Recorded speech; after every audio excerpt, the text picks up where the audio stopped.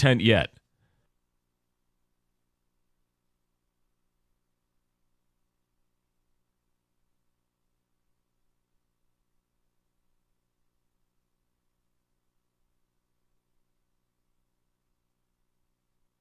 Yeah, they'll face this year's amazing story. NC State, the 11-seeded Wolfpack, took out Duke 76 to 64, and UConn and Alabama will also be in Glendale. The Detroit Tigers, they are in first place. Three straight wins over the White Sox has them undefeated at the top of the AL Central. All three victories by one run. Jason Foley earning two saves in the series. The Wolverines will play in the Frozen Four again for the third straight time, taking out Michigan State 5 to 2. They advance to face Boston College in 10 days. And a 64-yard field goal at Ford Field, Jake Bates sending the Michigan Panthers to a UFL victory over the Battlehawks 18 to 16 with an impressive boot with 3 seconds to go in their first game. From the Corewell Health Sports Desk, I'm Chris Villar. For more, go to 971 The Ticket and Audacy.com.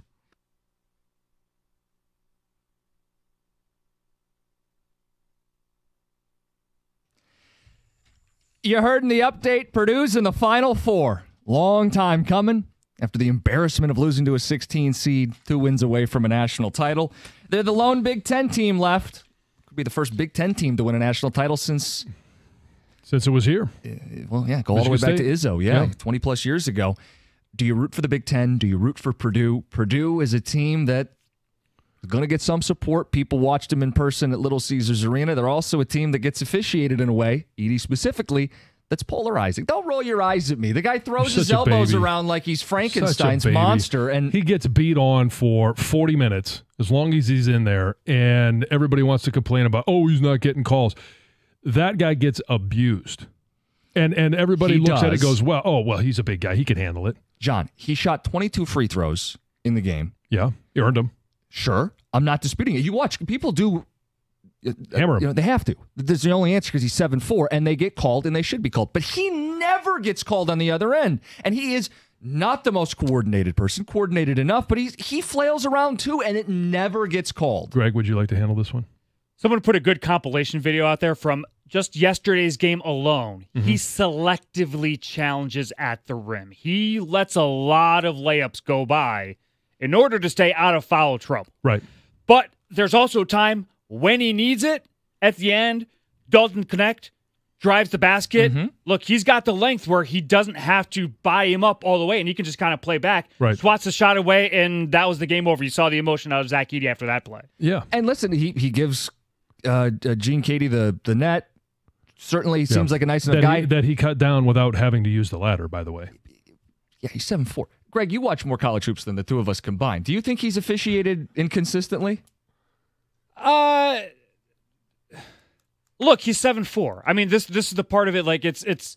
I, I think you're gonna have challenges. I, you know, I I think I get when I I hear this, I, I hear when someone is guarding a, a superstar player, yeah. and you know, there's a you know a foul call that that like a color analyst doesn't agree with, and mm-hmm. the color analyst will say well, you know, if you're this player, just like, what am I supposed to do? How am I supposed to play defense? Sorry, that guy's seven four, right. and you just can't. You can only play to your abilities and your size. Right. But you can see how that makes him unlikable to people. That it feels like his just um, by sheer I don't know by, that by, he's by, that unlikable. Oh, well, here, here, how I'll respond to that. If you find that unlikable, that is what you're going to have to carry. Yes. I'm not going to carry that. Yes. Like I don't dislike on... Zach Edey because he might get officiated differently because he's 7'4", 300 pounds. Yeah. I mean, you can carry that in the pouch of that pink sweatshirt you got there.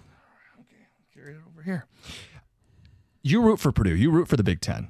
I do root for the Big Ten, um, and I'm rooting for for Purdue. I, I, I, stated that one when we came out with our brackets. I also stated it last week when I was hoping that I wanted to have a, a Big Ten final. I wanted Purdue versus Illinois. They were the only two team Big Ten teams left. Illinois obviously got rocked um, with a 30 nothing run. That was uncomfortable in my house. But when I think about Purdue and Matt Painter, like I'm happy for him. I like him as a person, as a coach, as a guy that has developed some really good basketball players. But when he's interviewed, when I've interviewed him, when I've had interactions with him, he's always been very respectful very professional, mm-hmm. and I'm yeah, I, am rooting for Matt Painter more than anything. And the, the, fact that he's able to get to the Final Four, they haven't been to the Final Four as a program since 1980. Matt Painter has been much maligned because they've had some really good teams.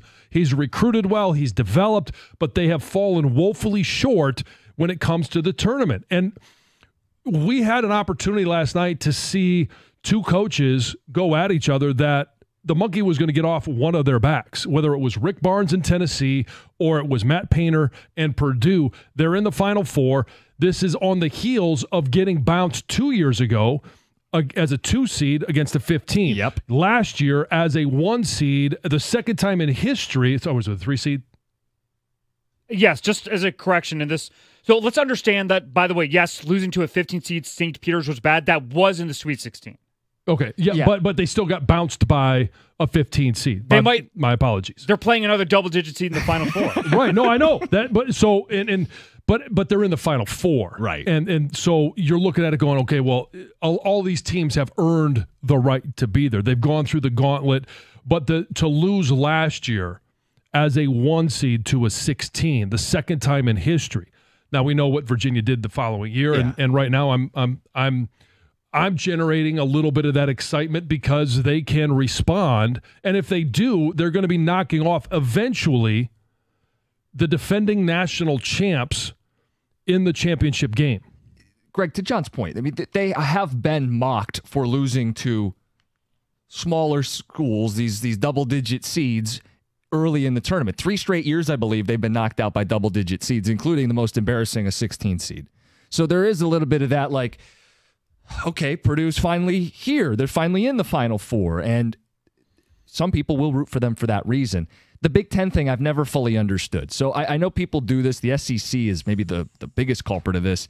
They accept any success as all of their success.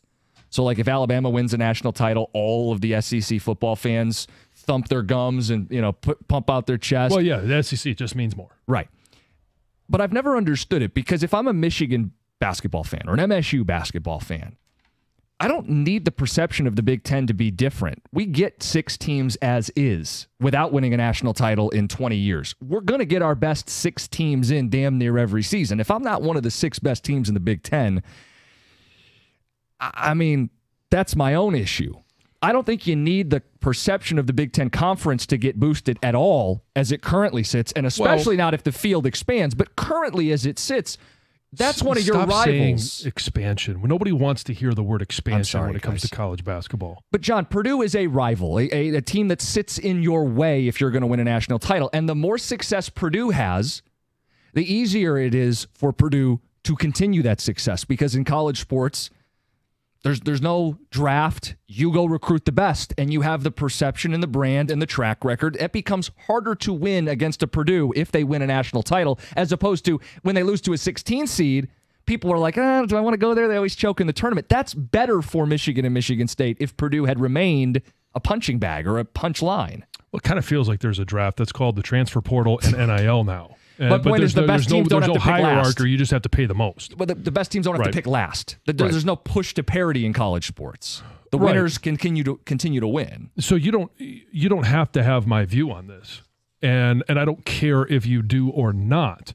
I do, and and maybe it's my disdain for the SEC because of their "it just means more" mantra down there and now I'm just looking at it going, well, if my team's not in it, I've got to root for something. I'm not just going to sit there as as a as a sports fan and not root for somebody. Root for DJ me, Burns. Root for NC State. I don't. I don't. I don't. I don't want to. Okay. Uh, there, there's there are it, other options. There are other options. Yeah. So don't. Why are you sitting there saying? And my reasoning is wrong. For I want to see Matt Painter and the Boilermakers do well. I also I have a personal connection. I have a daughter that's going to be going to Purdue. Would I like her to go to a a, a school that at least has something that they can hang their hat on? Tickets athletically, yeah. You, okay, I get it. You you at that point you have a familial connection, but just yeah. as a Big Ten fan, because I see people doing that. We got a Big Ten team, got to root for the Big Ten. Texter says, I agree with John. I root for my team, then my state, then the Big Ten, then the Midwest. Go Boilermakers. There you go. John, this is a loser's take. If Michigan can't win it, I don't want to see any Big Ten team win the national title. So if I can't win it, no one else can. Yeah, I, I, that that to me seems like a loser take. Like you can you can be a you can root for other teams, even if they're in your conference. Like eh, as soon as Michigan's out, which that happened back in November this year, um, it doesn't mean that when the tournament comes around that you can't when, when in any specific game, pick a winner or loser. Have you ever watched a game when you're like, nah, I don't really care who wins? I've turned games on and I've started that way, and then all of a sudden something happens in the game. I'm like, okay, now I've now I pick sides. Eventually, you pick a side. It's been a very long time since the Big Ten won a basketball title, so yes, I'm rooting for Purdue. That's Rob in Redford. Another one says I would root for all Big Ten schools except Michigan State because of your loudmouth Spartan coworkers at the station. I can I could understand that. More ticket texters. Half the foul calls against Edey were invisible. Touch him and it's a foul. Edey is eight feet tall and 100 pounds heavier than everyone. Shaq used to get beat on. Edey gets weak calls and guys, and he falls on guys and doesn't get called. John, he's unliked, signed Pedro. I mean, I, for everyone that doesn't like him, I could find others that do. And, you know, when he's down there, like, is it a boring style of basketball? It can be, but it's, and maybe this is me being an old guy or older, hmm. is that I, I mean, I grew up when centers mattered in the NBA. Now, is he going to have an NBA career? Doesn't look like it, or at least not one that that is going to be front and center as a superstar. But I like watching them play. And here's where I think that they do pose a threat to UConn. Last year, it was all Zach Edey, and we saw how well that did. This year, it's not just Zach Edey, but they could put four guys out there with them if they go with the small lineup. Smith, Loyer, they've got shooters. Yeah, they've got guys that are, are shooting over 40% behind the arc. Like they can beat you in a number of different ways. Now, against Tennessee, behind the arc was not falling. So they went they went inside. And it was 40 points. points. Yeah. Do you root for him? Do you root against him? The Boilermakers, the Big Ten, the conference as a whole. And I'm looking at the clock. We never asked you about uh, strip clubs. We'll do that. Oh, geez, that's too bad.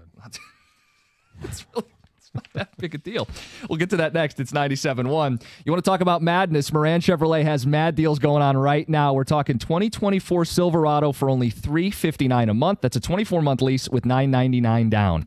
Silverado's perfect for hauling whatever you need, whether that's those spring projects or just something for work. Moran has shipments arriving daily, so when you go, they're going to have the vehicle you're looking for. Score your best deal. Moran Chevrolet, MoranExpress.com. Check them out. Gratiot, north of 15 Mile in Clinton Township. Moran Chevrolet, where you always get the best price, period. Chevrolet, together, let's drive.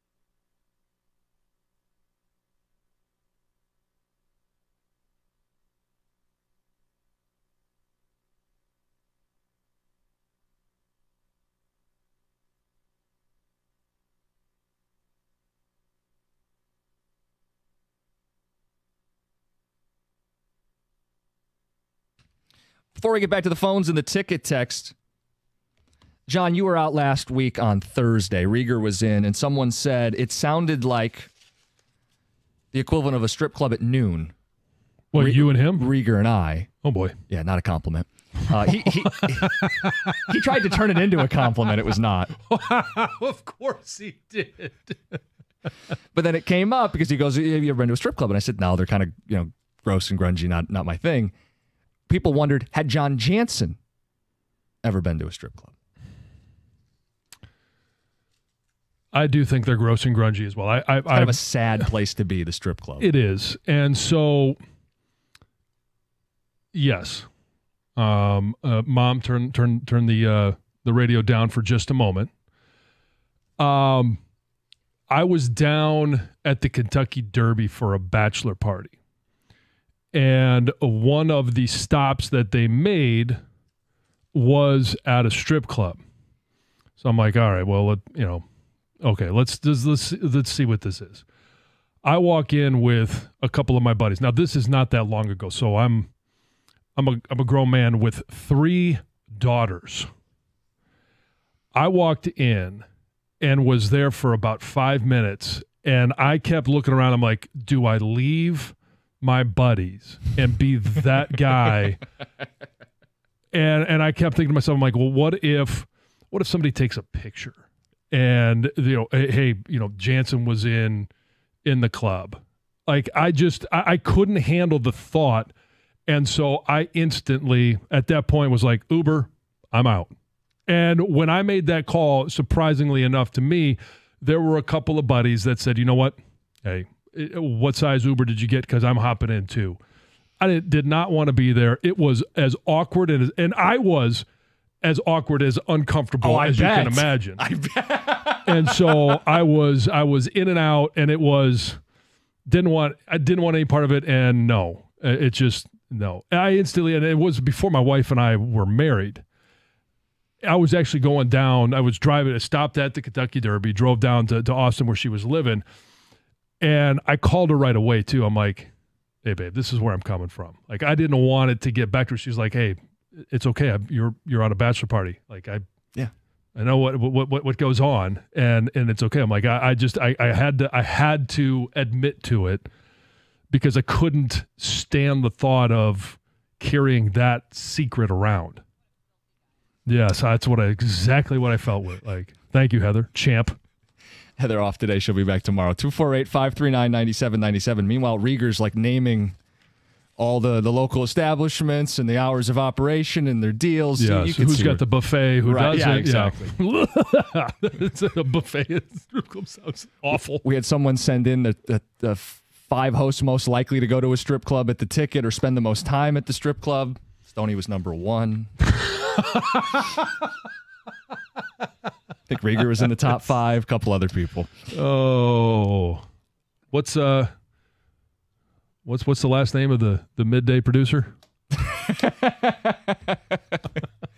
get Kang's thoughts and crosstalk. Um, I did find it funny, by the way, getting back to Purdue. This is the one year Doug didn't take him. Well, that was brought up on Twitch, and uh, they wanted to know if if if he could jump back on the bandwagon at this point. point, and everybody thinks that he is the, he was the curse for the Boilermakers, and so uh, they they don't want him to jump back on because they think that if that happens, they're destined to lose. I'd be curious to see because you know he always had a soft spot for Purdue. Oh yeah, this is the year. It started football. You know, this is the year Purdue, you know, finally does something, and then they would, you know, lose five games. Oh, this is the year, the next year. John, the West isn't very good. This yeah. is the year they put it together. And on the pregame show, we used to do picks. He would pick Purdue every time. I just knew that was a win for me, so I just take the opposite. Go for it. The question was rooting interest. Uh, you know, you, you said you're rooting for Purdue. You got you know a daughter that's going to go there, and, yeah. and there are people here who root for them because Big Ten team. And I've never understood the Big Ten rooting interest thing. Uh, there's also a ticket texture that says, you know, we got to see it in our own backyard. And I got a message from someone who points out this was the biggest game that Little Caesars Arena has ever hosted. Pistons had a playoff series, right? Quick sweep. Wings have never played a playoff series at LCA. Yeah. This is a trip to the Final Four. I think they're right. and the Frozen Four that was supposed to be hosted was, well, hosted was canceled because of COVID. COVID. Yeah, yeah, it probably is. Uh, um, and in fact, uh, two of my daughters, not the one that's going to Purdue, uh, but Ruby and Ellie, got last minute tickets to go down for Friday night's game. Good crowd. Oh yeah, they said it was. Yeah, it wasn't sold out. There were some empty seats. Now I, I, you know, I tried to explain how you know some come for the first game, some come for the second game. Right. Uh, but they said the the experience was unbelievable, and they actually got on the, the fan cam. They sent me the the video of them, and they're you know in the in the you know the square, and they're they're sitting there looking at this camera, looking at the board, and and then obviously you know like 20 seconds later, I'm I'm sitting there. What what what's going to happen? Then all of a sudden they go nuts because they saw themselves on the big screen. So they had a great time. They said the environment was a lot of fun. Let's get to Scott and Clawson. Scott, good morning. You're on 97.1. Hey, good morning, guys. Thanks for taking the call. Um, Just wanted to give a, a, reasoning as to why I'll be rooting for Purdue as long as Michigan's not in the tournament. Um, I'm a grad, and you know, in 2018, I was living in New York and saw Michigan playing in the Big Ten tournament uh, at Madison Square Garden. In the final, they're going up against Purdue, and I just kind of absentmindedly, you know, turned it to my friends, you know, wondering, you know, who's Purdue beaten this season? Uh, I just kind of asked out loud, who would want to be a Purdue fan? And this older woman in front of me just kind of turned around real slowly, just like, do you know that we're sitting right here? uh, it's good to have awareness, you know, of other fan bases. I mean, I'll I'll be rooting for them until they're out of it. Okay, is it just because of that experience? Yeah, I don't know. You know, I, I feel like I kind of exuded the Michigan arrogance that a lot of people talk about, and uh, I don't know. As penance, I, I guess uh, boiler up. Yeah. This is you writing a Scott, wrong. Scott, let me ask you this question: Are you? Uh, you mentioned you're a U of M grad. You spent some time in New York. Are you? Are you a native to Clawson, or are you a transplant? Uh, I mean, I started out in Bloomfield, but uh, you know, did my time in the city, and uh, it was always a matter of when I was coming home. But uh, man, it's good to be back, especially in April. You know, in the D. Uh, that, yes, yes, yes. Excitement yeah. around the Tigers right now. Spring is sprung. Spring Winter's is sprung. done. Draft is here. Detroit will be the one. Yep. There it is. There you go. Good stuff, Scott. Hey, thanks, Scott. Appreciate it. So it wasn't for the Big Ten. It was just a personal experience. Yeah. Uh, I think we've all probably had that moment where we've said something, not understanding who might be around us. Uh, but his his interaction with the Boilermaker there had said, okay, you know, the, the class act, huh? I could root for them if Michigan is out. Stan in Shelby Township. Stan, good morning. Good morning, Jim. Good morning, John. Good morning. Uh, Jim, you were nice enough to have me on the uh, on the ticket uh, about a month or so ago, and I brought up the fact that in 2023, we uh, the Tigers opened up with 37 on their first 40 games. 37 of the games were against playoff uh, mm-hmm. teams that made the playoffs in 22, and the other three were the Boston Red Sox. And I predicted that they would go 27 and 13 because of their pitching and their defense. I, you know, the thing to me that I think is most important is that you know we have a team of hungry people that want to play. Uh, we have great pitching, and I, I see we're right now we're one game ahead. INS going two and one going into Chicago. I I'm not like Jan. I don't think John we're going to uh, win uh, all three in New York. I think you know I'm trying to go two out of three because that's the history of baseball. But uh, the Tigers, I think they're going to make uh, win the division, and it's going to be because of pitching and defense and some timely hitting. What do you think? Well, that's their formula. It's the way they're built. I mean, the idea here would be that after drafting pitching for years and years and years, is this the year that it finally comes together? Skubal's healthy. Mize is healthy. Going to see him, uh, what, tomorrow? Uh, Olson, another one of these guys yeah, that they've come tonight. up through the, the system. He'll pitch tonight. The two biggest free agent signings dollar wise were pitchers, Maeda and Flaherty. Like Manning isn't even with the club, another first round arm they drafted this has got to be the year it all comes together on the bump. And you're going to have injuries and you're going to have to piecemeal it together. They've got a good bullpen, have had a good bullpen for years. That's the way they're built. Timely hitting is tough to rely on because, well, you're always kind of sweating it out. You don't have proven commodities at the plate. That's kind of what keeps me from believing they're winning the division. But hey, baby steps. 3 0 start, get a winning record at the end of April. Spread your wings and fly. Yeah, I mean, you got to. It's 162 games.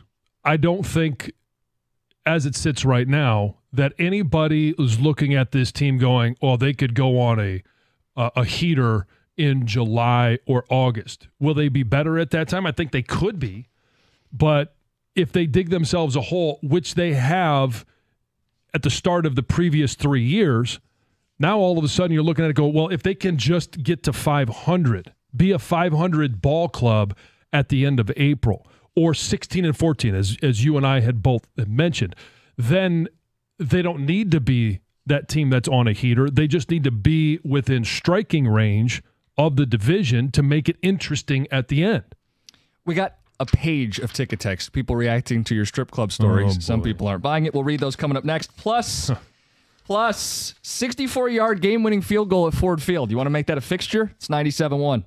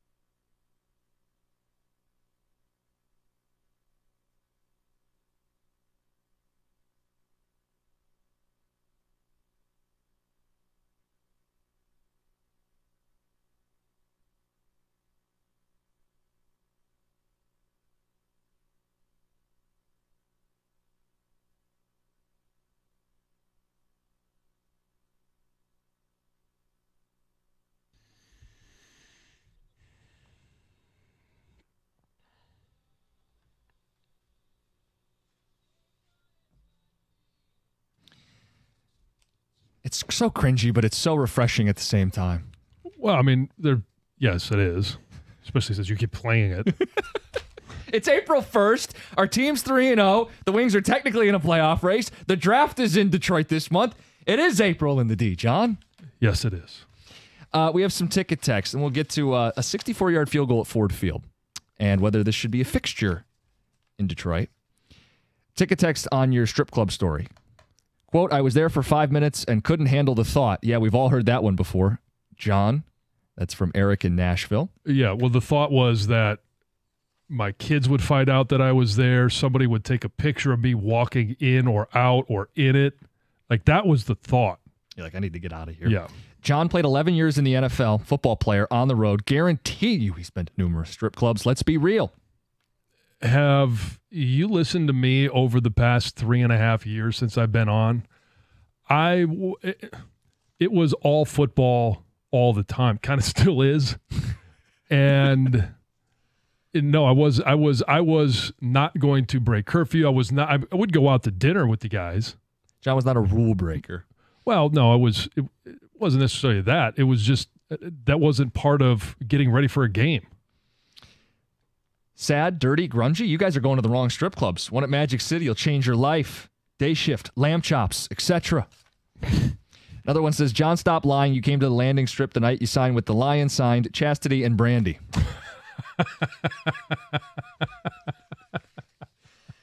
yes. uh, all right, speaking of the Lions, 64 yard field goal by the Michigan Panthers to win it at the buzzer. Where the hell did this guy come from? Everybody starting to Google Bates.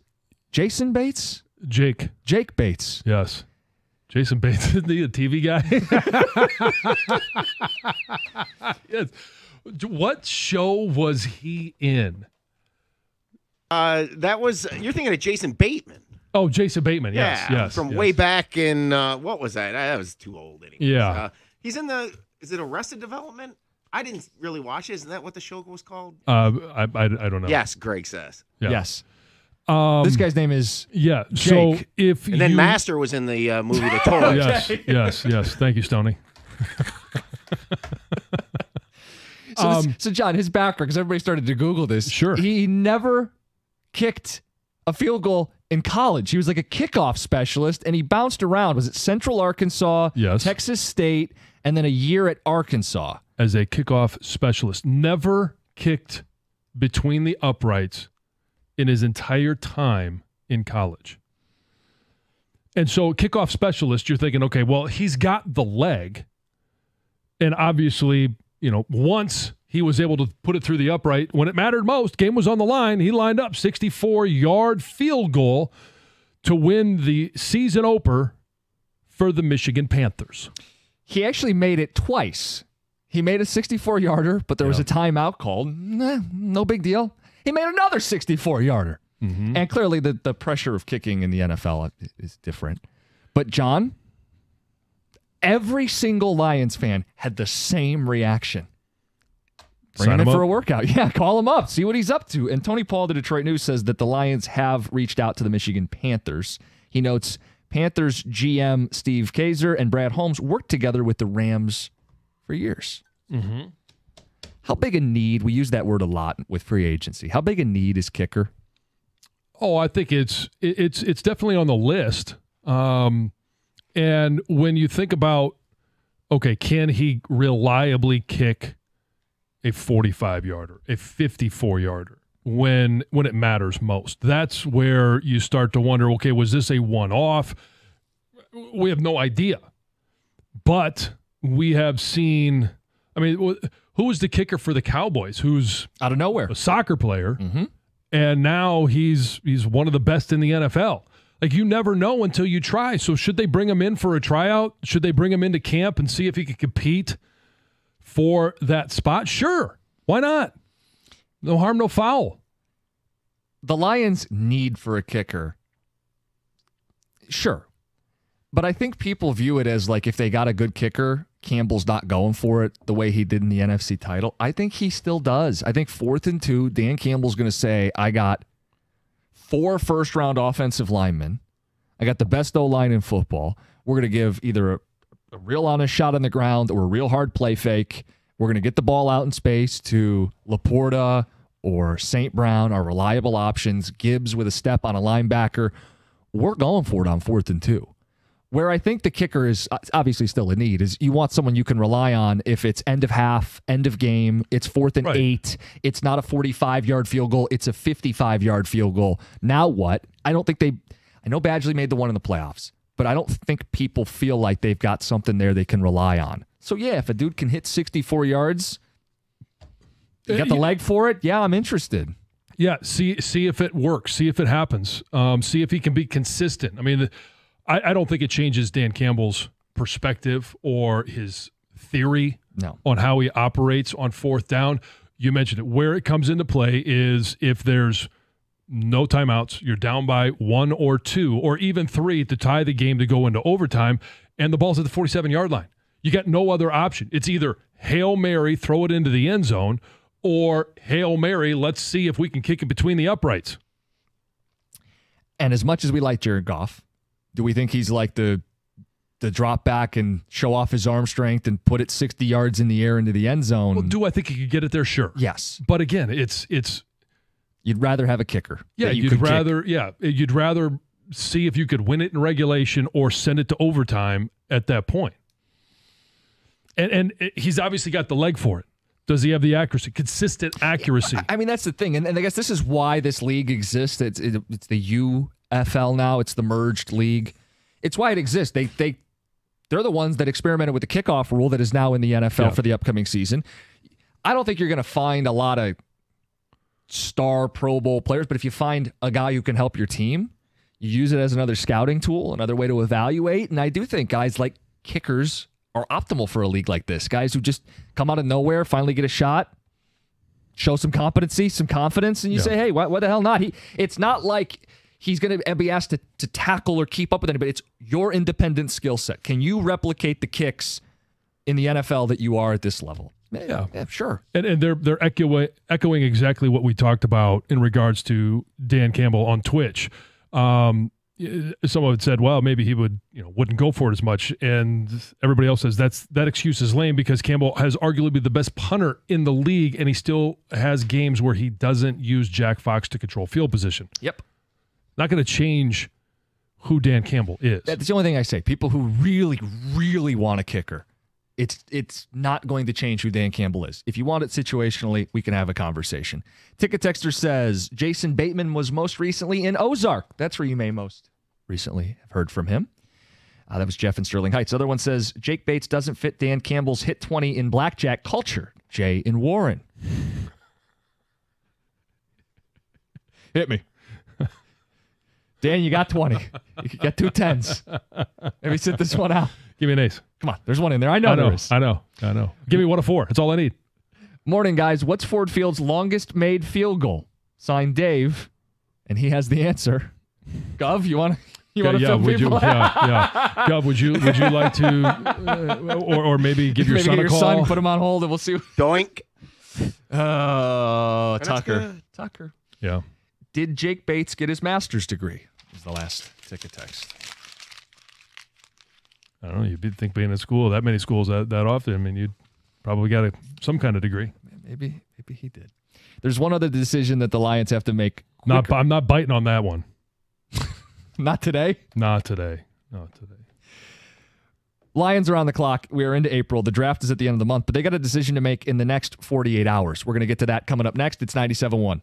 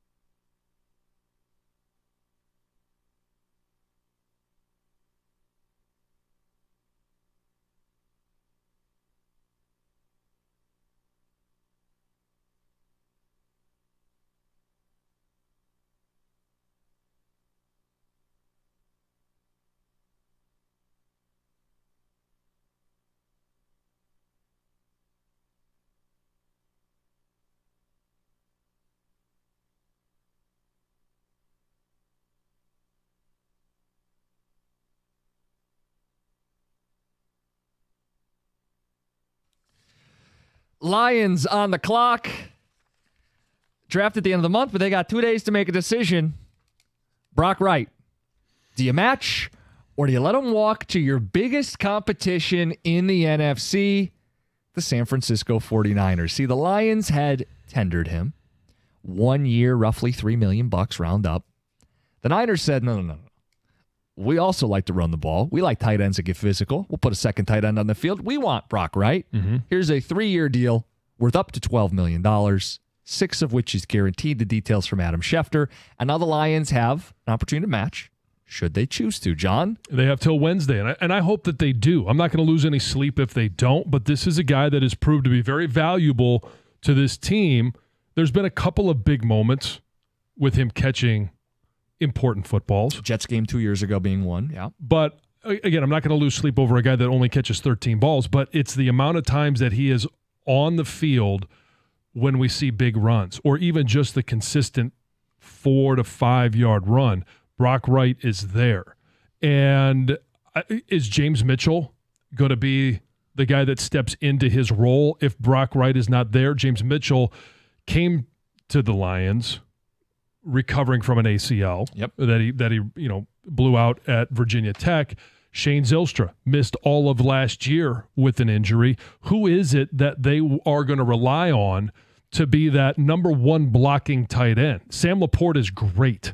There's no question about it.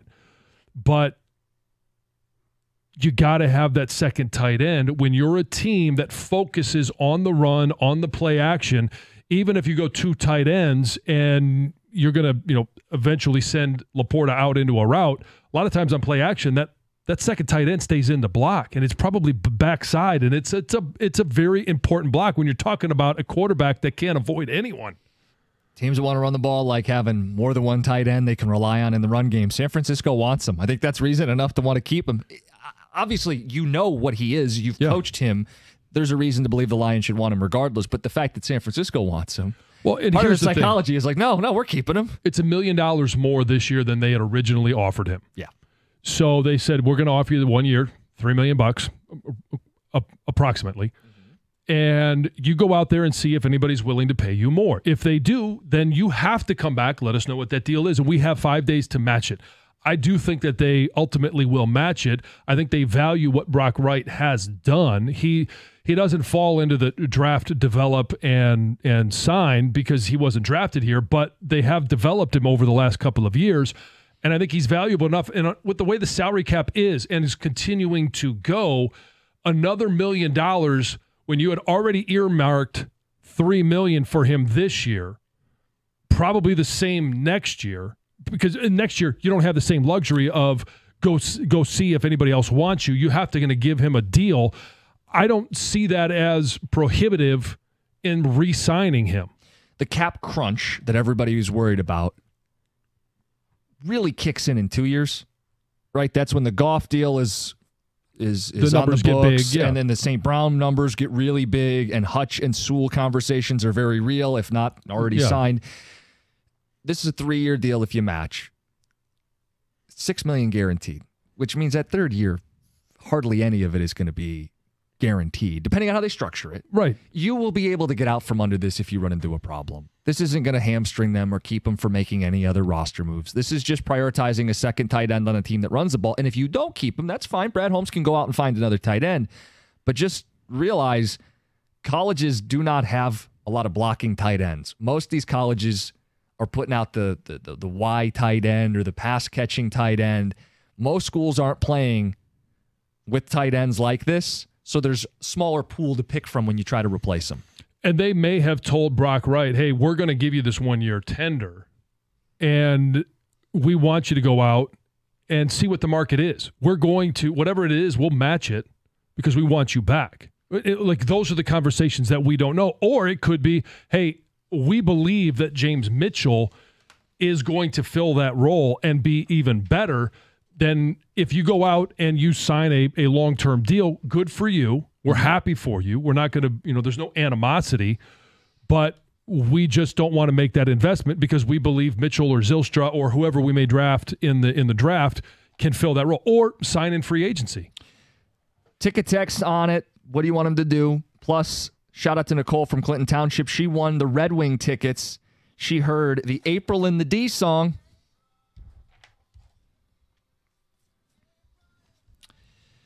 She's going to see the Red Wings take on the Rangers Friday, Little Caesars Arena. If you want to be there, Red Wings, DetroitRedWings.com to get tickets and info. John, Texter says they should have kept my favorite lion ever, Zach Ertz. He is in Washington now. Yes. I believe. Yep. Yeah. And he'll be their number one tight end, right? I would think so. Yeah. Yeah. Yeah. Another one says, I'd rather not waste $4 million on a no name. Let San Francisco waste their money on Brock Wright. Okay. Well, San Francisco has done a, a really nice job of managing their roster, managing their salary cap. Why is he more valuable to them than he is to the Lions? They run a very similar style offensively. Mhm. And, okay, Kittle, LaPorta. Now the variable becomes Brock Wright in that tight end room.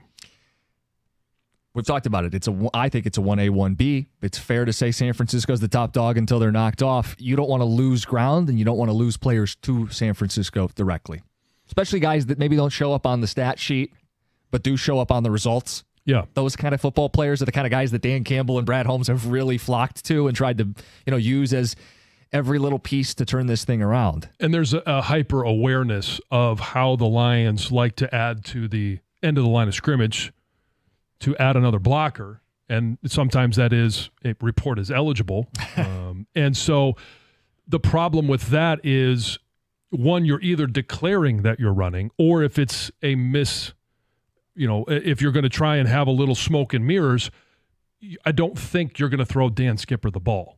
Ticket texture should be a fireable offense for Jim to keep playing that effing awful song clip. Every time I do it, I see John just die a little inside. Yeah, it, it's it's very irritating. So it is April in the D, and I can't promise it won't be played throughout the month. I could have instead gone with Jason Benetti, who had a great call on Saturday, and he punctuated it. Loved that. It's such a homer. Zach McKinstry, double play, baby. Fire up chips. Got Benetti in on it. Love it. It was a good see the- weekend. did you see the milkshake yesterday that they were highlighting? yes. The campfire milkshake? Tell me oh, you guys did I- I something with that. I saw that too, yeah. Gator? What? I don't even think I have to ask. What's that? Are you going to eat eat that? Yeah. Careful, I got I got my finger on the dump button. That was a great response. The answer is yes. I think Doug would even try that. I might try that. Yeah. yeah. There's I no way mean, I'd eat the, the the whole toasted thing. marshmallow. Yeah. The whole- There's no way you would eat the whole thing. No. Come on, John. You know Doug. Like you couldn't stomach It's, it's it? it's not like it was a monster milkshake. It was a regular sized milkshake. Look at his good size though. It's a but, good- but it doesn't matter. It's Doug. He's gonna have like you know three sips of it, and then he's gonna give it to his kids. No room for the Impossible Burger. Right. You got to make room. You got to Yeah. save a little. Yeah, they're selling at the ballpark. Now we're talking. Everybody's in a good mood today. We are in a good mood. Yeah, so it's what it's what a winning ball club will do for you. Eh? What's I the want eh the- I over want the- there? Oh, you you still hung up Oh, on last Spartan night's hockey. game? Yeah. I want the question about the start of the season. Oh, okay. All right. With 30 games before the start, as are on the schedule now, before the start of May. I gave this a lot of thought to get to 35 and 5. Well, they're well on their way. Yeah, they are. I mean, three and zero. That's Plus, start. they got the Mets who are winless. They've got the A's who have only won one game, and they can't get anybody to show up to their stadium. So you get to 9 and 0 and then what? What, so you got two What on the road at from there? Pittsburgh. Pirates, you could be both. All right, then 11. Minnesota. Well, the eight- four against teams- Minnesota. If you're going to be a 35 and five, they should be. I mean, they didn't do much to, to improve what, their 9 and 0 roster. Or Eleven and zero. Something like that. Yeah. Yeah, so- nine or eleven. I We're paying number. attention. It's on our radar. So So what's the 30 record? after- yeah. Uh, they got to be at, uh, what are we going with? How about 26 and 4? you know, the funny thing is, is clearly it's ridiculous, but it still is mind boggling. 35 and 5 is Yeah. mind-boggling, Which is. is what the Yeah. 84 team did for people who don't know. I think they know. Most of them. I wasn't I- alive, until- and I know. I mean, it's Yeah. it's legendary. Ah, Yeah. Did you hear that? That's unnecessary. I know. That's totally Shots fired. unnecessary. Nine and Yes. zero start, by the way. Yes, I'm a yes. child. Chump of the week, You'll all be dead soon. Jim Costa. Yeah, that's we what I hear said. you. We hear you. What are you guys going to talk about? Uh, well, we'll open with Tigers and uh, and what a great weekend it was, and you know, er, the early trends, the good and the bad, of course. Uh, plus, Champ and Chump, we do it every Monday. What God, boy, I got to tell you, I feel like there's an ample supply of chumps to choose from. But and also some champs. Mm-hmm. So get your, get your votes lined up for Champ and Chump. Karsch and Anderson next, 97.1.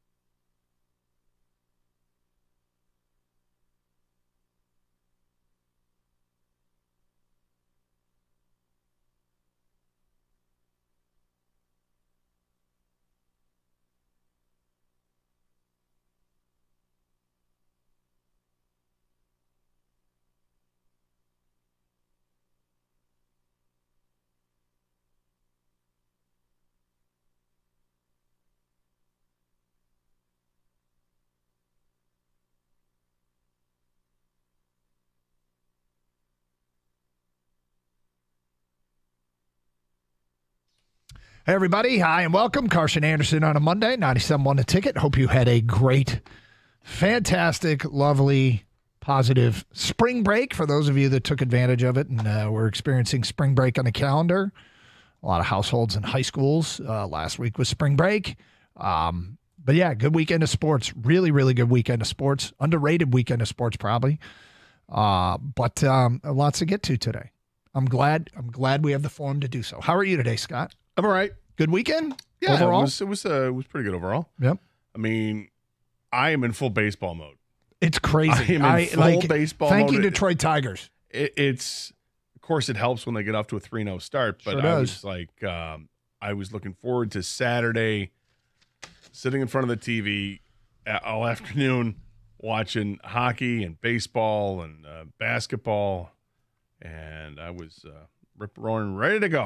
Yeah, it's it's a different feel just to get off to a 3-0 start. And and we don't need all the disclaimers and the warnings. We all know. What? we all know it. But I'm gonna lean I'm gonna lean into this thing. And yeah, I'm so glad they don't have a day off. I'm so glad they're right back at it tonight. That we got a Monday night game against a team that, that the Tigers should compete against, and we got an exciting young arm on the on the bump and Reese Olson, who uh, you hate that phrase, don't you? Not a fan. Sorry. The bump. Is that what you call it when, when your wife was pregnant three times? The bump? I did not know. Rubber belly. So No, the I bump. Here we go. Actually, I think maybe for the first one we talked a lot about the bump, but no, I I realized that at no point at any time is it wise to reference any change in anything. Just you look great, honey. Yeah. I can't. I didn't even know you were pregnant. You're Most pregnant? people wouldn't be able to tell. Are we sure about this? Just spilled water all over the place. Did you? Yeah, I did. Hell, you're new. Was- So Yeah. I didn't. you're new to the water scene. I forgot. Yeah. all over my face. Sometimes, yeah, sometimes you know the aim is a little off. That was bad. Anyway, like now you got to over concentrate. Yeah, right. Yeah, this is why you stream the video of the show on Twitch and YouTube. Uh, okay, so look, um, yeah, Reese Olson pitching tonight. This is exciting. It's a three and zero start. These close, these close games. I'm sure everybody's heard the stat. Detroit, first time in franchise history, they opened the season with three one run wins, and the one run thing, I mean, is indicative of a lot of good. I mean, you know, it's it's a bad White Sox team. Yeah, got it. Don't care. Don't care. One run. There's still games on the schedule. I think one of the things that I, I, I mean, I love it was basically everybody that can contribute did, with a couple of exceptions. Joey Wentz didn't pitch, and Alex Lange was bad, and everybody else. It felt like everybody Maeda. else did. Yeah, Maeda wasn't great, but everybody else did something that helped this weekend.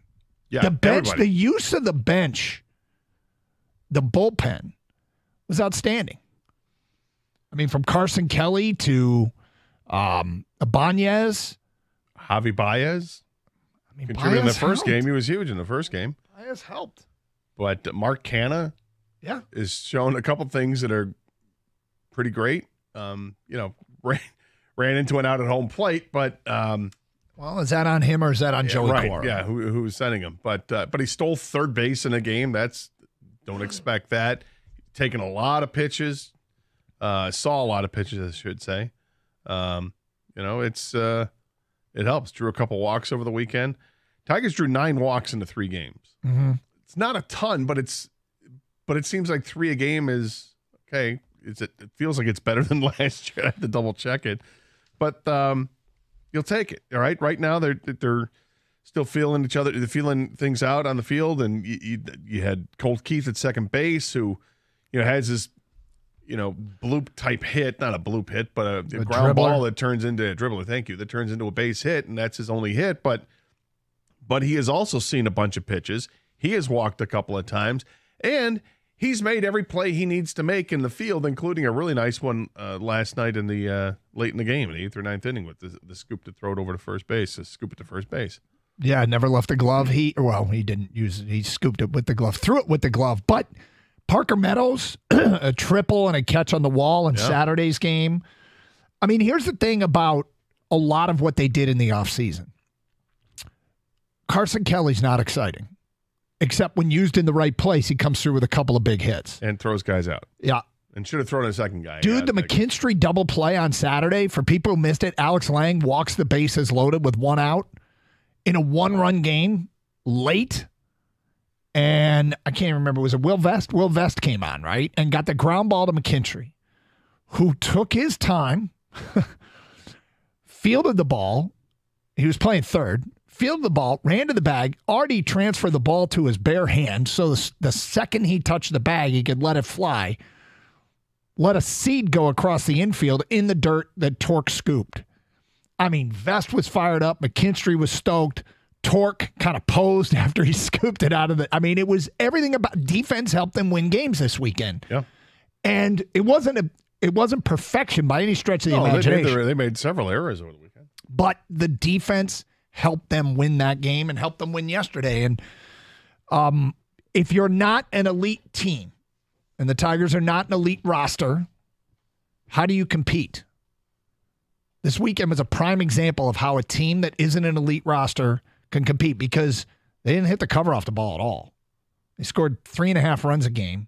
A whole bunch of guys went one for the weekend, guys that we got to count for count on, and but they still won three games.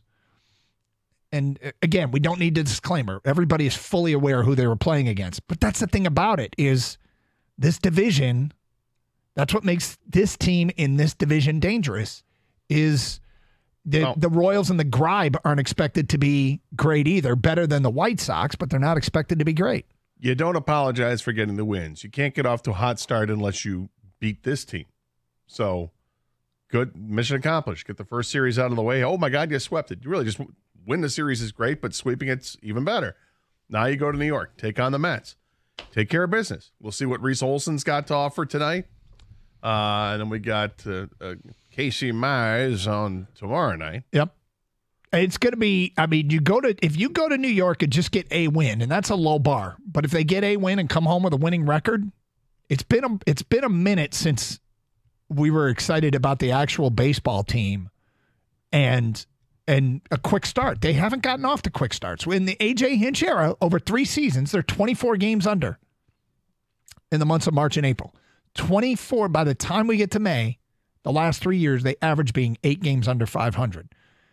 I mean, you have an eight game movement, any positive or negative, any month. That's that's a lot. Yeah. And they have been eight average of eight games under at the end of the first month of the season. That's incredible over three seasons. So please forgive us if we start leg humping a 3 0 start. 248 539 9797. Hey, Champ and Chump, get your votes in. We'll have ours today at 1035. It's Karsch and Anderson here on a Monday. Uh, lots to get to. Red Wings, interesting place for the Red Wings. Uh, we've got, I've got, I got an Easter Sunday disaster. Oh, no. A disaster. Sorry to hear that. It's okay, but you're going to laugh. Oh, um, of course I will. Yep. We'll get to all that coming up. Karsch and Anderson, 97 won the ticket. Well, something that's no joke right now is what you want your lawn to look like all summer long. You got to take care of it right now. And the first step is the most important step. That's call. Natural Way Lawn and Tree Service, where you get green and stay green with Natural Way. Give them a call today at 888 Get Green, and for a limited time, you purchase that full lawn program. You'll get free grub control, but you got to mention my name, Gator, in the station 97 won the ticket. You wait and you see crabgrass. Frankly, it's too late to fix it. You've got to get it taken care of right now. Everyone hates to see crabgrass in the summer, and that first application is the most important because uh, you got to take care of it. You want to prevent a problem. You don't want to have to fix a problem. Schedule early. Give them a call right now at triple eight Get Green. Natural Way's great. They use fewer chemicals, environmentally sound practices. They've got a ton of people working for them that know exactly what they're doing. In fact, each lawn is assigned its own specialist certified applicators and arborists. They custom tailor a solution specifically for your yard and your home. They offer the 100% satisfaction guarantee. It's a company I've used for almost a dozen years now. Give them a call today, 888 Get Green, or go to naturalwaylawn.com.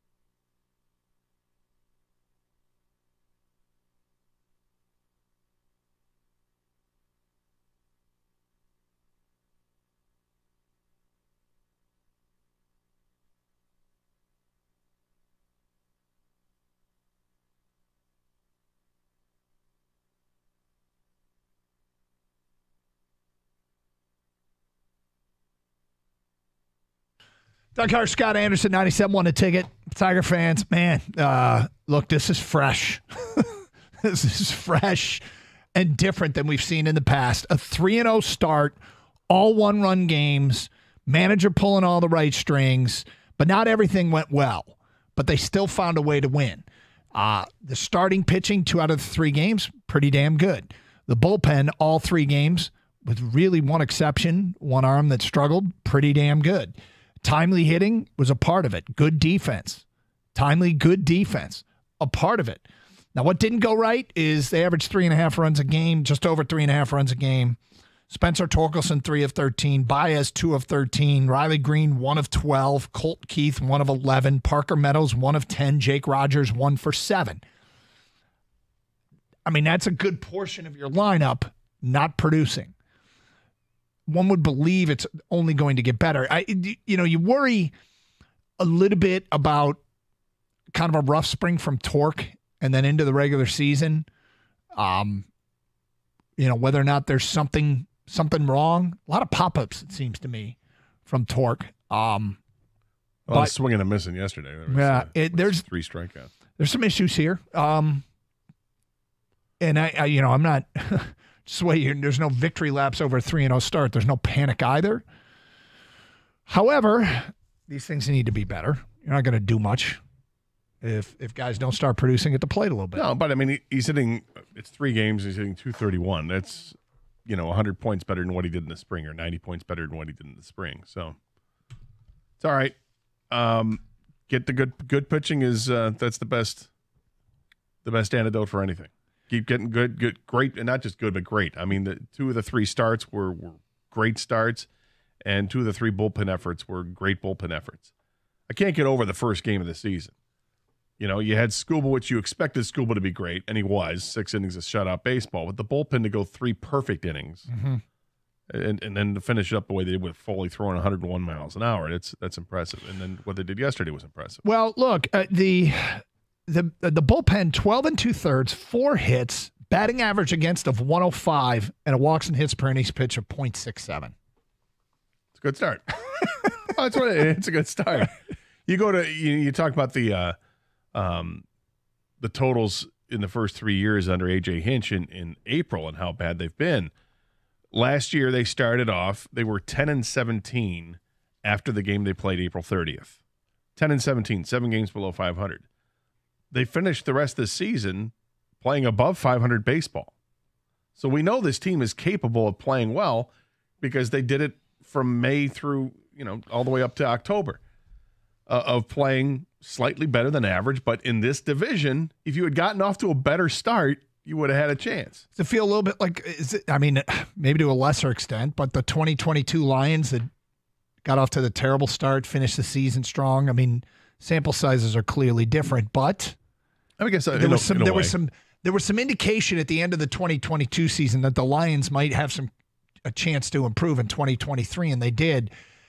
Is that perhaps kind of happened here with the Tigers a little bit? Well, I would caution a little bit there because I think we all expected this Lions team to take off uh, in 2023. I mean, people yeah. were chesty about it with with 12, 13, 14 win predictions, right? Mm-hmm. Um, I think we just expect the Tigers to compete for the division, and by no means compete for a wild card spot, right? Yeah, I think it feels like the expectation. So it's a little bit different.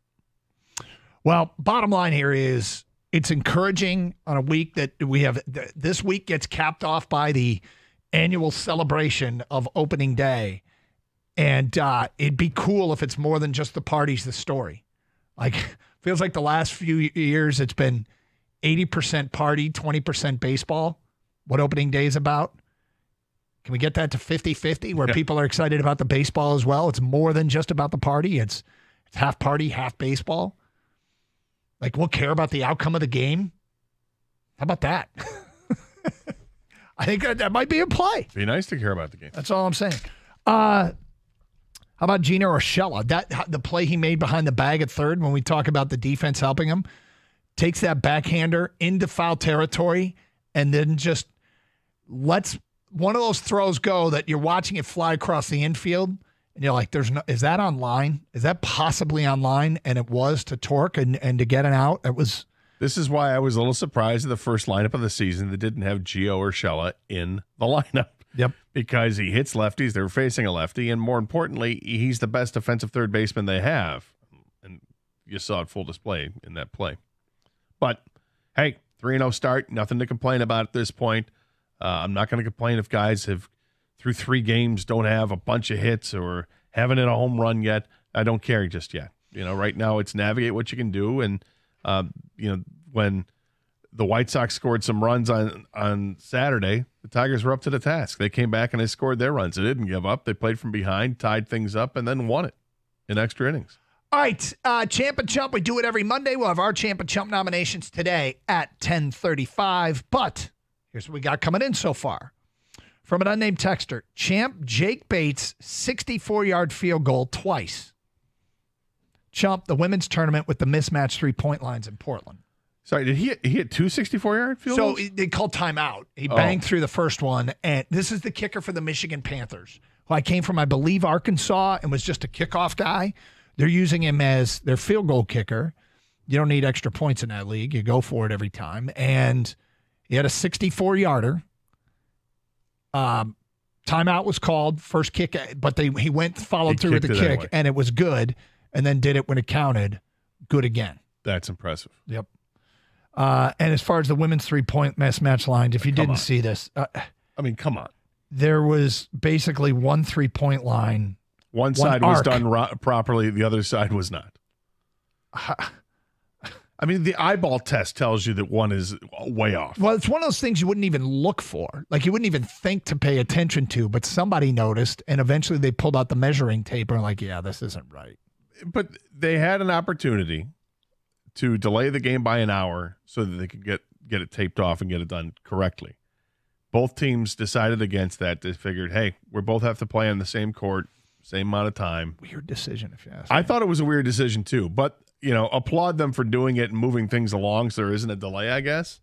Um, and in the end, it may have hurt them, but uh, the game was finished. Uh, champ Michigan hockey chump the Red Wings. That's from Eddie in a garage. Uh, another one here. Champ Jake Bates, get ready to learn forward down the field, buddy. chump the Red Wings for being part of a group of teams limping around for a wild card spot. Yeah. Well, it's sad because they have played better hockey lately, but they've lost the games to better teams. So, pardon me for being actually encouraged by playing Florida tougher this time than they did a month ago. And I'm not planning parade routes just yet over that fact. But I was like, okay, these guys are hanging in there with one of the better teams in hockey. And it's time, at least they eked a point out of it. And thankfully, Philly's collapsing here. Well, you can appreciate this, Doug. I was doing some laundry on Saturday, Attaboy. folding some clothes in my room, and I had the TV on, and uh, and then I had my back to the TV, and I heard Ken Daniels say something. Oh, this isn't good. Larkin's hurt. And I'm like, no. I, I'm like, it just started. Yep. 28 seconds into the game, he takes a uh, puck off the side of the knee and went down like he was shot. Tried to get up, could not get up. They helped him up to his feet, and he's they skate him off the ice. He tries coming back, what several shifts later, doesn't really work out well. He limps back to the, and I'm thinking that he's done. He's done. And then he comes back, plays the second and third period, scores a goal in the third period to tie it up and force overtime which was great, which is just another example of why Dylan Dylan Larkin is the captain of this team, mm-hmm. why he deserves it, and why people that complain about Dylan Larkin should shut the hell up. He's a he's a really good player, and he's the heart and soul of the team, and he showed you why. It would be nice if the flu were to leave Detroit for good. because it feels like every other well not every other it's every game there's another player that's out with uh, the flu. Oh he's this, this guy's sick. Oh he's under the weather. He's under the weather. Then you got guys that are starting to feel sick that are trying to tough it out that, that probably shouldn't. Then you have guys that are sick so they're out then you have guys that are recovering from being sick but they're going to play and they're going to tough it out and they probably shouldn't so the, the the lineup isn't the healthiest right now but hopefully this thing is running its course and it's and it's through the system More of your champ and chump votes plus ours. We got 10 texts that we're going to ask for today at 1040. So be ready on the keyboard for that. It's Karsch and Anderson, 97 1 the ticket.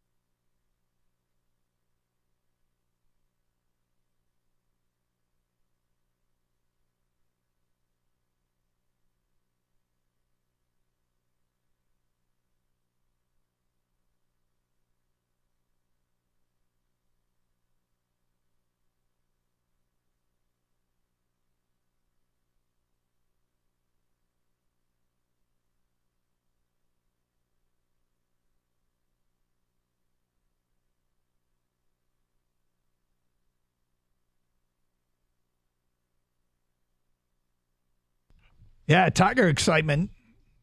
Detroit wakes up on a Monday morning with a 3 0 undefeated baseball team, winning exciting an exciting brand of baseball. And um, now competition gets a little bit stiffer, although the Mets are no great team. In fact, they're kind of expected to be about what the Tigers are. The Tigers over under in Vegas 80 and a half. The Mets 82 and a half. That's where JD Martinez went.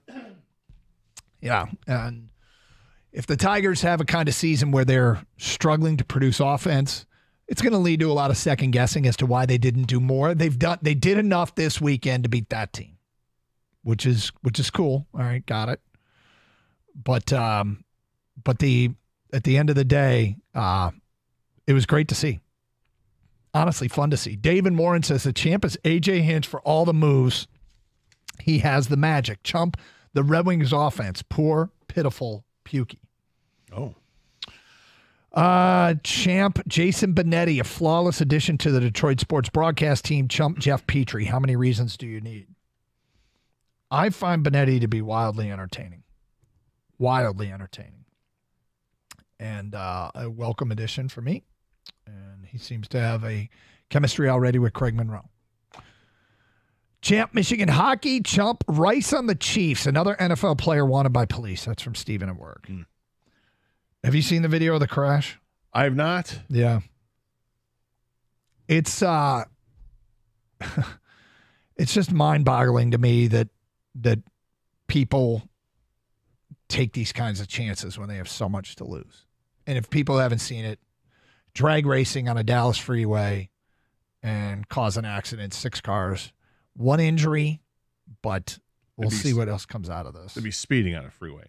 Drag races from a complete stop. So it was Yeah, he was weaving in and out of traffic. Speeding, kind of he, yeah, stuff. he was racing with another somebody else who was driving. dumb. Yeah.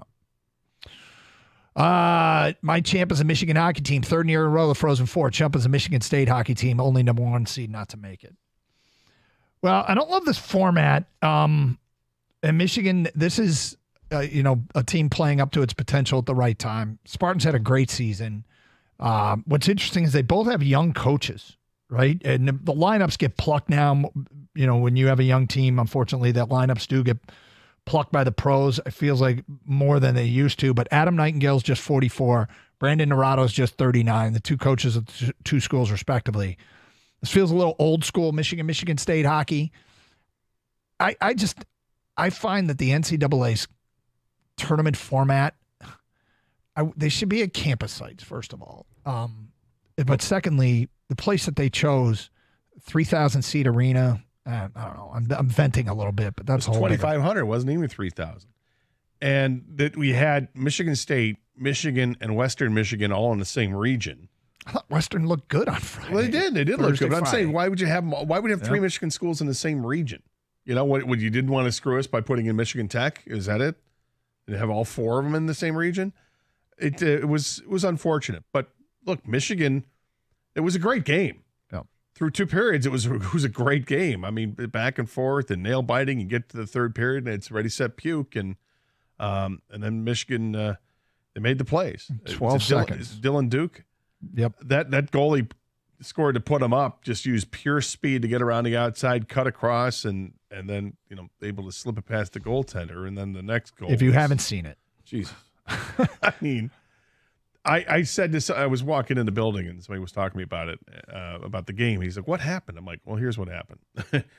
and I said it was maybe the greatest pass I've ever seen made in a hockey game, and I don't think that's hyperbole. Frank Nazar went between his legs to play the puck behind him between two Spartan defenders. He had a small window to get the puck through. And he, the only way he can make that pass is if he does what he did, because he had no way of just sending a four-handed pass because the angle wasn't there. Mm-hmm. He had to put it between his legs to kind of put the stick that far behind him to, to send it over. It was absolutely incredible. It was something else. If you haven't seen it, Google search Frank Nazar pass, and it was kind of led to the kill shot. As Michigan beat Michigan State to advance to the Frozen Four, and I think this is the of the three Michigan teams have gone in a row. This is probably the third in terms of how I'd rank them. But in college hockey, anything can happen in one and done. So they got a shot. It's a loaded uh, Boston's Frozen Four. The two Boston, Boston teams. BC is elite. Boston College. It's BC, BU, and then it feels like everybody else. Why didn't those teams play in this? Oh, because they're both number one seeds. Is that? Yeah. that's one. Uh, the Tigers won three games against the worst team in the worst division in baseball. Ownership is still not committed to winning, so who cares? They got no, they've got no pats. They did nothing with Miggy's money, so whatever. All right, have fun.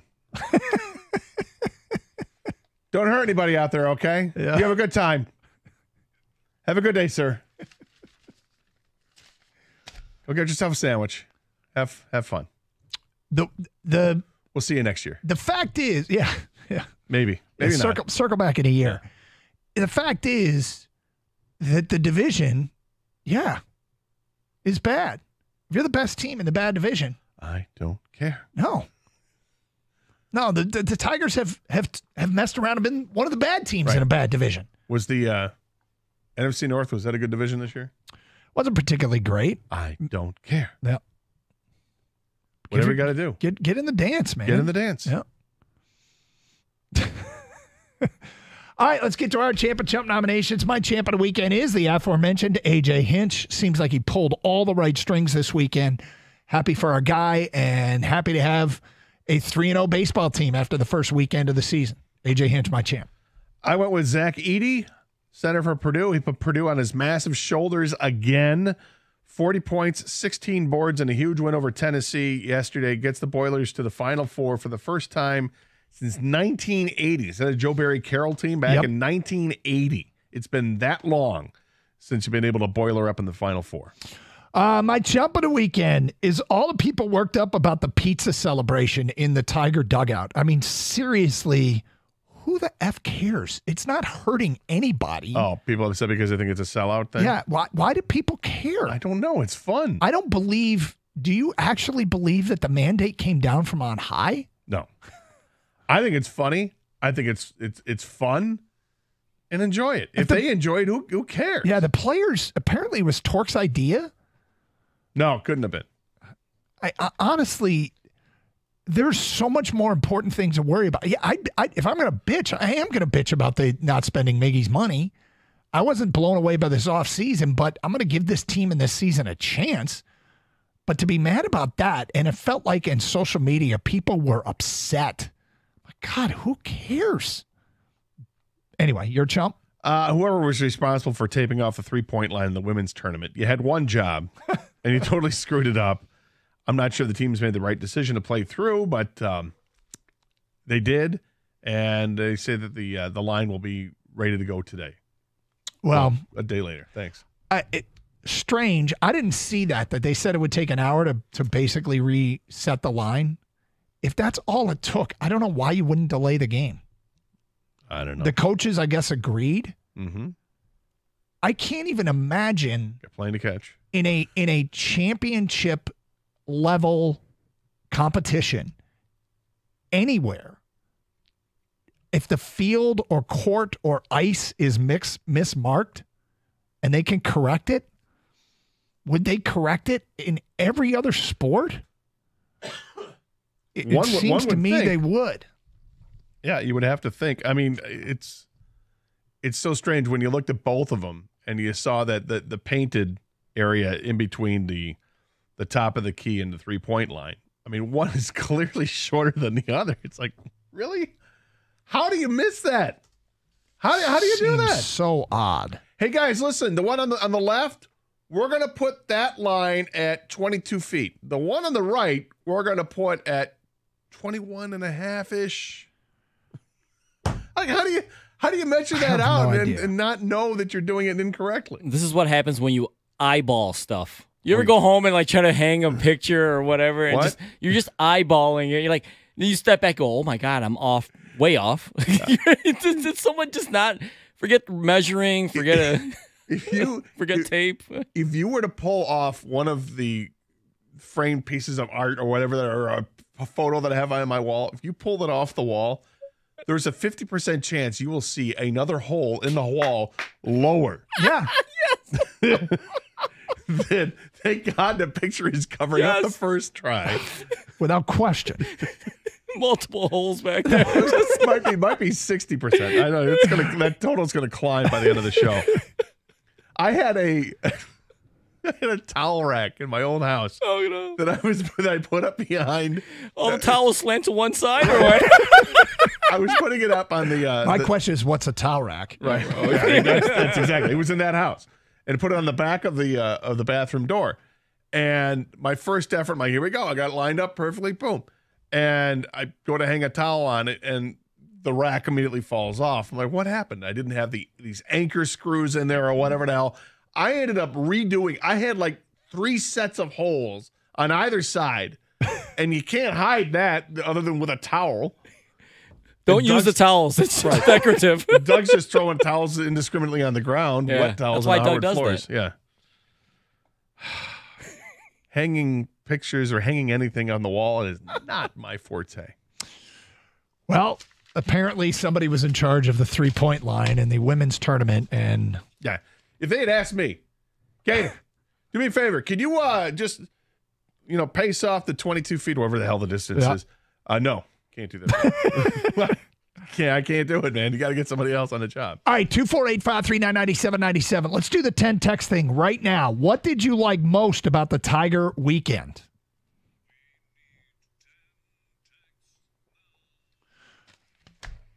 Beautiful out. What is it? First 10 texts at 248 539 9797. We'll read on the air. What did you like most about the Tiger 3 0 start this weekend? A lot of positive came out of it. We all know there's some stuff that needs to get cleaned up. But what was your favorite part? Please sign your text so we know who to give credit to. Send the text over and put your name on it. And uh, we'll read the first 10 that we get. Coming up next here on Karsch and Anderson, 97 won the ticket. Well, with spring being here, you can be sure that the Armada of red, white, and blue trucks, they are on their way. You don't want to get caught with a flooded basement or scorching hot house this year. Beat the weather and call Birmingham Plumbing, Heating, and Cooling today. Frank's the owner. He's been doing this uh, for a long time, but he's got this deal that's been going on for a little bit as well. This spring, they're giving all customers and a free tankless water heater that's included with the purchase of a full furnace and air conditioning package. So whether you got a flood in your basement or a clogged drain or maybe your AC unit just won't turn on, call Birmingham Plumbing, Heating and Cooling today, or you can schedule an appointment online at birminghamplumbingco.com. That's birminghamplumbingco.com. Birmingham Plumbing, Heating and Cooling, your Metro Detroit boiler experts.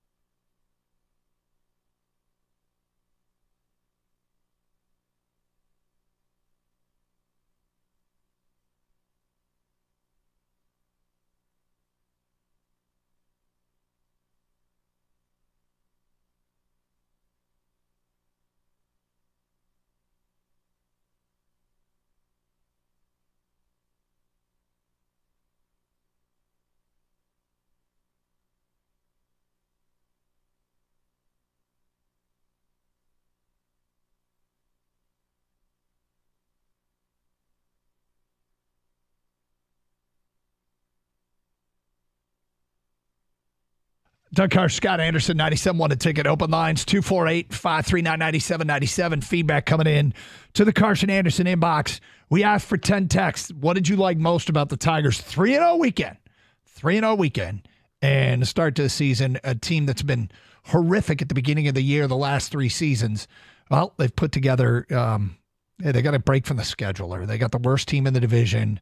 They get to follow it up with the Mets in Oakland. So take advantage of this and maybe we can carry some actual baseball interest into this season and they can stick around in this division. Lots to prove still, but encouraging nonetheless. Aaron in Garden City writes in the bullpen was outstanding. It's going to be a strength again this year. 12 and two thirds, four hits, batting average against of 105, walks and hits per inning pitch 0.67. It was incredible work. And outside of Alex Lange, who was wild and start off the inability to throw a strike.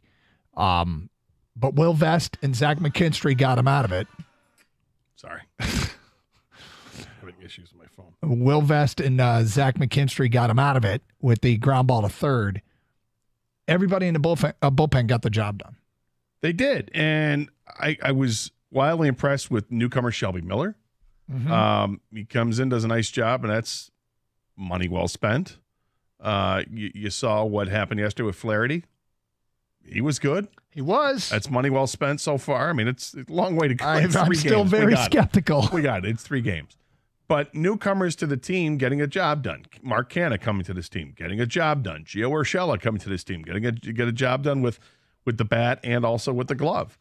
I mean, it's it's encouraging to see to start a season. Mm-hmm. To get off to a 3-0 start is extraordinarily important for a team that has not gotten off to good starts. Now, three games is not a, a, start of the season make. You know, we're talking about 30 games into the month, and let's see it. Yep. Uh, Jason Benet was amazing. That's from Josh in Dearborn Heights.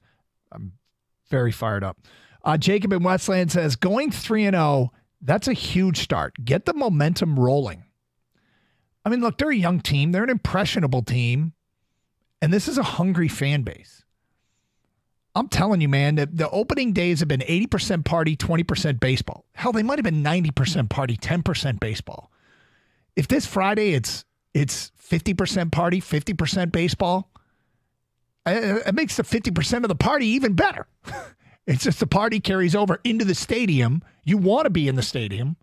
You want the party to continue in the stadium, and you don't need to leave early because the baseball perhaps, dare we say, might be worth watching? What does that mythological creature look like? Half party, half baseball. Ah, uh, that's a great question. But if anybody's mastered it, it's the Detroit fan yeah, base. Yeah, we, we do enjoy opening day. That's mm-hmm. for sure. I mean, you have a, a beer mug for a mitt. Is that is that how that works? Maybe, maybe one of those. Uh, actually, it's one of those plastic hats with yeah, the with two, two, beers the two in beer, it and, and the straws. yeah, yeah. That's what. That's exactly that's what. That's what we do in Detroit. we party down. We enjoy it. Ted and Allen Park says the pitching, other than Maeda, it's a rough go. Rough go, but I mean, look, Maeda and Flaherty were trending in the wrong direction in their career. The Tigers saw something, decided to sign them. It doesn't mean they're going to be awful here. There might be, I mean, what is, how do you build the case for hope about Maeda and Flaherty being better in Detroit? I build it around Chris Fetter. I build it around the Tigers saying, okay, here's what we do. Here's what our guy is good at, meaning Fetter. And these guys fit our mold. They can work with what we're going to ask them to do. That's where I'd build the case around. What that is, I have no effing clue. and do I think that this is, do I think Maeda and Flaherty are going to pay off? Honestly, I don't. But there is a question as to why, you know, why they signed them and what did they see because their careers weren't trending in the right direction. Uh, no, but they both had had a track record of being a good pitcher. For Flaherty, it's not that long ago that he was that he was good, but you know the last couple seasons it has it has not bode well. It did not bode well for him. But his strikeout rate is is great, and it was fantastic in the spring. And carried over yesterday. We had seven strikeouts in six innings. Mm-hmm. Um, so you'll you'll take that, and he didn't walk anybody which is another huge plus for this team. They didn't walk anybody in the first game. I don't think did they walk anybody at all in the game. Well, yeah, they did yesterday because uh, uh, we, we no, didn't they walk? Didn't maybe they didn't walk anybody? The yesterday. bullpen. Yeah, They didn't have a lot of. I think it was only was it four walks. I think it was four walks the whole weekend, and three of them came from Lange. I was going to say, Am I wrong? Uh, I don't think you're wrong in that. Yeah, they uh, they had one walk yesterday. Chafin walked a batter. Okay. So they've they've pitched awfully well to this point. If you have four walks in Is that what it is? It's four walks. in 28 innings of work, is is that what this team has done to this point? I mean, you'll take it. Uh, right now they have five walks Okay. in yeah, in the 20 whatever innings or 28 Uh, innings of work. From uh, DPD Officer T in a scout card, the Tigers showed grit. Uh-oh. There we go. Can they steal it? Can they commandeer the term grit?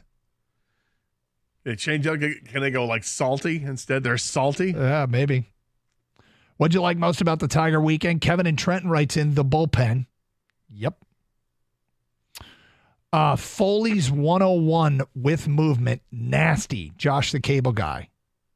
That was nasty. Yep. It sure was. I mean, how the back end of the bullpen settles down, I don't think AJ Hinch is going to have hard and fast rules and defined roles. I think it's going to be a game in, game out, leverage and matchup situation. But Foley looked great. He did look great, and they've got options back there. However they want to, you know, divvy up those innings, and it'll kind of work itself out. But right now, it looks like Foley's the the the, uh, the closer in there. Um, um, it's only the one star or the one appearance for Alex Lange, but it's discouraging to see three walks in a third of an inning. Yeah, but that's kind of been a thing with him. So But it didn't used to be. no. Uh, Chris and K-Pack says, what I like most, Javi Baez hasn't lost us a game yet. That's a plus. I mean, this He- could he be won you a game. Yeah, you could say he won the first game. Helped to win you that game anyway. Yeah, his his his inability to lay off pitches out of the strike zone is so frustrating. And I, I think any pitcher that gives him anything to hit also has to be frustrated. Like, what the hell am I thinking? Like, how Like, am I putting Why am a- I not yeah. just throwing a slider outside Yeah. every time? Uh, Jerry in Lake Orion says, thing I like most, the dominating pitching, and we're going to need it. It's quite possible. Somebody got a little chesty on the morning show. I don't know. I heard a call driving in. Guy called up and said, you know, this is better. This starting staff is better than like the 2012, 2013 staff. And Costa was like, wait, wait, wait, wait. Slow down. Slow down. Better than staffs with Verlander and, and Scherzer. Scherzer. and- Come on. And I'm like, God bless this guy. He is fired up. This is a this is a bold ass prediction that we'd probably say cross the line. uh, Donna Monroe says the best part of the Tigers' three wins over the weekend, it took my mind off the Red Wings. Yeah, look. I mean, is it asking too much to have a competitive baseball team for a month and a hockey team that makes the playoffs? That's the ask. That's our low bar. That's the hurdle we'd like to clear. That was such a bummer on Saturday. To get to, uh, to to tie to go to overtime, to have a four and three in overtime. Yep. And they never get the stoppage back to get it to three on three. I'd rather want play three on I- three than I four, agree on- 100%. than four on four. Did you hear what they said? And that's why they switch from four on four to three, Three, on on three. Yeah, it's three on three is you're Four on gonna four, you're playing defense. yeah, and three on three, it's all offense. And I'm you know you, I mean you can still lose the game, but you can, you're more likely to score. And And then to get to the shootout situation, you're like, oh no. Mhm. I just had a bad feeling about it. no, I hear you. We'll get to the Red Wings coming up a little bit later on. Champ and Chump every Monday. Get your votes in for Champ and Chump at a weekend. 248 539 9797. Hey, a reminder if you don't know yet and you haven't done it yet, get the Audacy app for your mobile device. Download it today, A U D A C Y. Then you can listen to the show anywhere in the United States. And there's going to come a time when you're out of town and you're going to want to know what's being said in Detroit.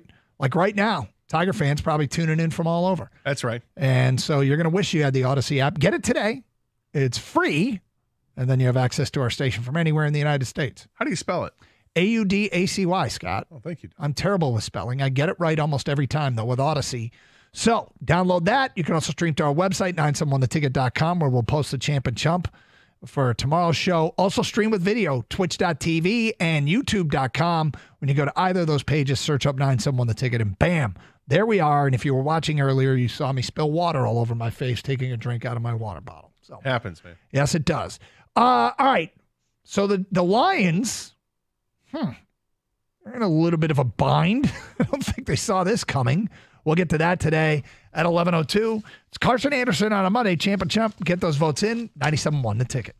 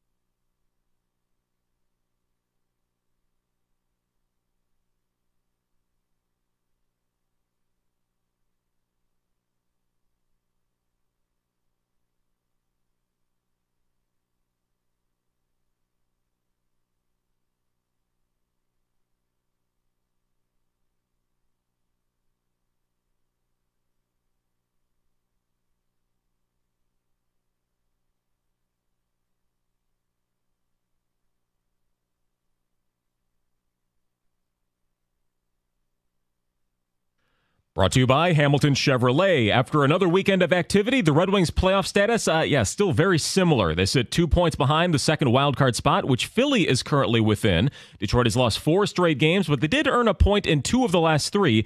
David Perron seems to think they're actually playing better than the results would indicate.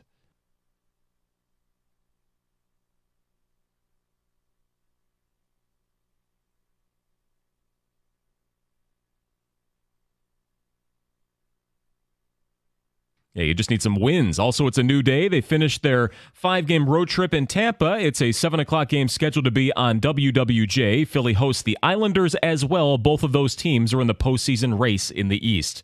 As for the first place Tigers, Olson, Mize, and Skubal, they're up next in line to pitch this week. They've got three in New York against the Mets with some pretty iffy weather predicted in the Big Apple. There is an open day on Thursday just in case. Uh, tonight is slated to be a 7 o'clock game right here on 97.1.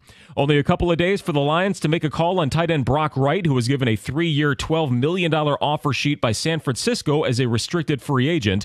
Detroit can choose to match it for their guy, who's been with the team since 2021 and has over a thousand snaps with the team in the last two seasons. Also, it'll be the Pistons versus Grizzlies tonight downtown, the first of only two remaining home games left on the season. They need three more wins to avoid the worst year in franchise history tonight, a 7 o'clock start with the call on Alt 98.7 FM. From the Corewell Health Sports Desk, I'm Chris Villar. For more, go to 971 The Ticket and Audacy.com.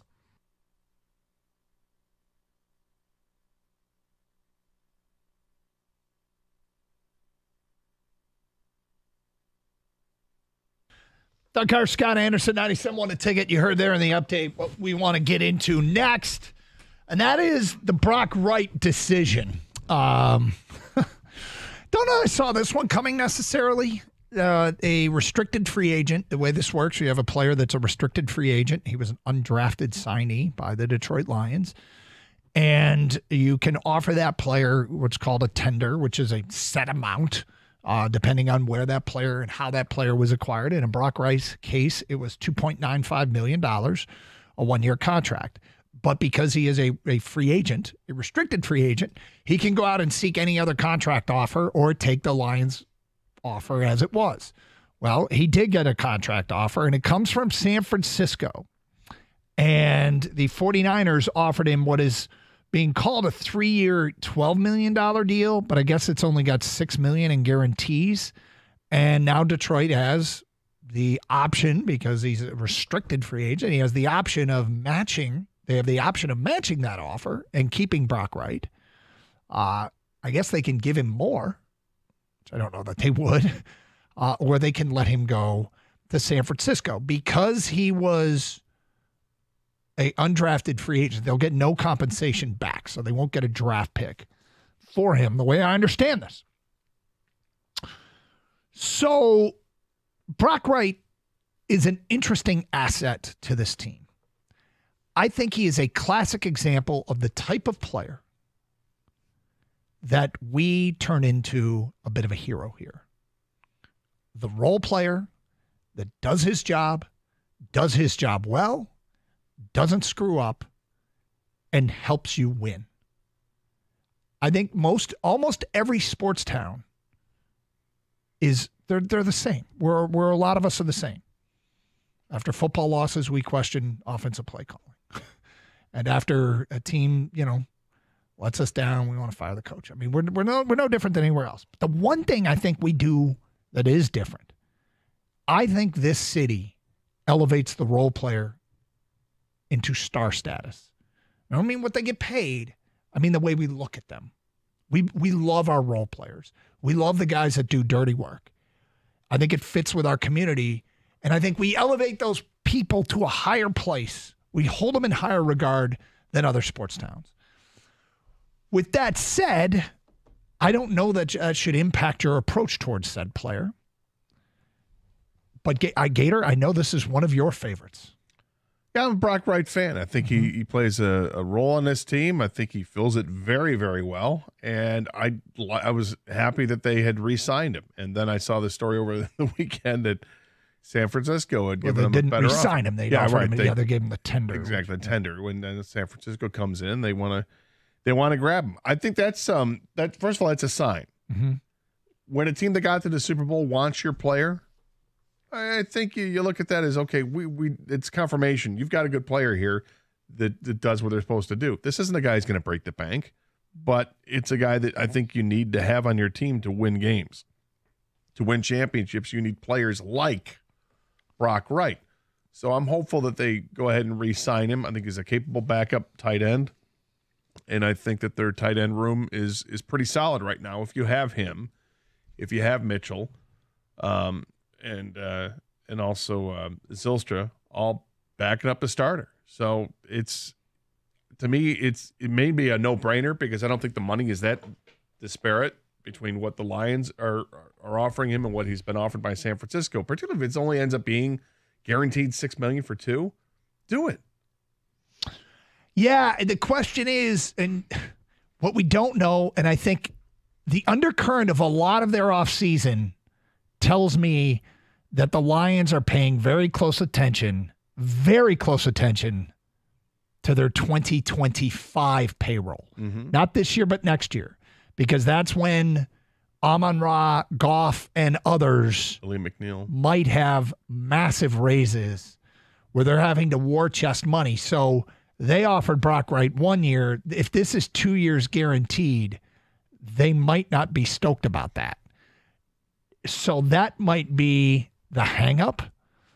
Um, but I, I mean, i i- this this could change things a little bit in terms of you know what their offseason priorities are because they'll they will need another tight end and and probably a blocking tight end. Although Brock Wright, I feel like Brock Wright, Wright has this strange resume of huge catches. Yeah. Uh, the Jets game a couple years ago, he had a big one this year. We talked; it was the same play. It was a fourth down play. And was it the Sunday night game against the Broncos? I think it was a fourth down Sunday night catch against the Broncos. It was the exact same play. Um, so he has been a valued role player for this team. If they didn't, they let Josh Reynolds walk. Now the hard numbers on Josh Reynolds' contract, they got reported two years, 14 million. The hard numbers are two years, nine million. That's what he's guaranteed. So that's four and a half. Are they going to pay? incentives that can kick it up to 14 that Are might gonna- be easily reached. Uh, That's not what Brock Wright is guaranteed, but it's getting close. If they left Reynolds walk, would they be as likely to let Brock Wright walk? And I think they probably would. Well, I again, what's the difference between what the Lions have tendered him and what San Francisco is offering? You know, if it's like a one million dollars a season, pay him the money. I think I think he makes sense, and I and I think actually letting Reynolds go Well, lets you know that maybe they're, they're more committed to. I will contest that it's more than just the one million dollars difference because it's it's one million. If it's one million dollars this year, but it's like four million dollars next year because I they they didn't offer him a two year contract. They offered him a one year contract. So the difference appear, apparently would be the money tagged onto next year's tag, the next year's. Well, you can front load it. You can if you got the money to do so. Then you start talking about paying Brock Wright more than you were going to pay Josh Reynolds. Not necessarily, uh, because if Reynolds was Reynolds had what is it nine million guaranteed, all you have to offer Wright is six million guaranteed, so it's less. But I'm sorry, if you front load it, you'd be paying him more than you were willing to pay Josh Reynolds this year, which seems uh, uh, Well, that have does if- not seem like a good use of your funds. if you have the money to do well, I guess you have to ask yourself which which makes more sense. I mean, if you feel like you're going to go out in the draft and, and draft a wide receiver that's going to step in and compete right away, I mean, you're not doing that with a tight end position. The tight end position, the the the upside of Brock Wright is that he's been here, he knows the system, he's got the trust of the quarterback, and he can block. He's a big body who can block, and and think you need that. The upside of Josh Reynolds was certainly that he has the working rapport with with Jared Goff. But at this point in time, you got to think you're looking at other receivers too. Kang, what do you make of this decision? I think the Lions, they obviously wanted him back. The question is at what cost? They wouldn't have tendered him if they didn't want him back. And I think they, they uh, essentially said, we don't know what we want to pay this guy. It's clearly not at all cost because they would have offered him a long term contract, a three year deal, right? Yep. What they did was they let the market decide what Brock Wright is worth. And now the market's come back. And the Lions got to have to assess is this what we want? I think you're right, Doug, where I don't think it's just, oh, an extra 1 million. It's the long term commitment. How much long term do we want to commit to Brock Wright? I personally don't think they're going to bring him back. I have no problem with that. I like Brock Wright. He did everything like you guys said. He did his job. He did it well. He only had 13 catches, but they seem to be Yep. Big- relatively big big, plays, catches yeah. because probably because other teams weren't expecting it. Let's be honest. He's not a catching tight end, but he didn't drop the ball when when called upon you go out and you get another blocking tight end that can catch you 13 balls a year. You, you, honestly, maybe that's James Mitchell. Maybe it's Zylstra. Maybe that's a, a guy you draft. Maybe it's a free agent that's out there. Maybe I, it's. I don't feel comfortable in this conversation. I'm sorry, Gator. I know you think about Brock Wright in the shower, but Uh, that's not true. time to move on. Maybe you know. I know you're. the team in the shower. Look, they they went out and got Zach Ertz late, and you love that. I mean, there's who's the Zach Ertz this year? You know what I'm And he didn't even play. Exactly. So my point is, though, you go out and get another Brock, right? You move on. I mean, good times. Hey, But this is like maybe Jamaal Williams, Josh Reynolds. You did good for us. We're moving on. Lions fans, do you want them to bring back Brock Wright at a higher price than they had offered that may get into next year? Is this a critical piece? Do you think of him as a critical piece of this organization? 248 539 9797. We'll get to your phone calls and feedback. Also, Gator, I think I know who the next Brock Wright is. I got a guy. If they let him walk, who they should get. We'll get to that today at 1120 here on Karsch and Anderson, 97.1 The Ticket.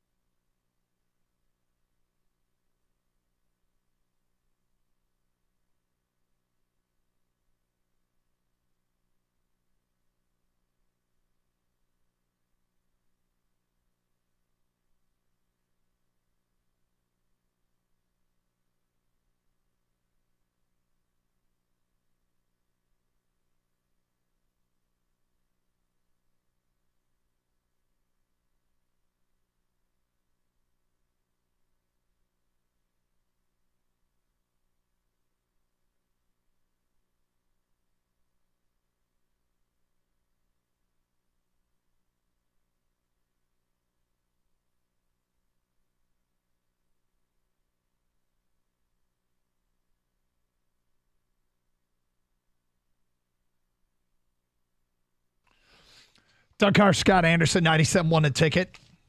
I was looking uh, earlier today at the best blocking tight ends yeah. available in this draft. and it's kind of amazing, really. Number one is listed as Devin Culp, tight end, Washington. Saw him. Number two is Theo Johnson, Penn State. Saw him. Number three is AJ Barner, Michigan. Saw him. Number four is Brevyn Spann-Ford, Minnesota. Saw him. Number five is Tip Reiman, Illinois. Saw him. Seriously, the best blocking tight ends are all Big Ten with the well. Well, no Big Ten. Big Ten. Yes. Brevyn Spann-Ford is interesting to me if yeah. they decide because he could be had later in the draft, and his numbers went down throughout his career as far as his offensive production, but he's six feet seven inches tall. Brock Wright was kind of that way, not a big numbers guy out of Notre Dame, but great size. And and so Spann-Ford could be the next the next Brock Wright, six seven two sixty. How big's Barner? Barner's not quite that big. Uh, but, but, but, but, give me one moment, please. I thought he was more of a. I don't know, he caught the ball. I thought a fair amount. Yeah, Barner Barner's pretty good. Um, probably more productive than Brevyn Spann-Ford. I'll have to look it up. I'll find it at some point here. But uh, anyway, there are guys like this that you can get for not much draft capital. These are mid to late round guys. Now, asking a rookie to go in and block the way Brock Wright did is a big ask. So you probably have to sign a veteran too. Uh, but blocking tight ends don't exactly break the bank on the market. Uh, da, da, da, AJ Barner, six six. I didn't think it was that tall. It's the next one. Oh, here we go. Mm-hmm. Is he taller than Lisa Leslie? Six six two fifty. So he's not quite as big as Brevyn Spann-Ford, but smaller than the draft. You would you would definitely sign him though. Yeah, yeah. I would. I think he's important to the team. Um, I understand that the concerns about the next season, the 2025 season, because of all the money you're going to have to tie up with other players. Um, but I guess I, I trust the capologists to know if they can make it happen or not, or to work their magic to figure it out on a, on a two year deal to keep Brock Wright for the next couple years.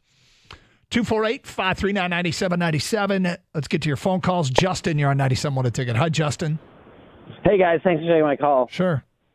Um, I, so I had two questions. Um, one is, and, and you kind of were just talking about with the drafts, but don't you think we can get a Brock Wright somewhere else? Not that, I mean, I, I mean, I like the guy, but if he's that important. I, I don't think a, a backup tight end is that important. I think we can probably find him somewhere else. I don't think we need to be pinching pennies. Backup him. tight end um, becomes extraordinarily important when your starting tight end gets hurt. And then you yeah, start no, to look and, around, and, and I guess I I'd, I'd say this, uh, Justin. I'd feel a lot better about just discarding it and, and saying, "Look, we can find another guy." If the guys the Lions had on the roster weren't guys that have already been hurt, you know, like Mitchell hasn't played a ton. Zylstra missed most of the season, you know, the whole season actually. So that's the concern that I have with that. And I know that Brock, you know, with Brock Wright, what you're getting.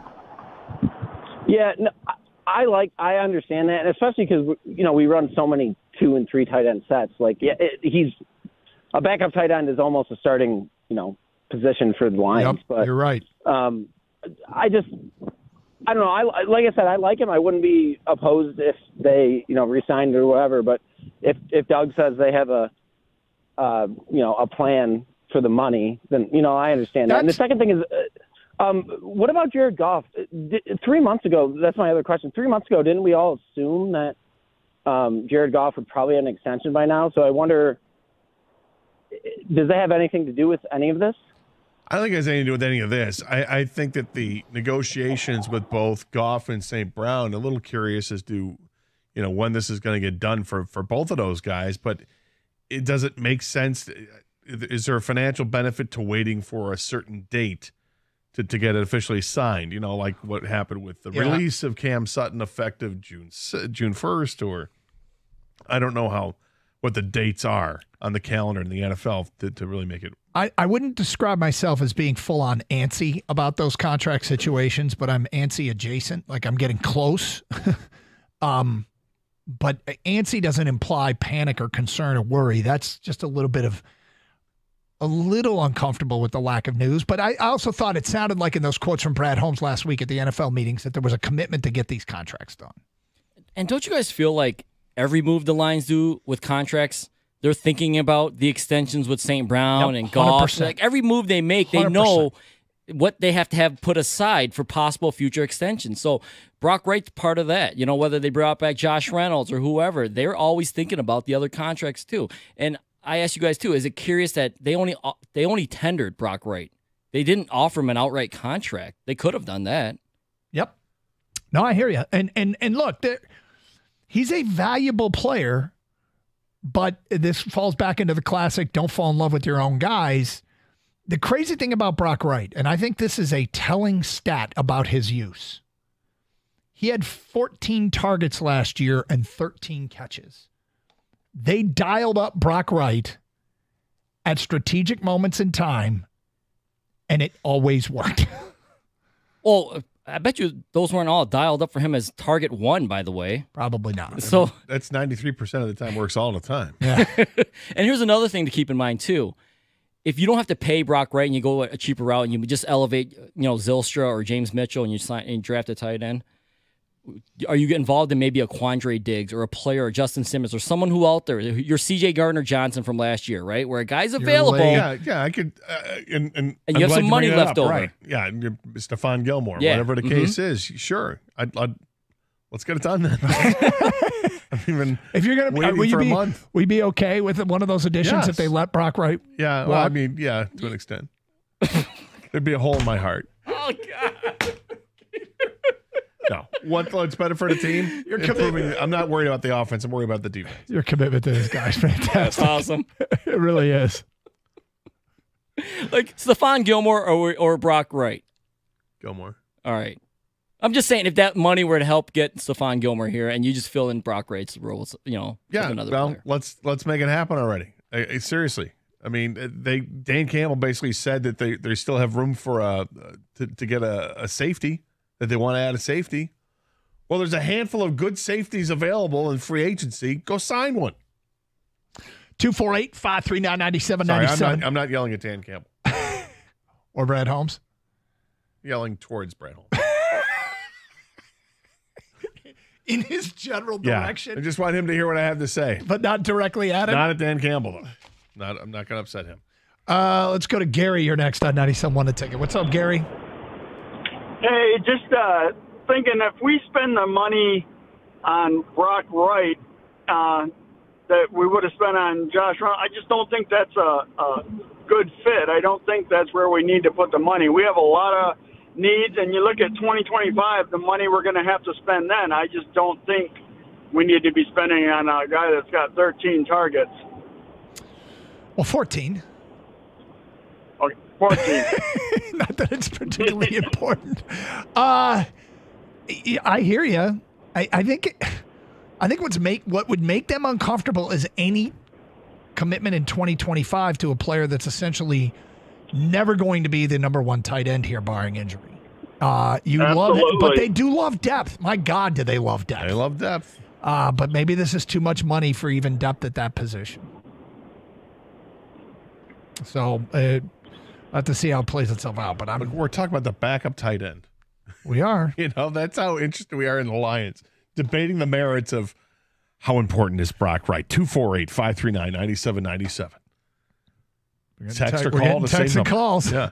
Uh, don't be a sucker for the quick turnaround. Let him go. San Francisco's coach is weak and his players don't respect him. He got us this time. Ignore the distant thunder. That's quite a, there's a lot in that text. San Francisco's coach is weak and his players don't respect him. Mm. Ignore the distant thunder. I like the ignore the distant thunder part. kind of like it all. Uh, Matt in Ann Arbor writes in The Lions should match the Niners' offer. He is a young, worthwhile asset at a crucial position for the right price. This one should be a no brainer to match the offer and keep him on the team for the future. I guess, I think if they had plans to pay Brock Wright in 2025, they probably would have offered it to him. Next text. Let Brock walk. Draft a tight end. Whether or not they bring back Brock will tell me a lot about what they think of Mitchell. If they move on, it tells me they like him more than fans seem to. As a receiving tight end, I have been waiting for Mitchell to blossom, and I've talked about it. And I've compared his two healthy seasons at Vatech as a big play tight end whose numbers were comparable to what Brock Bowers did in one season, but still, he had big play capability. We haven't seen it just yet, but I like Mitchell. Yeah, stay healthy. Stay healthy, and he's uh, he can be quite productive. 248 539 9797. Coming up in the noon hour, we had a bit of an Easter disaster. I'll explain uh, more of your Brock Wright calls and feedback. Hey, what'd you like most about the Tigers weekend? We got a Red Wing team to delve into as they pile up votes for Chump. Huh. And I don't hate where they are right now. I really don't. But they got work to do. They got to get, got to pick it up. And I think they're capable of it. Let's go, don't it? It's Karsch and Anderson, 97.1 the ticket.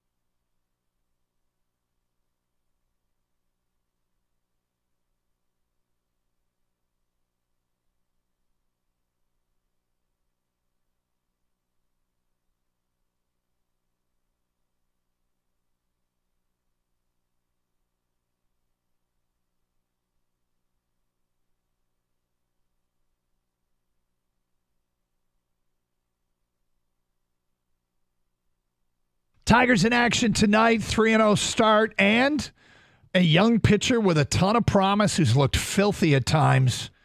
Takes to the hill for the Tigers tonight, and Reese Olson, him and his rosy cheeks, see if he can get the job done in the Big Apple against the New York Metropolitans. Let's go, Tigers. 3 0. In desperate need of that fast start to generate fan interest, 3 0 qualifies. Yeah, and we got the Red Wings tonight as well. Mm-hmm. Taking on Tampa. Yep. And the trifecta of the professional teams. The Pistons take on the Grizzlies tonight at LCA. And Doug, I don't know if you saw this. The Pistons won their last game. Mm-hmm. And I don't know if you saw this. The Pistons are favored tonight by three and a half points. Yes, I saw it, Gator. What are you thinking? Every time they get a win, I think, man, they're coming dangerously close to winning three in a row. The big game from it too. only two more to go. Only two more to go. Now they haven't won three in a row in either of the last two seasons. But for some damn reason, I made a bet with you and Kang that they would this year. I did it in the midst of the losing streak. And here we sit. Well, you can't win three in a row until you win two in a row. Yep. And it all starts with one. And we can finagle the numbers however we want. They're close, people. Yeah. They're close. And then they play uh, at Atlanta. Okay, I can see what's coming out here. It's, it, I'm, I'm, I see what you're up to. Are you and Kang trying to back out of the bet? Uh, absolutely not. No. I'm just merely pointing out that, you know, the Pistons did beat the Wizards quite handily. In fact, see how many points the Wizards scored? Oh, not many. 87 Yeah. in an NBA game these days. That's just pathetic. Uh, Cade Cunningham was a star. But um, Grizzlies, that's next up tonight. That could be that could be a, a strong W. And then again, taking on the Hawks. Dude, I know. I know, I know, I know. it, if they win tonight, you know, you're taking on a team that the Hawks are 10th in the conference right now. They're game and a half behind the Bulls for nine. Now, to be clear, Cade Cunningham is questionable for tonight. It it means you could may or may not play. That's all. Yeah. Yeah. Yeah. All right, back to your phone calls They still 248. They still have Metu. I know they do. Unleash the Metu. Uh, Chris, you're on 97 won a ticket. What's up, Chris? Hey guys, how's it going? Okay. Uh, I was just calling in about Brock Wright. I, I would definitely go with a proven commodity. Um, he's not just a backup; he's a number two tight end in a team that uses a high percentage of two tight end sets. Mm-hmm. Uh, he's also a special teamer, and with the new kickoff rules, that's going to be uh, a little more emphasized. And they've shown that they're willing to pay special team guys. So I think he's a good fit, and uh, yeah, I'd go with that. So what's interesting is if, if they don't let him go, if they don't re-sign him, that tells me it's easy for us. It's easy, and I, I do the same thing, Chris. It's easy for us to say, yeah, I want to keep him, but what is that tech? What is that tangibly going to cost them? Like, is it going to cost them a player next year? Which is what I really think this is all about. It's do they want to make a two-year commitment to a number two tight end? I don't disagree, but it's also you got to match the deal given, and it's a three-year deal. So even if you have them two years and cut them, some of that money is going to get spread. So you're not paying the full amount for the first two years. So I think it's I think it's a doable contract. But yeah, obviously we'll see what they do. Um, but I think he fits. And if you're trying to win a Super Bowl, you don't want to be counting on a whole bunch of rookies. You know, you want some proven commodities. You got to fill some holes. This is true. See where he's going? He's already talking Super Bowl, Doug, this I- year. yeah, I don't blame him. They Yeah. should be. He should. That should be part of the thought process. Yes.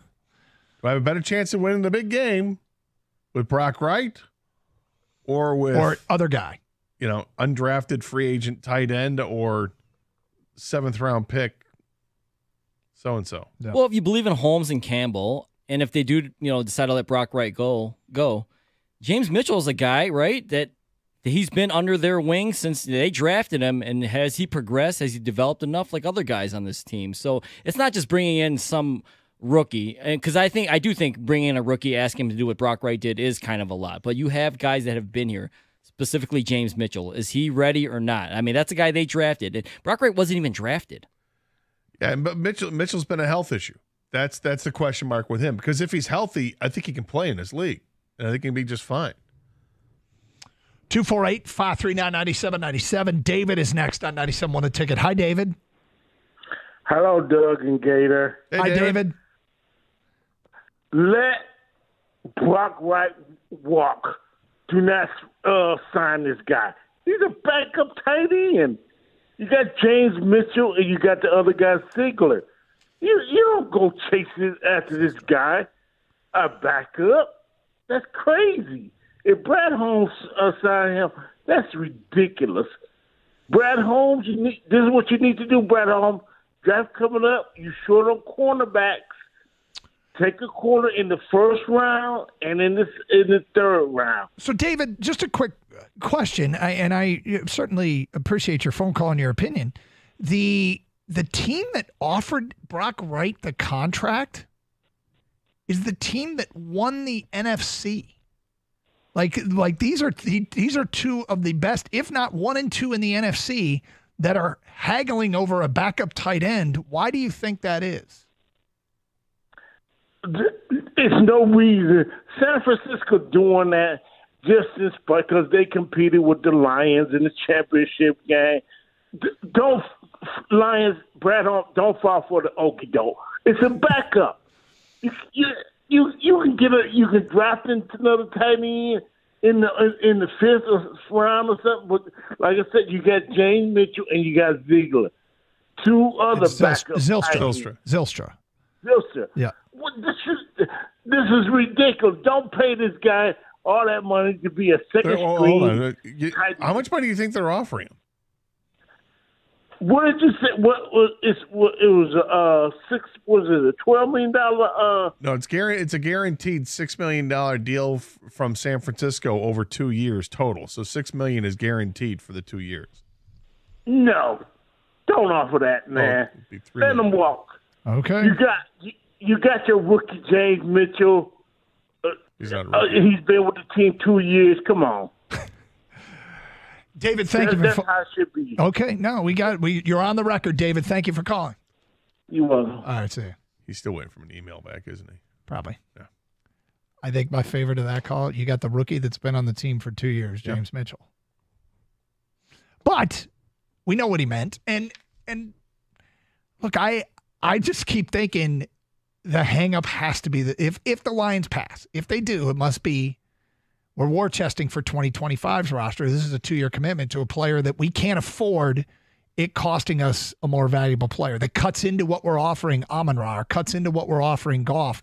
Not a lot, but then you start going, okay, what other role player does it cost you that's going to be need to re-signed in 2025? Well, and at this point, if you are going to sign a Stephon Gilmore or a Quandre Diggs or maybe even Simmons for that matter, they're- they're all likely one year deals Mm-hmm. and have no effect on 2025. 248 539 9797. Phone calls, feedback. Karsch and Anderson. Hey, the uh, the Final Four is set in college basketball. A Purdue Boilermakers, minus the endorsement of Doug Karsch, You didn't have it in the Final Four? are advancing to the Final Four. It's the only team I got right that's in the Final Four. Is it a direct correlation? Oh, so you're the Purdue guy now? I never, I Even never change- loved Purdue. I just not, I just not overt about it like you are. Changing of the guard. It's now Boilermaker Gator on this program. Look, man, That's all I got left. the Boilermakers. Yeah. Yeah. I mean, do you want them to win it all? Yes, my dad went to Purdue, so Yeah. yeah, yeah. I've always liked Purdue. Yeah, I think I want him to win it all too. Kang, you want him to win it all? Oh, you ju- why'd you do that, Doug? They were doing fine without you. Well, you didn't pick him. I didn't pick him to win it all.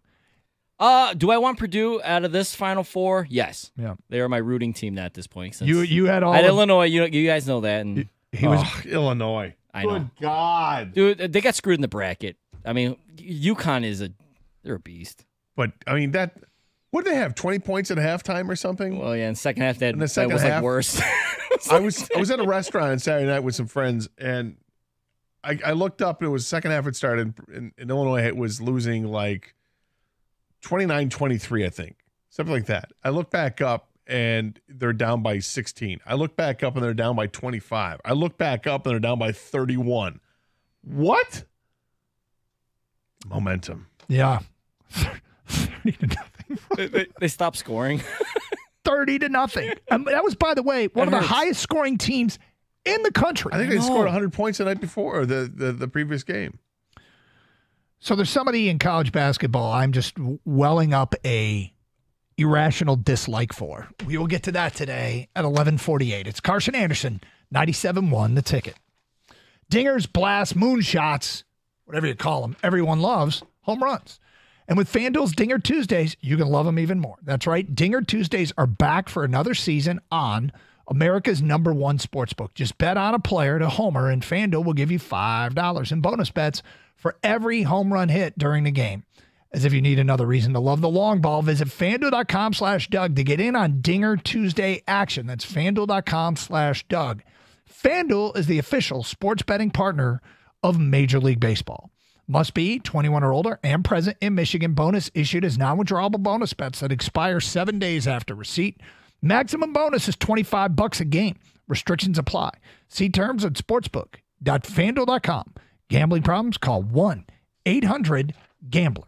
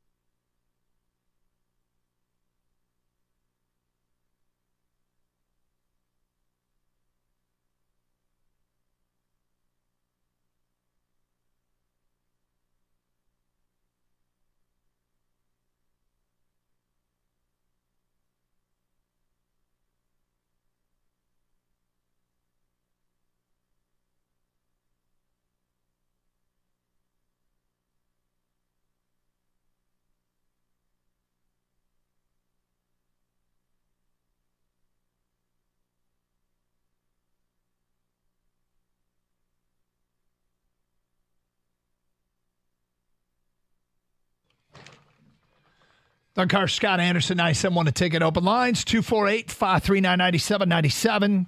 All right, so March Madness. It, it look, I didn't get a chance to get down there, and it was going to be a busy sports weekend. Um, a lot to take in at home.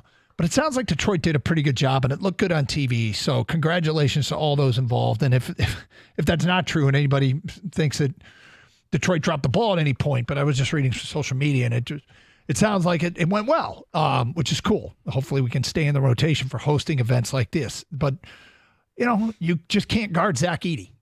Is what it comes. Guarding Zach Edey's like trying to guard a water tower. You can't move him off the block, and you run into him and get called for a foul. So, are we convinced that doesn't work in the NBA? I mean, the NBA sends the message all the time that we don't value that kind of game anymore. Unless, but unless you're a giant, like it's one thing to have Luka Garza, mm-hmm. who was whatever 6'10", 6'11", but could could shoot. He got drafted, but clearly was outmatched. He wasn't quick enough and, and didn't shoot well enough. But Zach Edey's a monster inside. I mean, this is a guy that you can just keep feeding the beast, and I, I mean, certainly he's getting it done at the college level. But last night's game it was insane. He had more than half the points for Purdue. Mm-hmm. They just kept going to him, kept going to him, kept going to him, and he kept delivering. Yeah, and and every mock draft I've seen him, he's been a second rounder. And so again, those mock drafts don't mean that's what's going to happen, but it does it does tell you how the NBA values his style of game. And, you know, it's why Hunter Dickinson's still playing college basketball is because he's getting NIL money and he'll he'll go at some point in the draft. But but Hunter at least shoots from the outside. He does. But Edey is so big that I just, I mean, maybe I wouldn't. I'm certainly not going to spend uh, a, a lottery pick on Zach Edey, but I'd consider moving back into the first to get him if you thought you had. I, I don't know. I just he's an interesting ex- experiment because at some point I think the league will go back to looking at somebody who's a post player because you'll have enough guys. Everybody else shoots, right? Mm-hmm. So why not have a guy who's just a post presence? He's so big. He's so impossible to guard. Do you see what he did after the game when they cut down the nets? He didn't use the ladder. He just kind of walked up and snipped. I mean, the kid's he's unguardable. And the truth is, look, Purdue has been the punching bag for several years because of their last lack of success. Matt Painter's a good coach, but he has struggled in March. And there is such a sense of relief.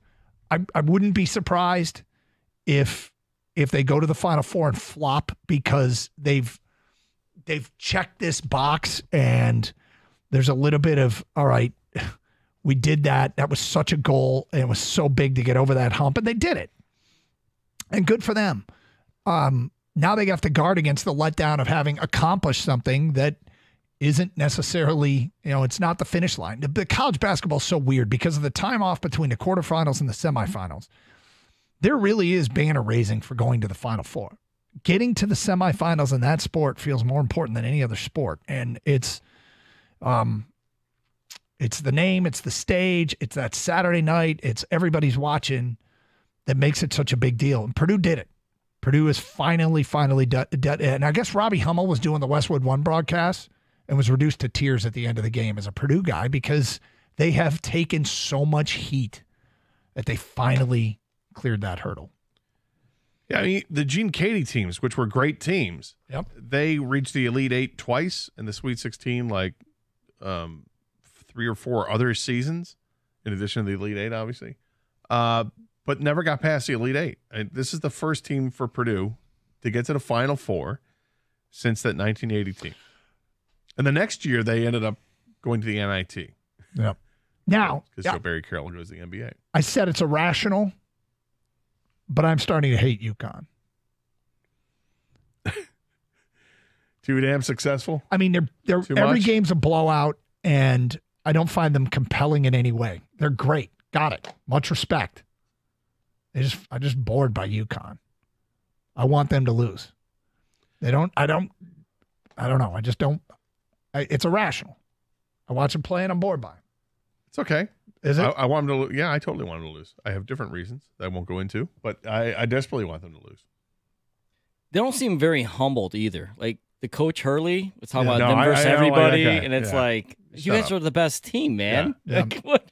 You're you're winning every game by 15 Nobody thought we'd be here. Yeah, it's us versus everybody. No, All right, Hot I Shot, mean, the number one seed I know, right? In the tournament.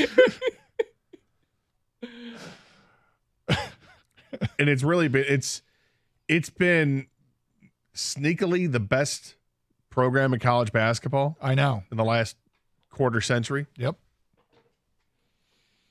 I mean, you always your your mind will always go to like Duke, Kentucky, Yep. North Carolina, and then somebody just says, "Don't forget UConn," And and, you're like, "What? this oh bl- yeah, bland white toast program over there winning all these games. And I like white toast."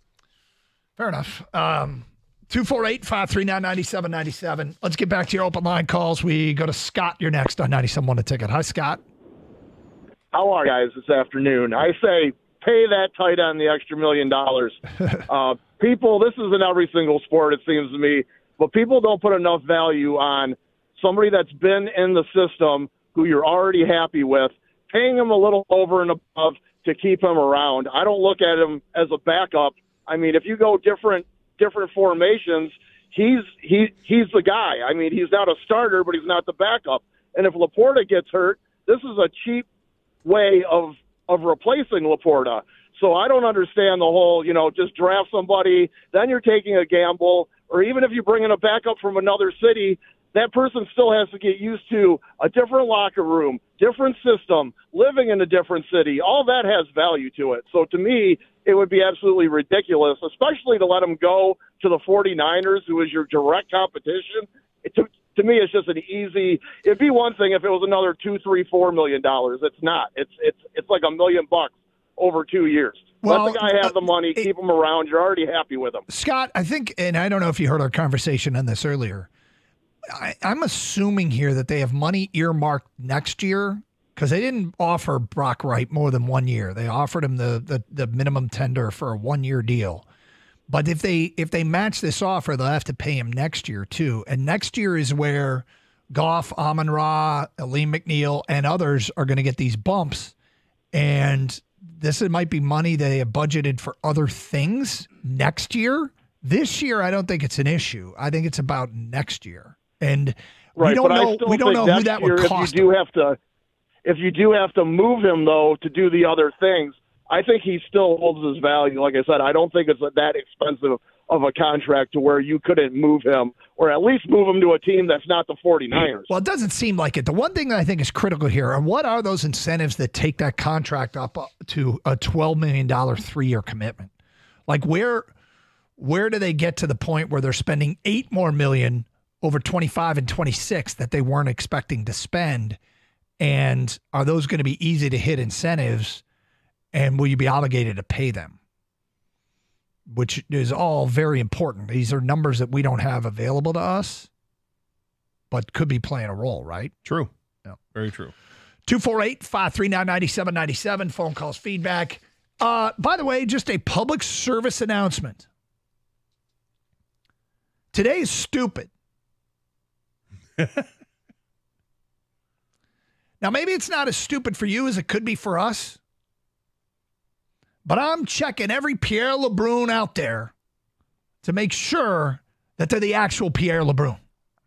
Not going to look at tweets from Adam Schefter. Yes. I'm very well aware that that how the double and triple check everything. Somebody tagged us on a rumor today. Not true. Not true. Not falling for the banana tailpipe trick. Not falling for the Jerry Jacobs signed a three year, $12 million guaranteed contract with the Lions. Not falling for it. Not up in here. Not up in here. Have we fallen for it in the past? Yes. We are veterans. Not on April Fool's Day, though, have we? I think I did. I think I did two years ago. Some, in, I think it was a tiger injury or something. Oh.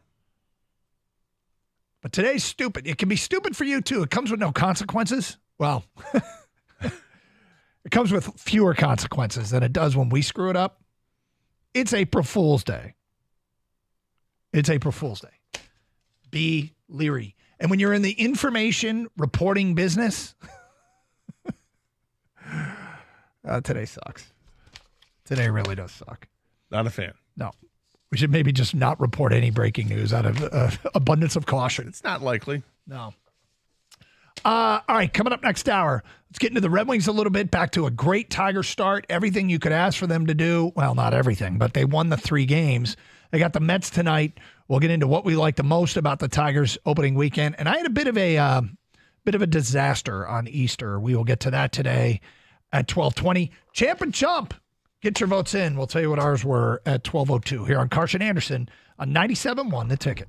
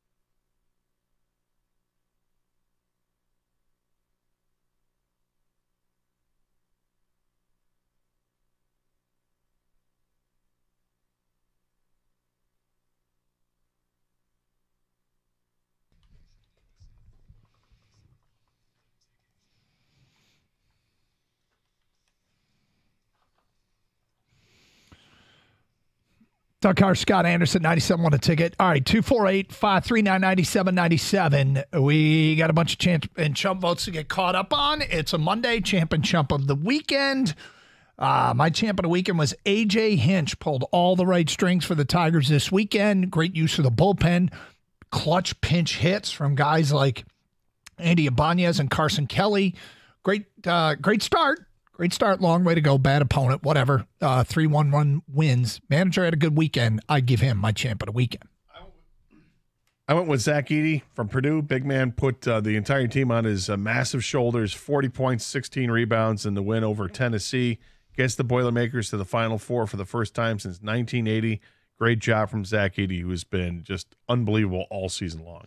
My jump of the weekend is all those people that have worked up and went nuts over the Tigers pizza celebration in the dugout. I, I mean, seriously, we have more important things to worry about. It looked like the guys were having fun with it. Even if the uh, if it did come down on on, on high, saying let's do this, it has zero impact on my enjoyment of the game or the outcomes of the game. but whatever. I mean, it, it just feel like there was way too much angst out there in social media about this if if you knew that it came on high, I can understand why people would be upset. I don't think there's any way that's possible. I don't think there's any way that's possible. It's just a funny thing. It's, it's a celebration. I get over it. Uh, for me, the chump is whoever was responsible for taping off the three point line in the women's tournament game yesterday. Uh, they screwed it up. You had one job measure out the proper distance on both ends and get it done. They didn't do that. They, they caught it before the game started and made the decision to continue playing, uh, even though they could have waited an hour and had them uh, re-tape the uh, the line. But that was their decision, and uh, it's just ridiculous it even got to that. There's just, I mean, there's no respect. There's no respect for the women's game, seemingly. You know, they had the the issue the last year with the, uh, or a couple years ago when they had the, the tournament was moved around and they had um, horrible conditions for the women compared to what the yeah, men were getting. Yep.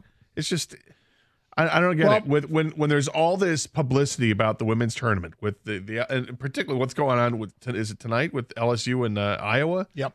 I mean, you're you got the spotlight, and unfortunately, the spotlight right now is about how nobody cared about the three point line. Well, and th- look, they could have got it worked out. It would have taken an hour. There was some angst about whether or not the networks wanted to move their make that window available to show the women's game.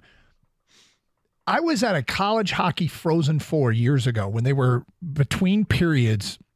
Might have even been between the early game and the late game, and they were drilling the hole for the the little um the the thing that you put the peg for the Peg for goal. nets. Yeah, uh, and they hit a pipe and it flooded and it took forever to fix it but the game was still televised they still moved it. Now those were kind of unplayable conditions compared to this. You could compl- you could play it.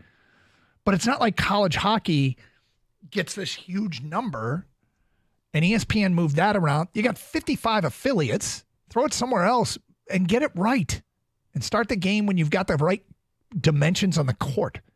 This isn't baseball where you're dealing with different dimensions in different parks. Three point line's a three point line. It's the equivalent of moving the pitching rubber or making the distance from first to second base shorter. It's not messing with the outfield wall. Is this right? It's so weird. No, I don't think it's right. Suffice it to say, a lot of votes for Chump of the Weekend for the Portland Regional of the women's tournament. Uh, feedback coming in. Nate writes in Champ Michigan hockey for dispatching the Spartans and getting to their third consecutive Frozen Four. Chump Yzerman, I hold him, I hold him fully responsible for this free fall from the failed additions, lack of movement at the deadline, and his words, quote, this team isn't ready to compete and win, which have led to our collapse. So those words don't bother me because I can't imagine being a professional athlete and then that making me want to give up. In fact, I think of it as insulting that somebody would believe that. Yzerman's team is not getting it done right here, right now, but I got a theory on them, which probably won't be popular. We'll get to that coming up. Uh, Champ, the Tigers for starting out the season with three straight. Chump, Doug for taking Houston and making my bracket garbage. Thanks, Purdue. Okay, so I took. Does that mean that person took Houston because I took Houston? Oh, that's a mistake. Look, I've been on the Purdue bandwagon forever, up until this year. stop listening to what I'm telling you to do in March Madness. You're not telling anybody what to do in March Madness. Oh God, no. No, you're telling you're just relaying what you did. Period. Yep. I will take the vote though for chump of the weekend. Uh, champ the Tigers, chump Denny Hamlin. Champ the Tigers, nice 3 0 start. Chump NCAA refs. The foul differential between Purdue and any team they play is unbelievable. Edey had 22 free throws yesterday. This has become a joke. Well, he had 22 free throws because he was hacked constantly because they thought maybe that's the best way to stop. He's so hard to officiate because he does things that other players would do that wouldn't be fouls.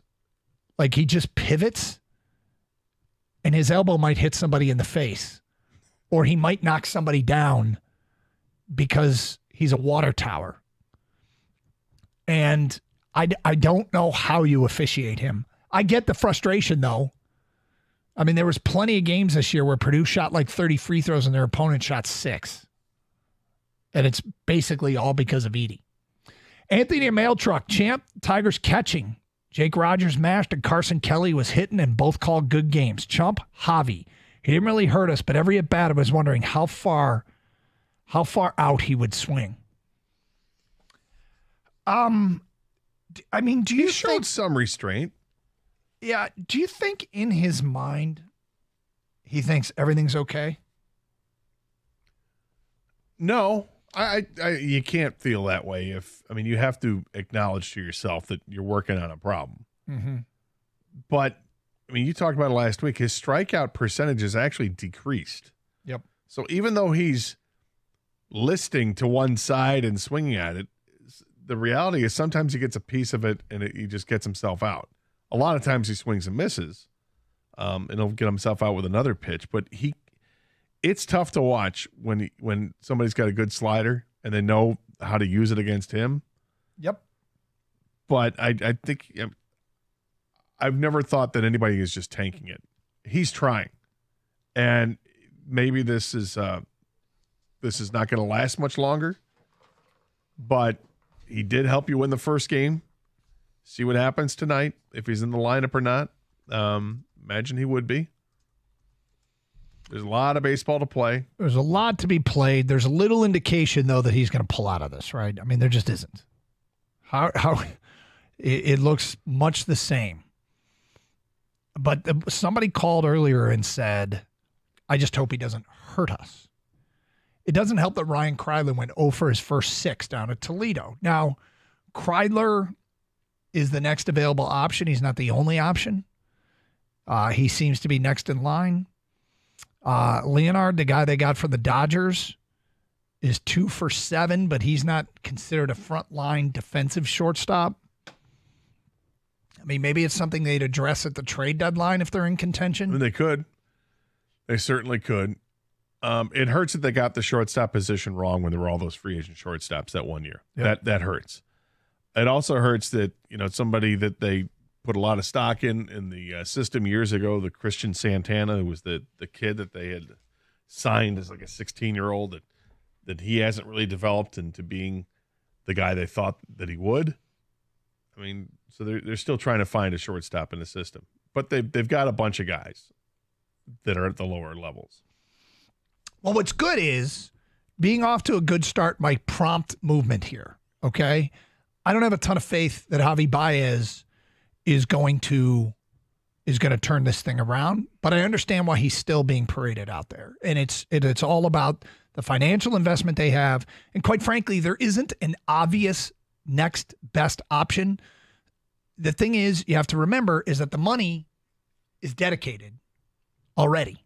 He will be paid by the Tigers organization unless somebody takes him up on a trade and they eat a bunch of the salary, but he is owed this $96 million and they are going to pay it.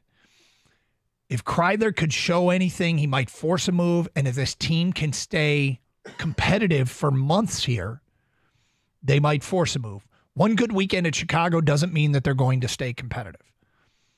But looking at the schedule, they have a chance to be more competitive in the first month of the season than they've been any of the last three years, where they've been remarkably an average of eight games under in the first month. And if you think about any month, if you have movement eight games better or eight games worse, that's a lot of movement. They've been bad like downright horrible the first month of the season, the last three years. Let's go. 3 0. It's almost like, you know, the Tigers, you can't win it the first month, but they definitely lost it the first month. And Yep. so they don't want to be battling behind the eight ball already, especially when you're, you know, maybe think people think you're a 500 team at best. And they seem to have gotten better as the season goes along. So don't start off poorly, like like you said, Doug. But the Javi Baez thing, I think people, it's really hard for people to. Well, we talked about this before. They got to get over his contract in a sense because he's just not going to be that Yeah. player that you signed to that deal. He isn't. Uh, and because he's not the only one, like Riley Greene didn't start off, he hasn't started off that well, right? Parker Meadows, he's the same, but you just got to hope really good defensively and and contribute to a win every now and then, like he did the very first game of the year. He helped you win that game. Yep. And and I mean, people I guess don't have to get over it. I know. It's just He's it's not- like you this will be a repetitive bitch all season long. But if the team is winning and he's not and he's occasionally helping them win, can you deal with that? I think in a lot of people's minds the answer is already no. 248 539 9797. All right, coming up today at 1220, we had a bit of a Easter disaster. In spite of all the time and effort we put in, failed miserably. I'm sorry. We'll get to that today at 1220. It's Karsch and Anderson, 97.1, the ticket. Hey, I know we made it through the final 16 and final eight weekend, but Twin Peaks is going to keep the party going, and you're not going to miss what's going on at Auburn Hills tomorrow. The first in store photo shoot for the Miss Twin Peaks pageant. The best Twin Peaks girls will be strutting the red carpet in bikinis and lingerie as they prepare to submit to be Miss Auburn Hills. From 5 to 9, the girls will be glammed up and strutting their stuff, and they'll still be happy hour to take advantage of their awesome deals like $5 queso and chips, $2 tacos and domestic drafts, or grab a frozen summer shandy, their beer of the month. In house, DJ as well, along with the Twin Peaks girls, awesome food, beverage specials, wall to wall TVs to catch Detroit in action against New York in baseball. Why wait to the weekend to start the party again? Check it out at Twin Peaks. To find the Auburn Hills location, go to twinpeaksrestaurant.com. And to be aware of all their specials, again, twinpeaksrestaurant.com. Food's great, beer's ice cold, atmosphere is awesome. Twin Peaks eats, drinks, scenic views.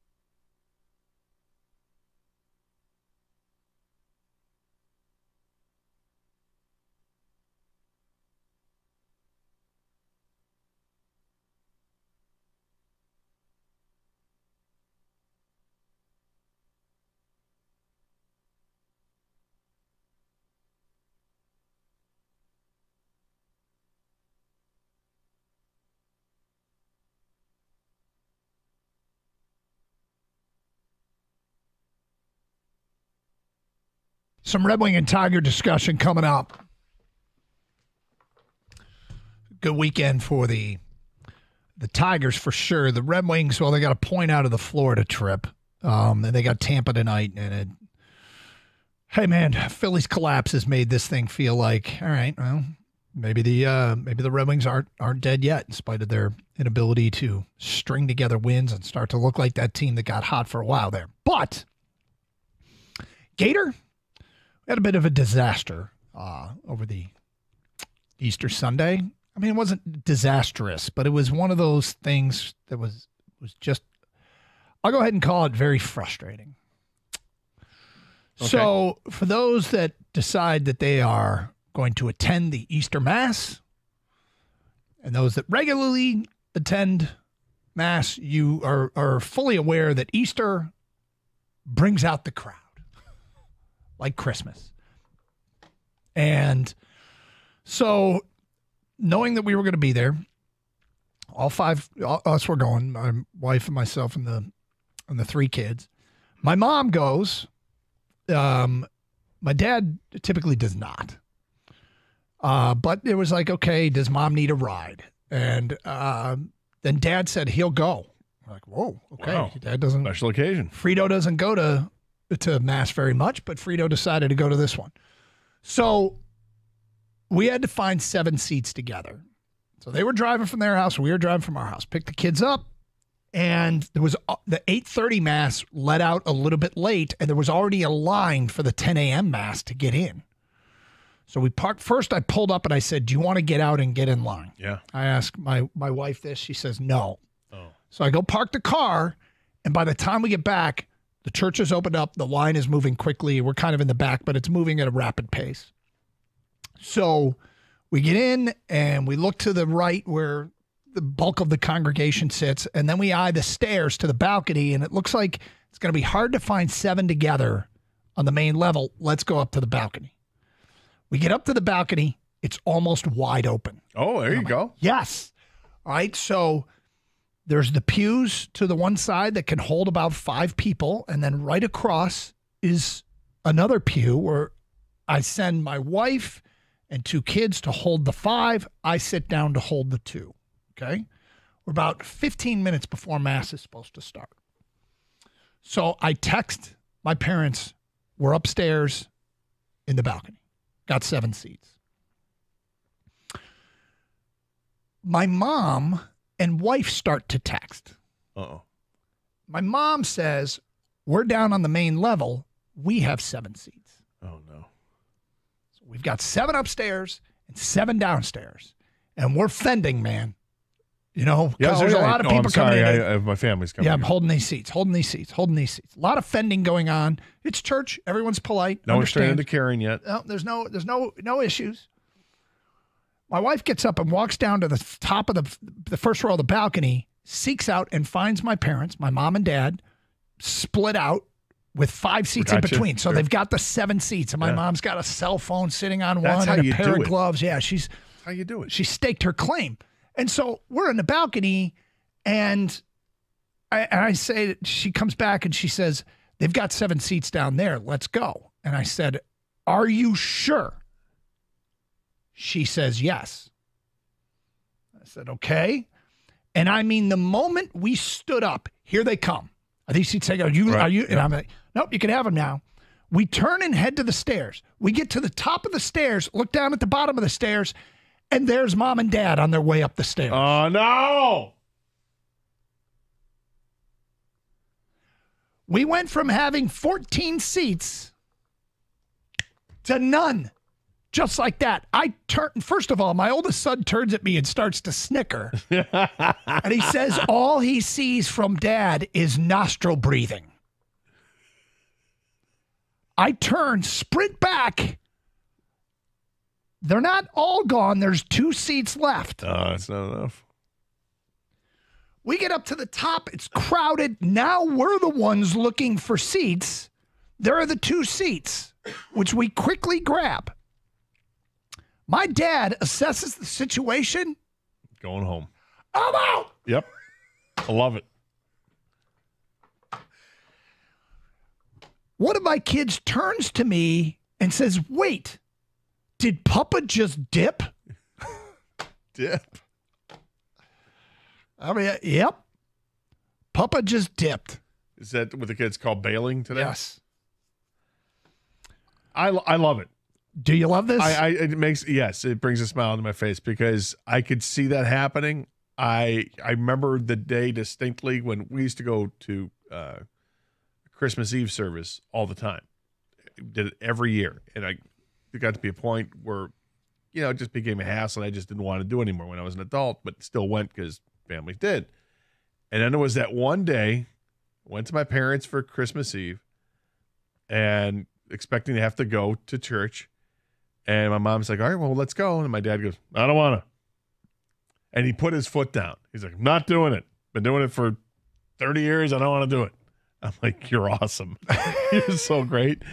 And, and, I'm like, and my mom goes, well, he may not be going, but you're going. I'm like, wow. but ma, he's not going. so I had to go. And that was the last year that I went. So I took my mother to Christmas Eve Mass and then, or not Mass, but service. And then we, that was about it. But when when Hugh put the foot down, it was a special day. And I feel like your dad just did. He's done it. He's yeah. already said he's not. And then this year he's like, oh, "Fine, I'll go." And what it tells me is that this is the exact reason why he made that decision years ago to say no more to the Easter Mass because it is a zoo. It was a zoo. The church, and he doesn't want to deal with it. Why do I have to deal with this? Okay. We went to the latter service and we like it's already you know, there's already a line around the door. So now I'm standing at the top of the balcony in the last row. And we've got these two seats. Who gets the two seats? The two people that didn't communicate, my wife and my mom. They get the two seats. Is the way it should be. I gave up the seat. For, Wait, and my mom's 80 years old. She deserves it. Absolutely. My wife. Can't believe you made her walk up the stairs. I didn't make her do anything. So now I'm standing in the back row with the kids for the entirety of the mass. The kids can't stop laughing. I can't believe Papa dipped. I can't believe Papa dipped. Did he just go to the car? or did he actually fully leave? And you, had to, you had to take your mom home. Papa implied that he went to the bar. yes. Wow. It's early. That's a service I can attend. Yeah.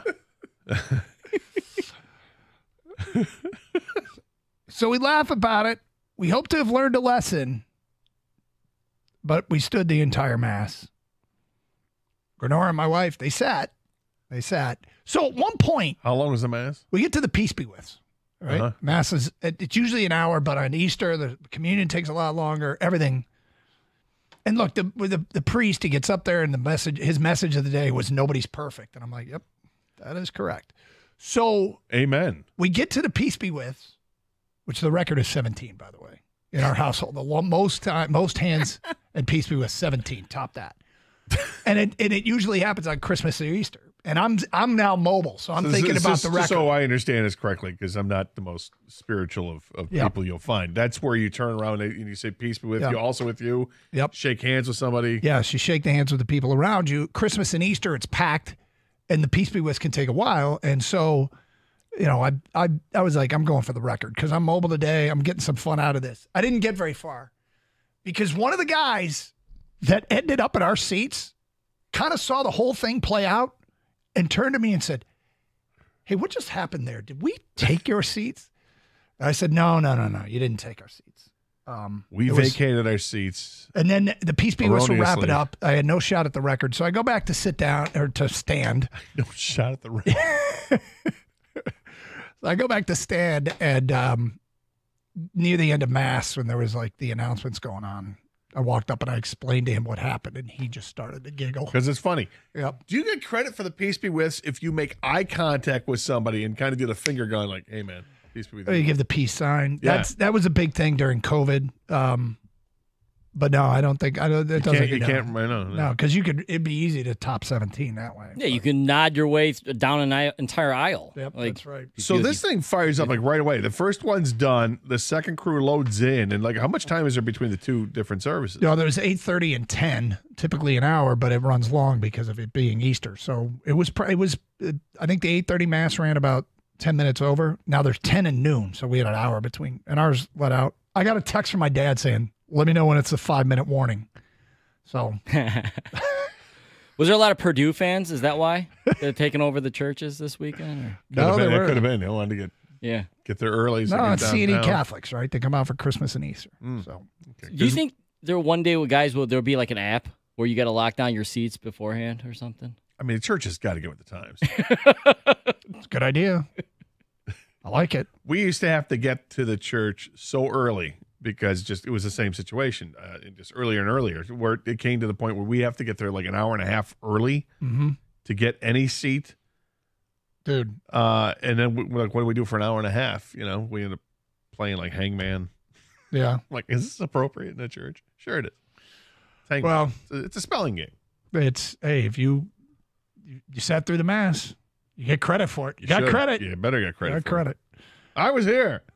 All right, uh, let's get back to the Tigers. What did we like most over the weekend? There's a lot to like. We'll get to that today at 1235. Champ and Chump, get your votes in. Karsch and Anderson, 97.1 the ticket.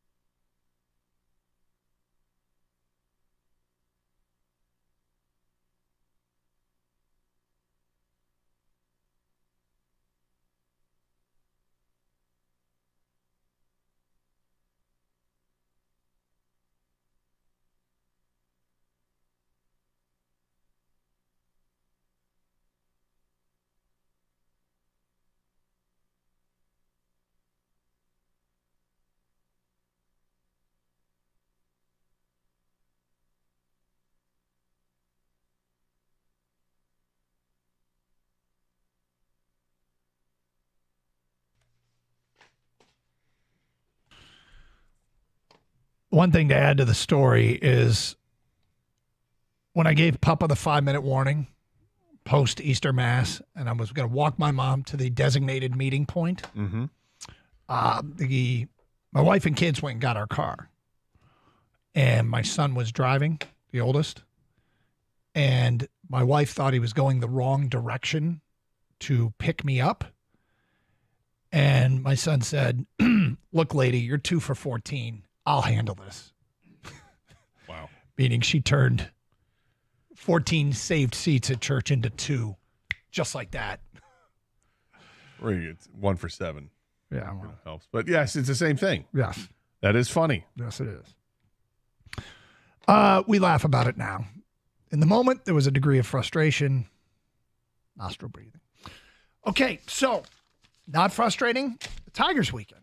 3 and 0 Tiger fans. 3 and 0 the first time in franchise history that the Tiger team has opened with three consecutive one-run victories, first team since Arizona to do it in 2012. All that courtesy of Elias Sports. Um, let's go through these games over the weekend. Maeda not great on Saturday, but a lot was pretty damn good. Parker Meadows, who isn't off to a great start at the plate, he has one hit, but it was a triple. Scored a run on the first, made that great catch on the wall in that game on Saturday. I'm not sure if it would have got over, but it was still a fine running catch, as our guy Dan uh, Double D Dan Dickerson says. Mark Canha had a home run. He had a huge RBI. Um, as well. Alex Lange comes into the game. It was 6 6. He walks the bases loaded. And here comes maybe the best part of the weekend. There's one out. Will Vest comes in, inherits one out, bases loaded, and coaxes a ground ball to third. And McKinstry behind third, who's not considered their best defensive third baseman, fields it, takes two steps, maybe three steps, transfers the ball from glove to throwing hand before he gets to the bag, touches the bag and lets a throw, an absolute seed across the infield go in the dirt. Great scoop by Tork to get a 5 3 double play, end the threat, keep the game tied at six. This is an example of timely, great defense helping you win. They're not perfect by any stretch of the imagination defensively over the weekend, but that was an awesome play that in a lot of ways saved the game, a game they eventually won in extra innings. What a moment that was. It was, and, and there were there were moments all weekend long that you had you had you thinking maybe just maybe this team is uh, better than we thought they were going to be.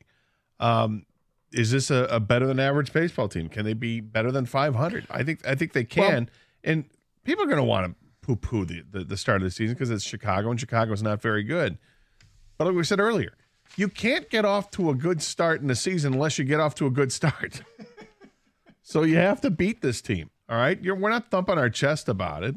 Um, the pitching that you got in game one and game three, the starting pitching was awfully good, and it's a really good sign if, if you know Jack Flaherty did what he did in the spring and the last couple uh, starts in the spring, he was really good. That was that was Sunday's game. We'll get to that in a minute, but also on Saturday, Shelby Miller, two great innings, and how about the use of Carson Kelly, who comes up with that single up the middle in the tenth to give the Tigers a seven six lead.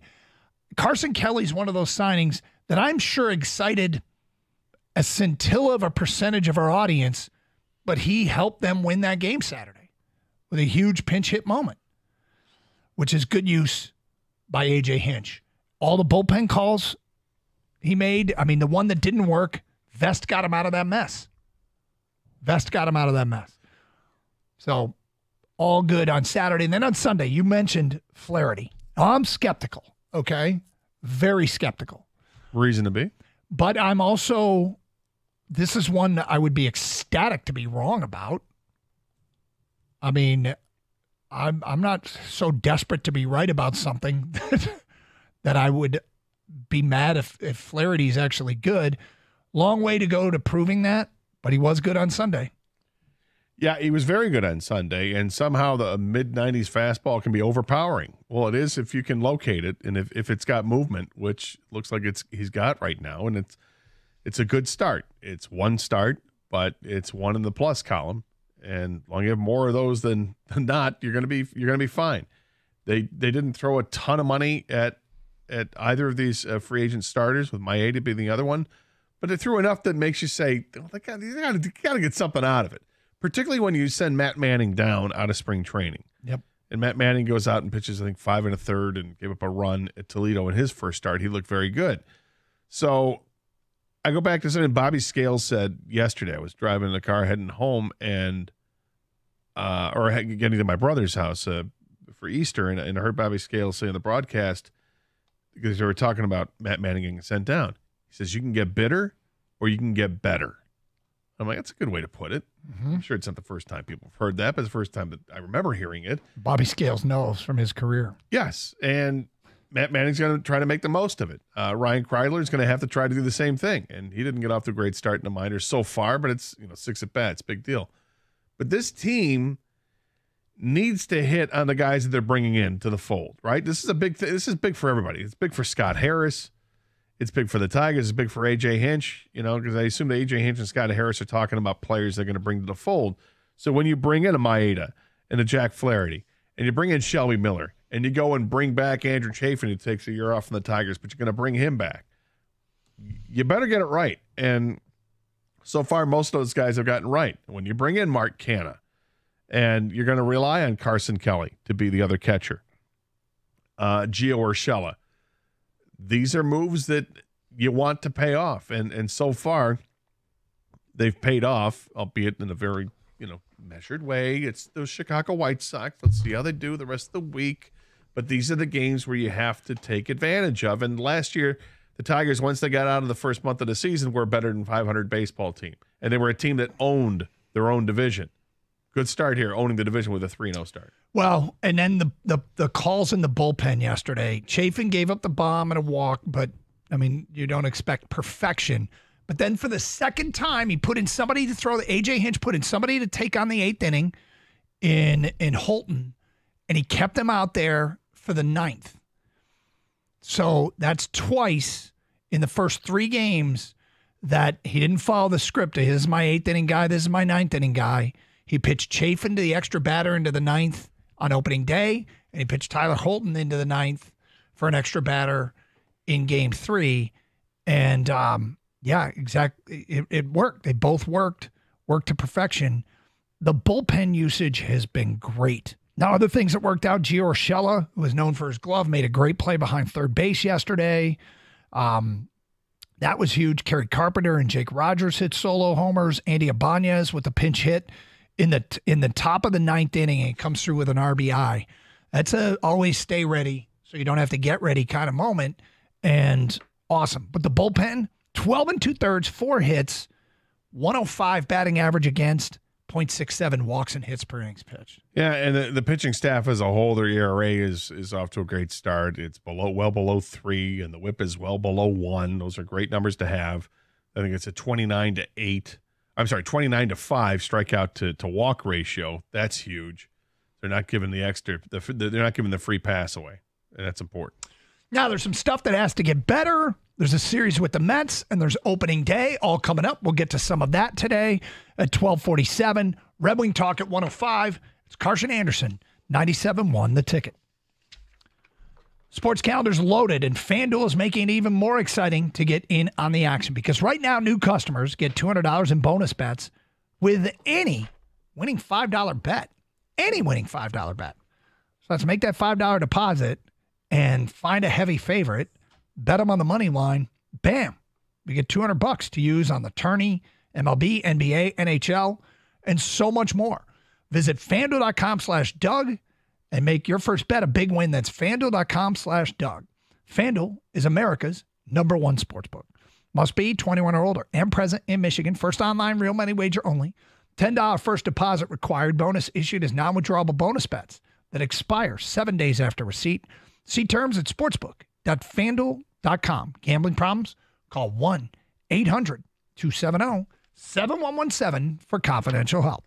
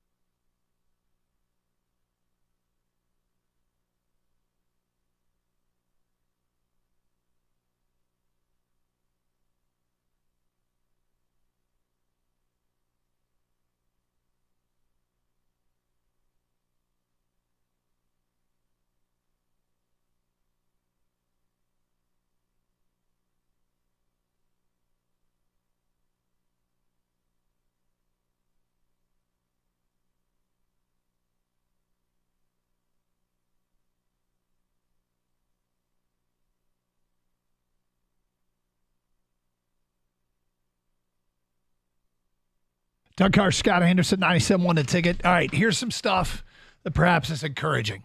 Tigers in New York to take on the Mets. The Mets are kind of an NL version of the Tigers. Uh, last year, Detroit won 78 games, have an over under this year of 80 and a half, so two and a half games more. The Mets last year won 75 games.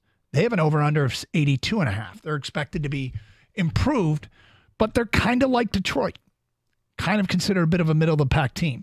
The encouraging thing is Tigers over under total. You look at both the Tribe and the Royals, who are behind Detroit in the American League Central, along with the White Sox. They're expected to win fewer games than the Tigers.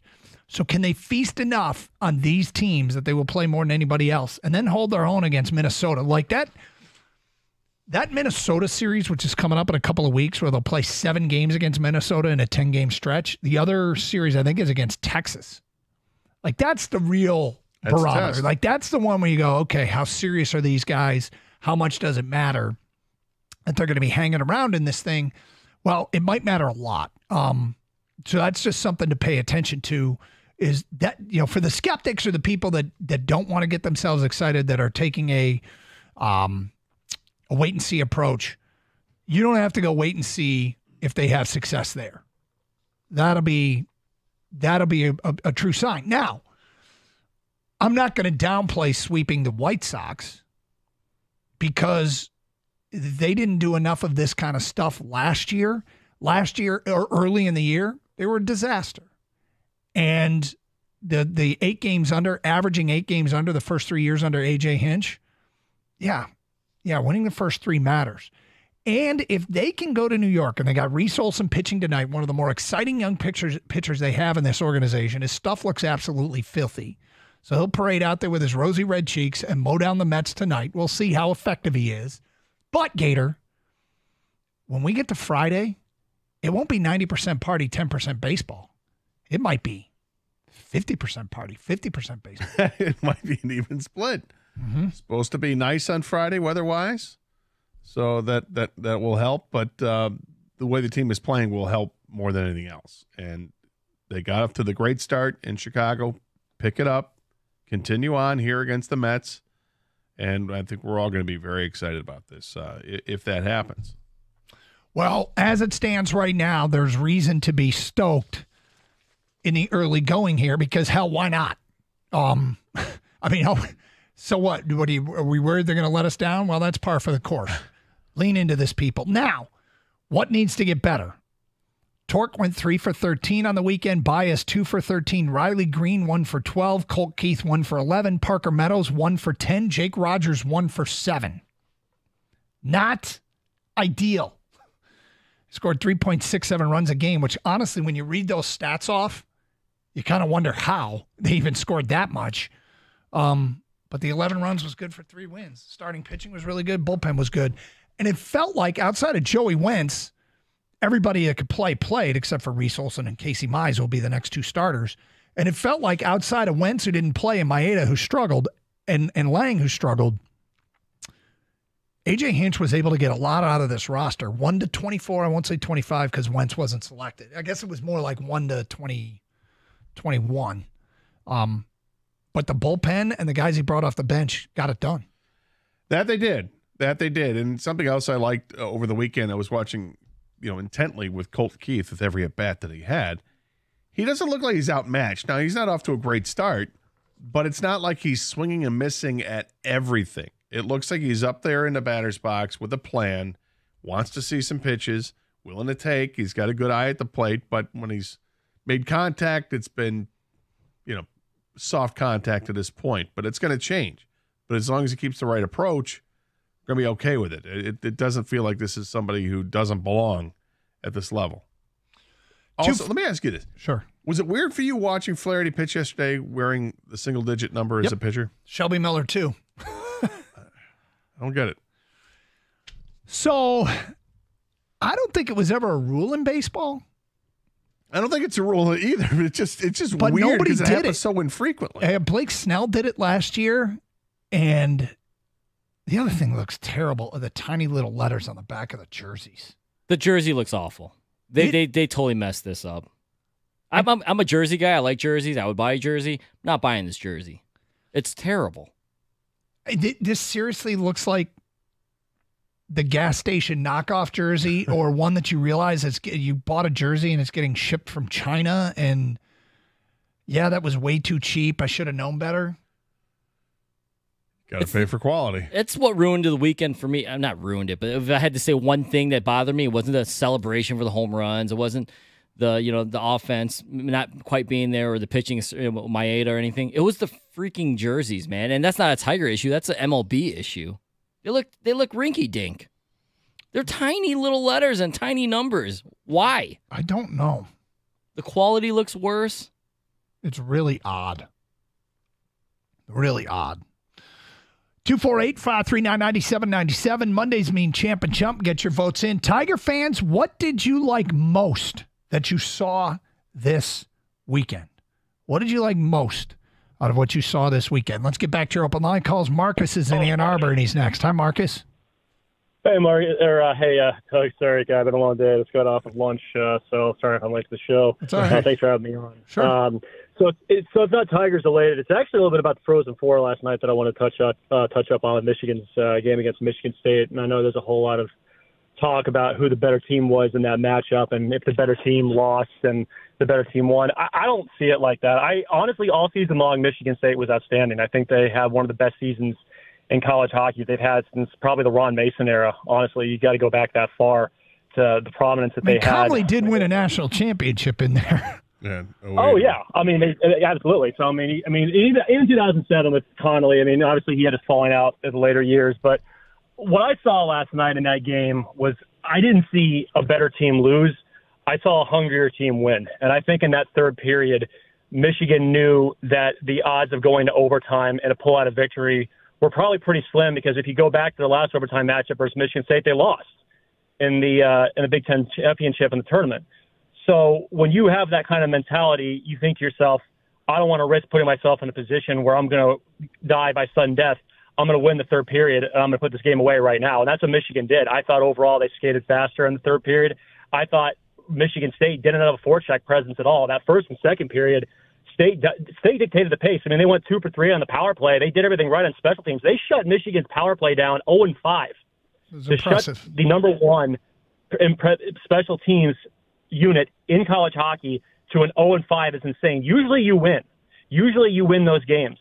But what it really showed was how resilient and how many weapons Michigan had on their side, and uh, by being able to outscore your opponent at even strength in that third period, four to one. I know one of those last Well- goals was a power play goal, but I mean, it Well, really uh, speaks I, I think it, it showed. And there's when I watched when I watched Michigan State play hockey this year in in the tournament specifically, it seemed like a lot of their goals came by way of shots from the point would, or, or shots from the defense that would just find their way through because they did a great job of screening the goaltender. Uh, and if a rebound came out, they were there to, to, to bang it home. What I saw from Michigan, they're like set plays or guys making individual individual efforts that just made a difference. It was Dylan Dukes. Is that his name? Dylan Duke had an a- amazing goal. The and first goal was incredible. I mean, it's just speed, shot out of a cannon, just blows right past these guys, uh, past the Spartans, and cuts in front of the net, and did it in a way where he's able to to maintain maintain control and then, and then scored. Gator, I mean, you sent me a text. Google search Frank Nazar pass, and N A Z A R pass. It's worth it. Best pass I've ever seen. Yeah, it, it was incredible. And so I got a belief here, Gator, specifically with college sports.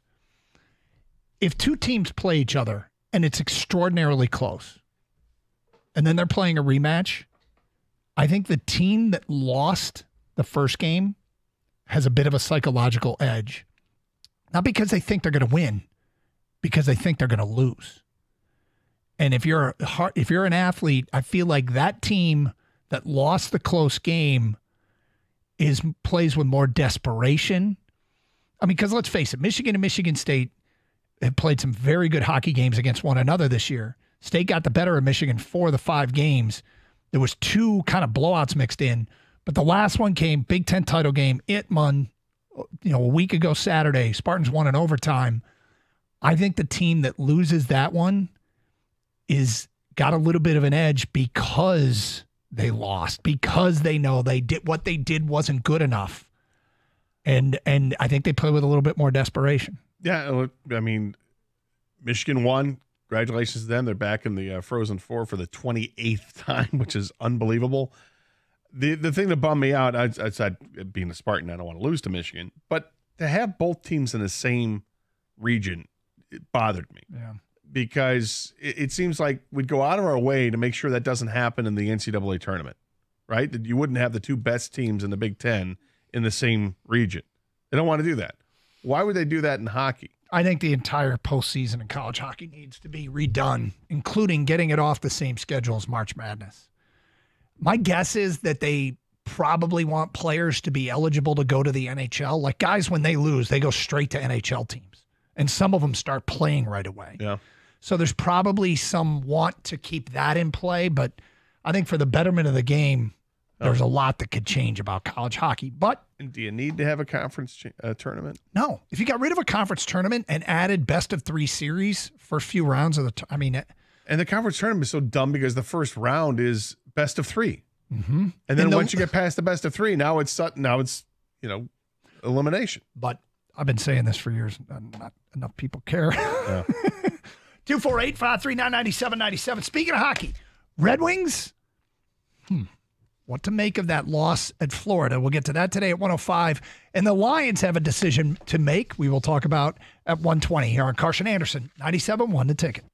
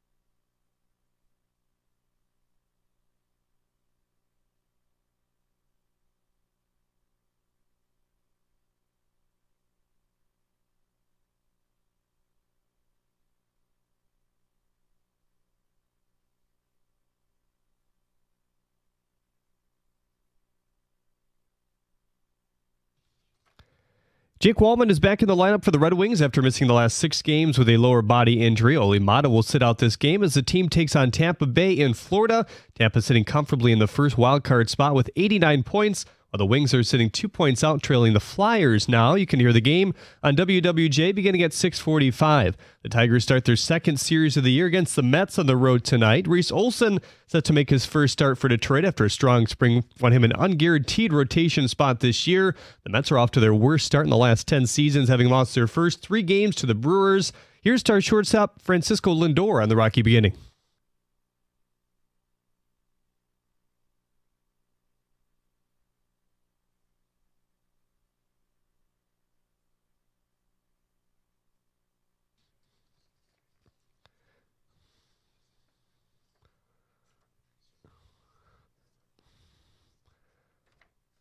Temperature expected to be right around 50 degrees, not bad by first pitch in New York. That's set for 710. You can hear it right here on 97.1.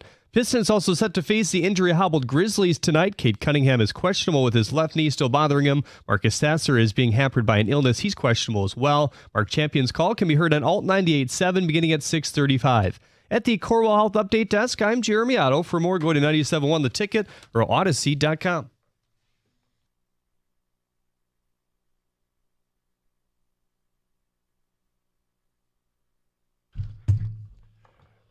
Jeremy, before you get out of here, yes.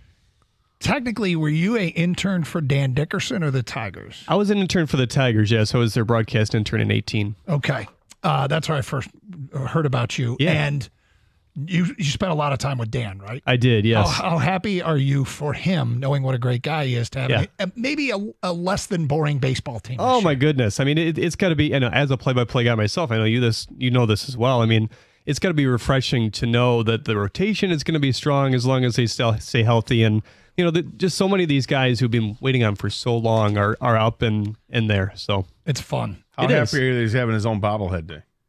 you know, I haven't talked to him much about that, but I, I got to make their make it down there for that. That's that's pretty cool, isn't it? April twenty seventh. You know, you've made it when you have your own bobblehead. Without question. Without Does it speak? I don't remember. I don't think it speaks. I I did see it. They brought one out to us last week to, to see, but I didn't have a chance to hold it in my hand No. to see what, what it does. That's uh, that's draft weekend. Oh, is that right?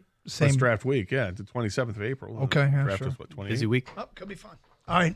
All right, guys. Yep. yep. Have a good show. Happy, happy as hell for Dan and for us just to have one weekend, man.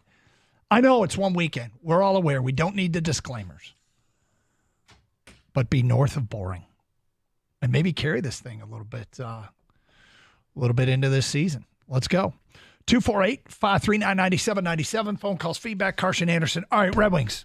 Um, we haven't really talked about it. They got a point out of Florida yesterday.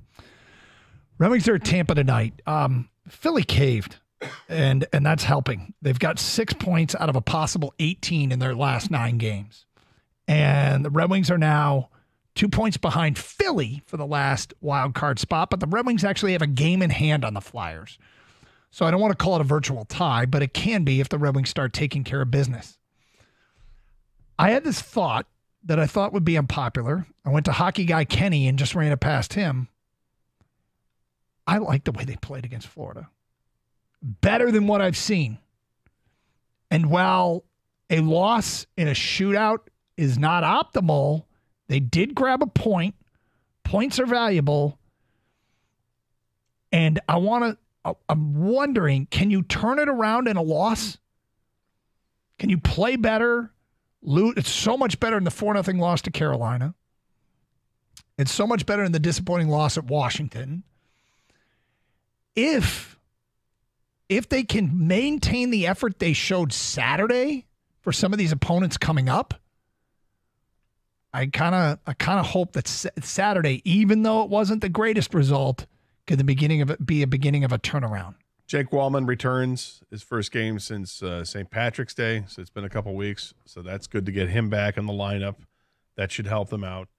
Um, I, I think you know the loss on Saturday just one of these guys shake off. You know, a couple bad goals, not Lyon's fault. You know, one goes off the skate blade of uh, or if it was you know the stick of uh, Mo Seider, and just got to deal with it. Right, Mhm. keep your head down, keep focused. Let's go because they have played better. They played better, and it, there's not much to show for it uh, record wise. Um, but I think that has to be. I think they have to be reminded of the fact you have played better. You're playing against great teams, and you've played better.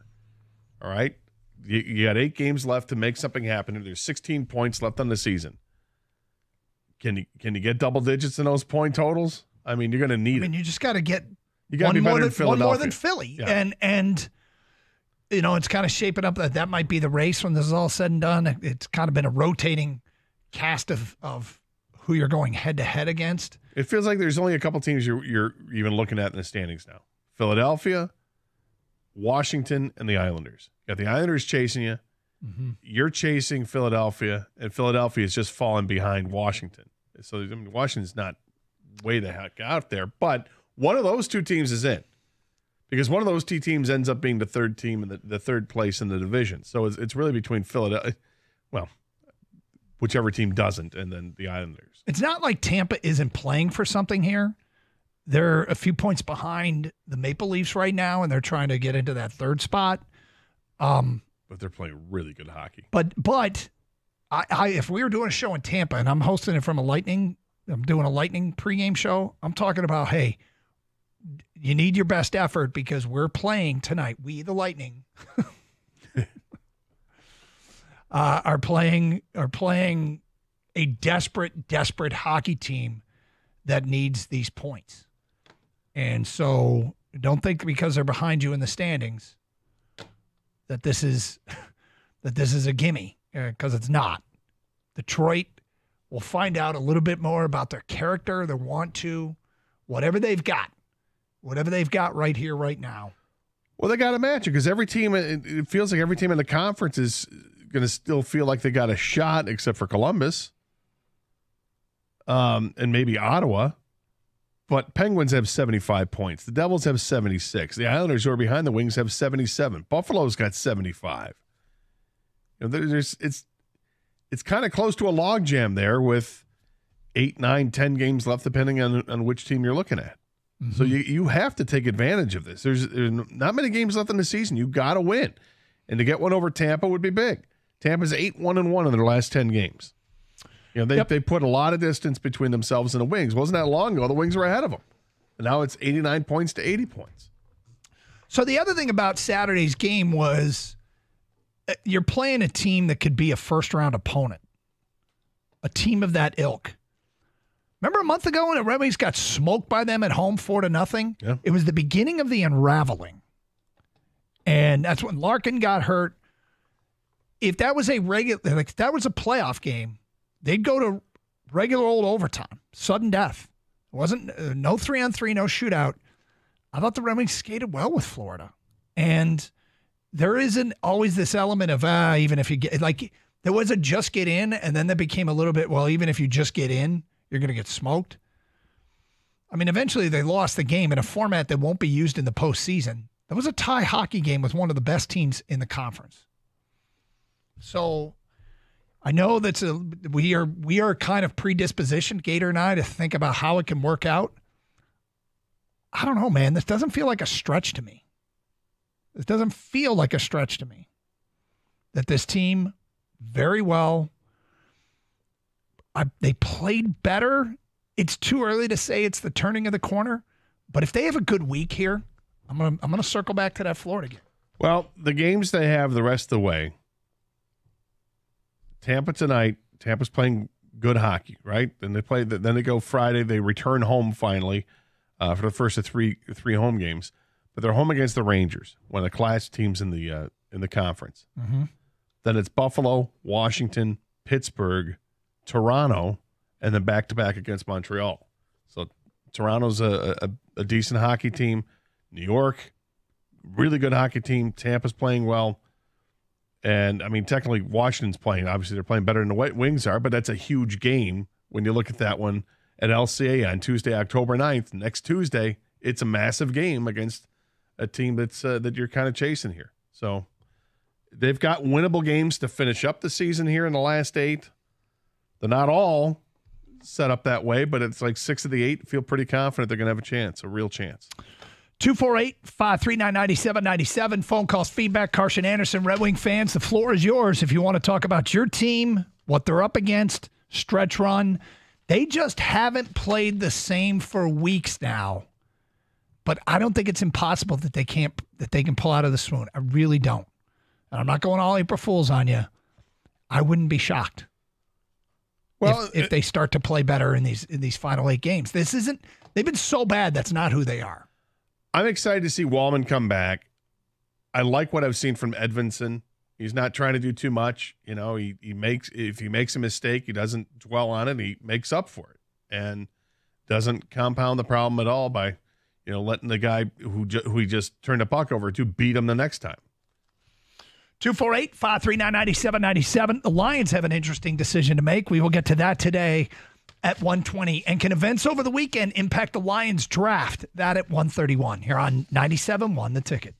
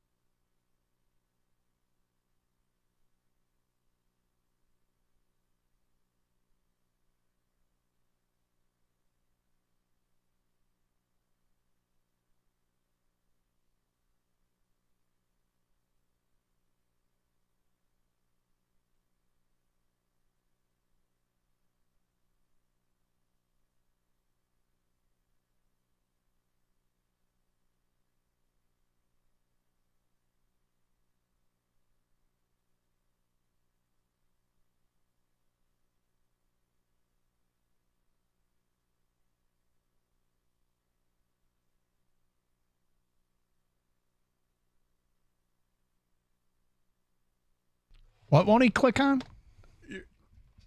I sent Gator an email. Yeah, I, I'm not buying it. Not, Not buying, buying it. what? It's it's The- the- titled "Cute Puppies." The title is is cute puppies, and it's a link to. You love dogs. Some, I I do love dogs. I love most animals. Um, I sent it to you too, Doug. I just I just know better. I know better than than to click on something. Forward cute puppies. All right, I will click on it. What do we got here? Da-da-da-da-da. All right, it's video. It's not an injury. No, it's not an injury.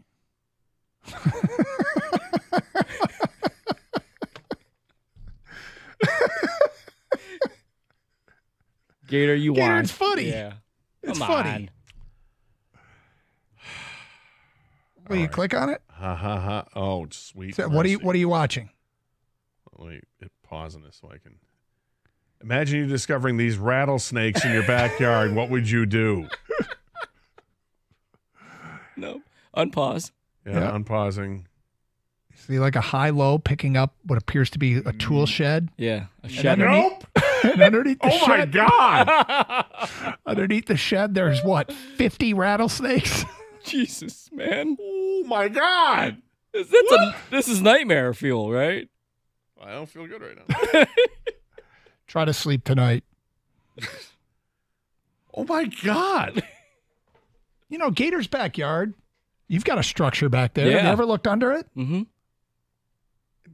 You can't get underneath the structure. So you think? Well, it's a concrete slab. Lift it up. Let's Yeah, find pretty- out. Look Pretty underneath hard to get underneath there. Go get a high low. Get a high low. look. Yeah. Cute puppies. you jackass. I'm like, I'm not looking at this. And he's like, it's not an injury. It's puppies. I'm like, it's not puppies. I said, it's probably snakes or spiders or something. And he's I have a different name for snakes than, than you, I guess. Whatever. like, just look at it. Jerk. So um, that that's disturbing. That's very disturbing. Makes you think like what's underneath anything. Well, I- 100%. Yeah. But like, I am not, well, this is obviously indigenous to some, you have to be somewhere warm. Probably where Florida or rattlesnakes, something. Yeah, Yeah. It's a Florida or, you know, Arizona, Texas, California, something like that, right? Every single household in Australia Yep. Well, not with a rattlesnake, but yes, with a snake. with snakes. Snakes. Yeah. Watch out for this one, mate. God, this is It's crazy. great. Look at the size of that spider. Yeah, well, nothing to do with that. Yep. I was watching an episode of uh, Oh, this is going to be rich. Fixer to Fabulous. They're out. Uh, the, the, Dave and Jenny Marrs are fixing up some uh, some 200 year old home in Italy. Italy was the last place I would expect this, but he was like he was picking up this uh, beam that was resting on the ground, and they were gonna you know use it for something in the house. Picks it up and he goes, "Hey!" And There was a scorpion. There were uh, several scorpions that were there. Like what? Did not know scorpions were living in um, in Italy. ah, yes, the highly disturbing scorpion. Oh, you wouldn't be freaked out if you saw a scorpion? Oh no, I would be. Yeah, okay. I'm, I'm, I'm. It's said with great sincerity. The highly disturbing scorpion. But, um, yeah, better better scorpion than snake. But okay, uh, Lions. Brock Wright. This is kind of out of left field. Um, didn't expect. I'm. I'm, and I wonder if the Lions expected a restricted free agent who they gave the league mandated tender to, which was a point eight five million. But being a restricted free agent, he could go out and he could, uh, he could seek out his own contract, and with somebody else, and then the Lions have the right of first refusal. Well, now they got a decision to make because the San Francisco 49ers offered him a three or $12 million deal. Now, it sounds like of the, it's only 6 million guaranteed, but it's a commitment for a longer pe- period of time than the Lions offered Brock Wright. So what are we talking about here? Are we talking about a, a guy that you just let walk? He's a, he's a valuable role player. We all know this. We, we, in fact, we probably know it more than most. In Detroit, I think we elevate the role player quicker and to a higher status than most most towns. But I'm talking about the fans. I'm not talking about the teams. Still, Gator, Brock Wright, who had 14 targets last year and 13 catches. He's now the Lions have five days to match, which I don't know when the offer went out. It was over the weekend at some point. Um, they got a decision to make whether they want to match this offer with Brock Wright. And you go, okay, what's the difference? Of a few million. It's not a few million just this year. It's, several million next year. And next year is probably where they're eyeing cap challenges more so than this year. Are they willing to make that kind of commitment? It's an interesting question.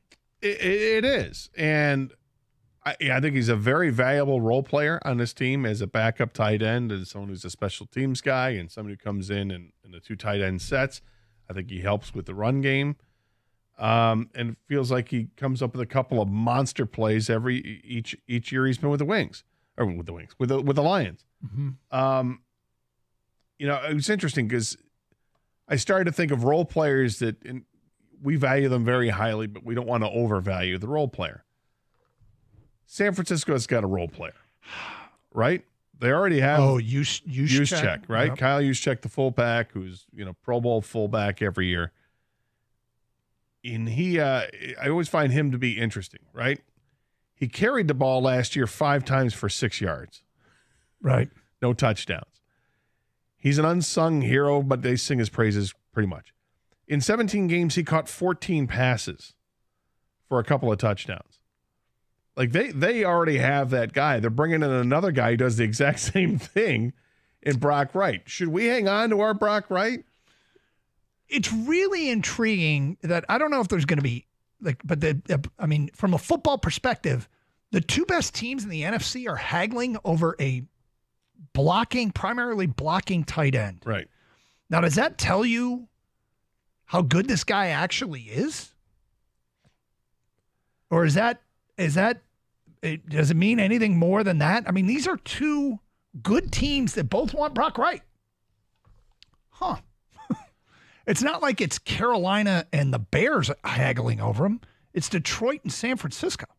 I think the Lions want Brock Wright. That's why they tendered him the offer. My question is, how much do they really want Brock Wright? Because otherwise, they would have offered him a three-year deal worth maybe 10 million and he would have took it, right? Instead they they put the tendered offer out there and let the market decide what Brock Wright is worth. The market said, which was the Niners said 3 years 12 million. Um now it's the question is like I said, I go back to the Lions, how much is he worth to you? Personally, I like Brock Wright. I don't think there's a, you, I don't think you can find a Lions fan that doesn't like Brock Wright. Right. He blocks well. He catches the ball almost every time it's thrown to him, even though it's what 14 targets, 13 catches, right. but he catches it, right? So he doesn't mess up. He does his job, he does it well, goes home. But he's a backup blocking tight end. So for this price, I personally would move on, and save that money for maybe a Quandre Diggs or whoever. And I think everything they do contractually right now is, um, like he says, intentional. St. Brown's got a contract extension coming up. Jared Goff has a contract extension coming up. Uh, Alim McNeill has a contract extension coming. Taylor Decker's on his last year's deal. So I feel like maybe it's the fact that they just want to commit much more long term to him than just this upcoming year. I find it interesting that they haven't committed anything to those guys either. Like they're still unsigned. You know, I mean, what obviously they're they're contractually obligated for this upcoming season. They're but signed they wanna, but not extended. Yeah, they haven't been extended yet. Um, Brock Wright in the three seasons with the Lions, he's played in 41 games, has 43 receptions, on 55 targets yeah. throughout his career. I mean, he's been the guy in seven touchdowns. So every six times the guy guy catches the ball, it's for a touchdown.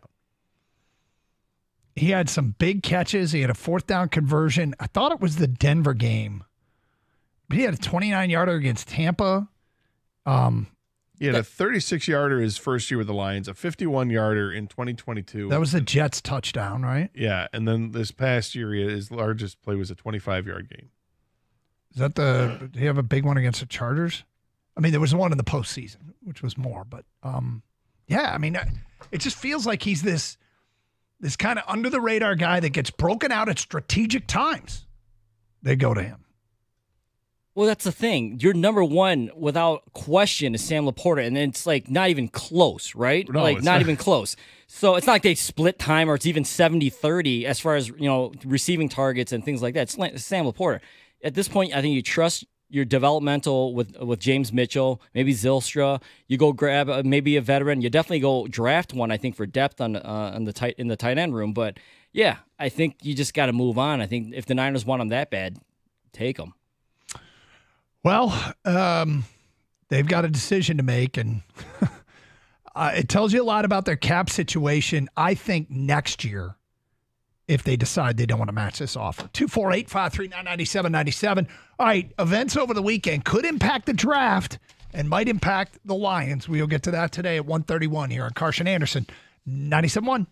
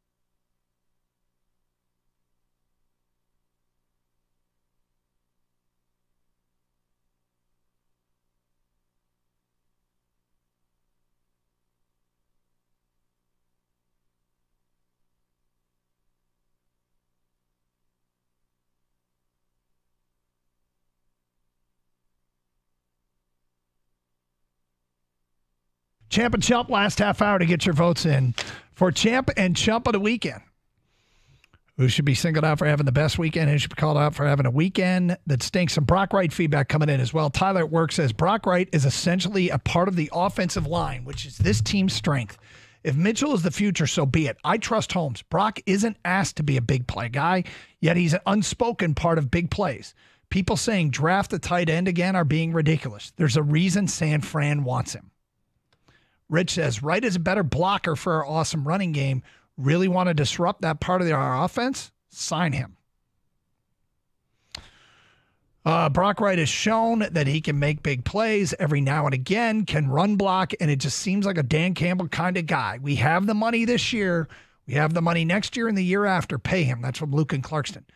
I'm not sure that the money next year and the year after isn't spoken for for more important players. And, it, and you go, okay, what would Brock Wright's four million or five million matter? Well, it might cost you. I mean, I don't know what other player to think of. I can go back and look. But this might come down. Would you rather have Brock Wright or Fatu Melifonwu? Rather have Brock Wright or Kerby Joseph? Like these, these are be if these going are, to that draft class. Yeah, you start talking about what it could cost you down the road. I just pull those names out of thin air. I don't know that they'll line up, but But that's the, that's the it's the good and the bad, right? That's that's what's really kind of cool about the what what Brad Holmes has drafted is that you have to start thinking about that. Obviously, you always look at the the first round picks. Oh, it's we got the fifth year, it's great. But everybody outside of that, it's a four year deal. So you have to make those decisions earlier. All right, so Monday's main champ and chump. My chump of the weekend was the people that are worked up about the Tigers home run celebration. Yeah. It's, to me, is much ado about nothing. But I considered two other things. One was the people responsible for the court fiasco in the women's tournament, which which is the three point lines not being equal. One was too close for the regional final, regional semifinals and final in Portland, which was your chump. That was my chump. The other was Rashee Rice, the wide receiver from the Kansas City Chiefs. Uh, in a street race on a freeway in Dallas, an accident that was caught on dash cams. A Lamborghini and a Corvette. Six cars involved in what looks like a very fortunate thing that only one person was hurt. I want to start with this. This is a guy who one year into his career has 3.5 million guaranteed and a contract that can pay him up to twice that much. I know at one point I was young and I know at one point I made dumb decisions. But I don't know about a 3.5 million dollar risk. And and quite frankly, your career or maybe even your life when you are speeding on streets, speeding on public roads. And I, it's it's dumb. We all know that. An incredibly ridiculous decision, and it might be worse than that when there's talk about what might have been in the car. So I guess we'll see. But Gator, um, really, really bad. Now, the the the draft is coming up, and we can talk about how this impacts us because it might. Kansas City might be in the market for a, free agent receiver. The, the receiving core was a weakness last year. They did address it in free agency, um, but at the end of the day, here, if they if they're thinking wide receiver, the Lions might be thinking wide receiver. That's going to be interesting because they're right behind the Lions. Will they be compelled to move up ahead of the Lions? Could the Lions actually move back a few spots with Kansas City? Well, I guess it's interesting because it depends on what happens here. Um, yep. I don't know if this is going to be something that prevents him from starting the season. May or may not. Um, but it's a, it's a bad look nonetheless for Well, Rasheed Rice. Correct me if I'm wrong. He's still wanted. He left the scene, and the police said they're looking for him. If that's the case, this could be a Cam Sutton situation where the team says, "All right." Yeah. I mean, it could be. Cam Sutton domestic violence charges. It's pretty bad too, but I, you know, I, I don't know. We'll see how it plays itself out. But we always wonder if it impacts us. This could impact us. and Cam Sutton finally turned himself in. Yep. Uh, which is good. Um, yeah. What did it? I mean, the Lions definitely have to be considering a wide receiver in the draft. Mhm. Would they do it at 29? It's quite possible. And you know that Brad Holmes is in tune to what other teams are going to do. He has maneuvered be- in the draft because of thoughts of what other teams would do. That's why he's moved up or moved back, but not moved back too far. You know, he wanted to make sure he was going to get Jameson Williams. They moved up to get him. He wanted to make sure they're going to draft Jahmyr Gibbs, but they couldn't drop back too far. They want to make sure they still had it and didn't want him to slip to some other team, so they went back as far as they felt safe about it. Would they do the same thing with a wide receiver? If he values one that high, he would. Yep. I think I think he would because he's shown the he is absolutely unafraid to move up or move back in the first round of the draft and, and throughout the draft. I'll be more shocked if he doesn't move. I will too. Honestly, I, I, I I feel pretty strongly he's going to move out at 29. I don't know if he'll move up or move back. Um, there's some really talented players. I don't know if this is a deep draft. You know, it's like deep, deep in certain positions. It's deep in some positions, but I don't know if it's overall that high end talent is all that deep. 248 539 9797. Let's get back to your open line calls. We go to Sean at Oak Park. You're on 97.1. Hi, Sean. Hey, afternoon, fellas. What's up? Uh, I don't know if it's really been talked about too much regarding the champ. You guys said a little bit of the champ regarding the Tigers fans. Just weren't expecting them to do well, thinking the fans are old players are overreacting recently. But as far as the champ goes, I got to give it to Jake Bates of the Michigan Panthers, hitting a 64 yarder, winning it for the Panthers. I guess the Lions are already looking out, maybe seeing if he could be a future for them because Lions need a kicker. So that's just amazing seeing a 64 yarder in Ford Field with the Panthers. and did it twice, apparently. Yeah. Yep. It was a good, a good moment for him. I guess he didn't hit one. Did he hit one in college at all? And, and then he was just a kickoff guy, right? I, I've never heard the guy before that, and the he fact was, that 64 is such a rare thing in the NFL, it's happening in the UFL of all things. Guy's going to get himself a big UFL, contract soon. Hopefully, it's for the Lions. I guess he had he'd been at a couple. Was it two different schools he was at, but was behind good kickers? Yeah, he only he never attempted a kick yeah. in, in, college. in college. He was just a kickoff specialist. And guess what, guys? Former soccer player. There you go. It's all the rage. Let's do this. It is. Well, they do need a kicker, and he has gotten votes for champ of the weekend. Um, the Lions need a kicker, that is. So now, as far as Kansas City and, and, and Rice, we'll see how this thing plays out. I don't know that it's going to lead to anything changing in terms of them changing their draft approach, but it's something to keep an eye on. And one of the positions that I think is deep is wide receiver. I think that there's the upper crust. I think that second tier Xavier Legette, Xavier Worthy, Keon Coleman tier is pretty damn good. And you start getting into them, maybe a Roman Wilson. It's the Lions I have a decision to make. And and you know, giving that Josh Reynolds is gone, I suspect they'll sign a veteran, and that'll be the the plan A, because I don't think Brad Holmes likes to have needs come draft time well, he's, he's as much said it. he just wants to take BPA every possible pick that they have. Well, they're very chesty about what they've done in free agency. Yep. To this point, what they've done in the offseason with the trading for the defensive back Carlton Davis as well. I I still think there's room to to make improvements on this team prior to the draft.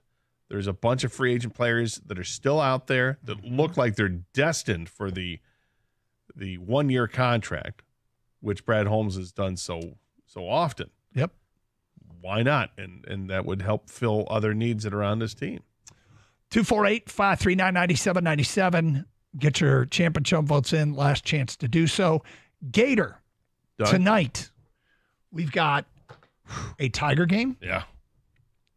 We've got a sizable Red Wing game. Yeah. We've got the Pistons going for two in a row. Come on. They're favored tonight.